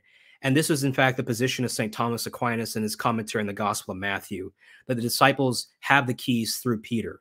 And I would, in fact, argue that if Peter in Acts 15 7 understood himself as being the one chosen from among you to open the church to the Gentiles, and he was thinking of Matthew 16 19 and what was said to him by Christ, then Peter himself understood this vestiture of him having the keys as something unique and to himself. Now, the other apostles could participate through their binding and loosing power by being in communion with Peter and agreeing with his ruling which we see in Matthew, uh, excuse me, in Acts 15 7, where Peter is the main one who pioneers the ruling on the Gentiles after there had been much debate. He gives this definitive ruling. Paul and Barnabas are mentioned afterwards, but their speeches are not recorded by Luke. And then James, when he gives his final ruling as the bishop of Jerusalem, he uses Peter's words, Simeon's words, as the foundation for his ruling. So notice that Peter is once again acting like that elder brother. It is his vestiture that is the blueprint and foundation for the rest of the church and in guiding them to the proper rulings on doctrine concerning faith and morals. And so here I just want to now say that the argument that I want that, that I've established is that there is a textual allusion between Isaiah 22 and Matthew 16, 19. There is a Peter Eliakim typology and I think that this naturally fits with the person of Peter, uh, or rather with the office of the papacy. Now, I actually looked down momentarily in the comment section. I saw someone say, um, I saw some, so I saw uh, someone say, didn't this discussion already occur with Ubi Petrus? The thing is, I've updated my argument since my time with Ubi Petrus, and I think I've effectively shown that they're no longer, at least Ubi's objections have been effectively, I think, dealt with throughout this presentation. The second is that Peter established other patriarchates as well. That is true, but I wonder if this person missed my point about Rome being unique, unique in messianic expectations of the Jews concerning what kind of kingdom the Messiah would bring and take over as the son of David. The Jews believed, especially in Daniel, that the fourth beast, the fourth kingdom to be conquered by the Messiah was specifically going to be Rome. And so I don't take seriously anybody who calls me a papist and says I'm in utter delusion. Now, I do apologize for my kind of terse tone there. And the reason why is because I just want to say in, in closing, you know, Catholics, do not allow yourself to be dismissed. Do not allow yourself to be mocked. Do not allow yourself to be treated second class. Okay? To the Catholics who are watching, I have poured hours of research into this presentation. I have spoken for four hours. I could keep going if I had more arguments and, well, I do have more arguments and more things to say. But the point that I want to say to you is do not be ashamed of the Catholic Church. Do not be ashamed of the great gift that Christ has given to us. Christ, in the person of Peter, gave us the prime ministerial office. Christ instituted his new divine Davidic kingdom in with the capital city of Rome being that center point. Guys, we live in the new Davidic kingdom, and it will be further consummated in the eschaton when the kingdom of God reaches its full and final perfect span of the earth and the cosmos. And so when people ask, you know, why is the church so institutional? When people say they don't like organized religion, what I want to say is the church is organized and institutional because it is a kingdom. And we should not be afraid of what happens with the Roman pontiff and the church. I am not worried. I'm not scared because one is that I've given my entire life to the church. I'm entering the Dominican order. I love the church and I love all of you. And I want to give my life and service to God's body, to Christ's church, to Christ's body. And so as I've done all this research, as I've done the hard work, as I've looked at the Protestant and the Catholic scholarship on this issue, and even the Orthodox scholarship, as I've looked further and further, I want to say to the Catholics, do not be afraid. Christ has his kingdom under control. And that we today as Catholics, we live with the, you know, the, the, the Davidic prime minister in Rome.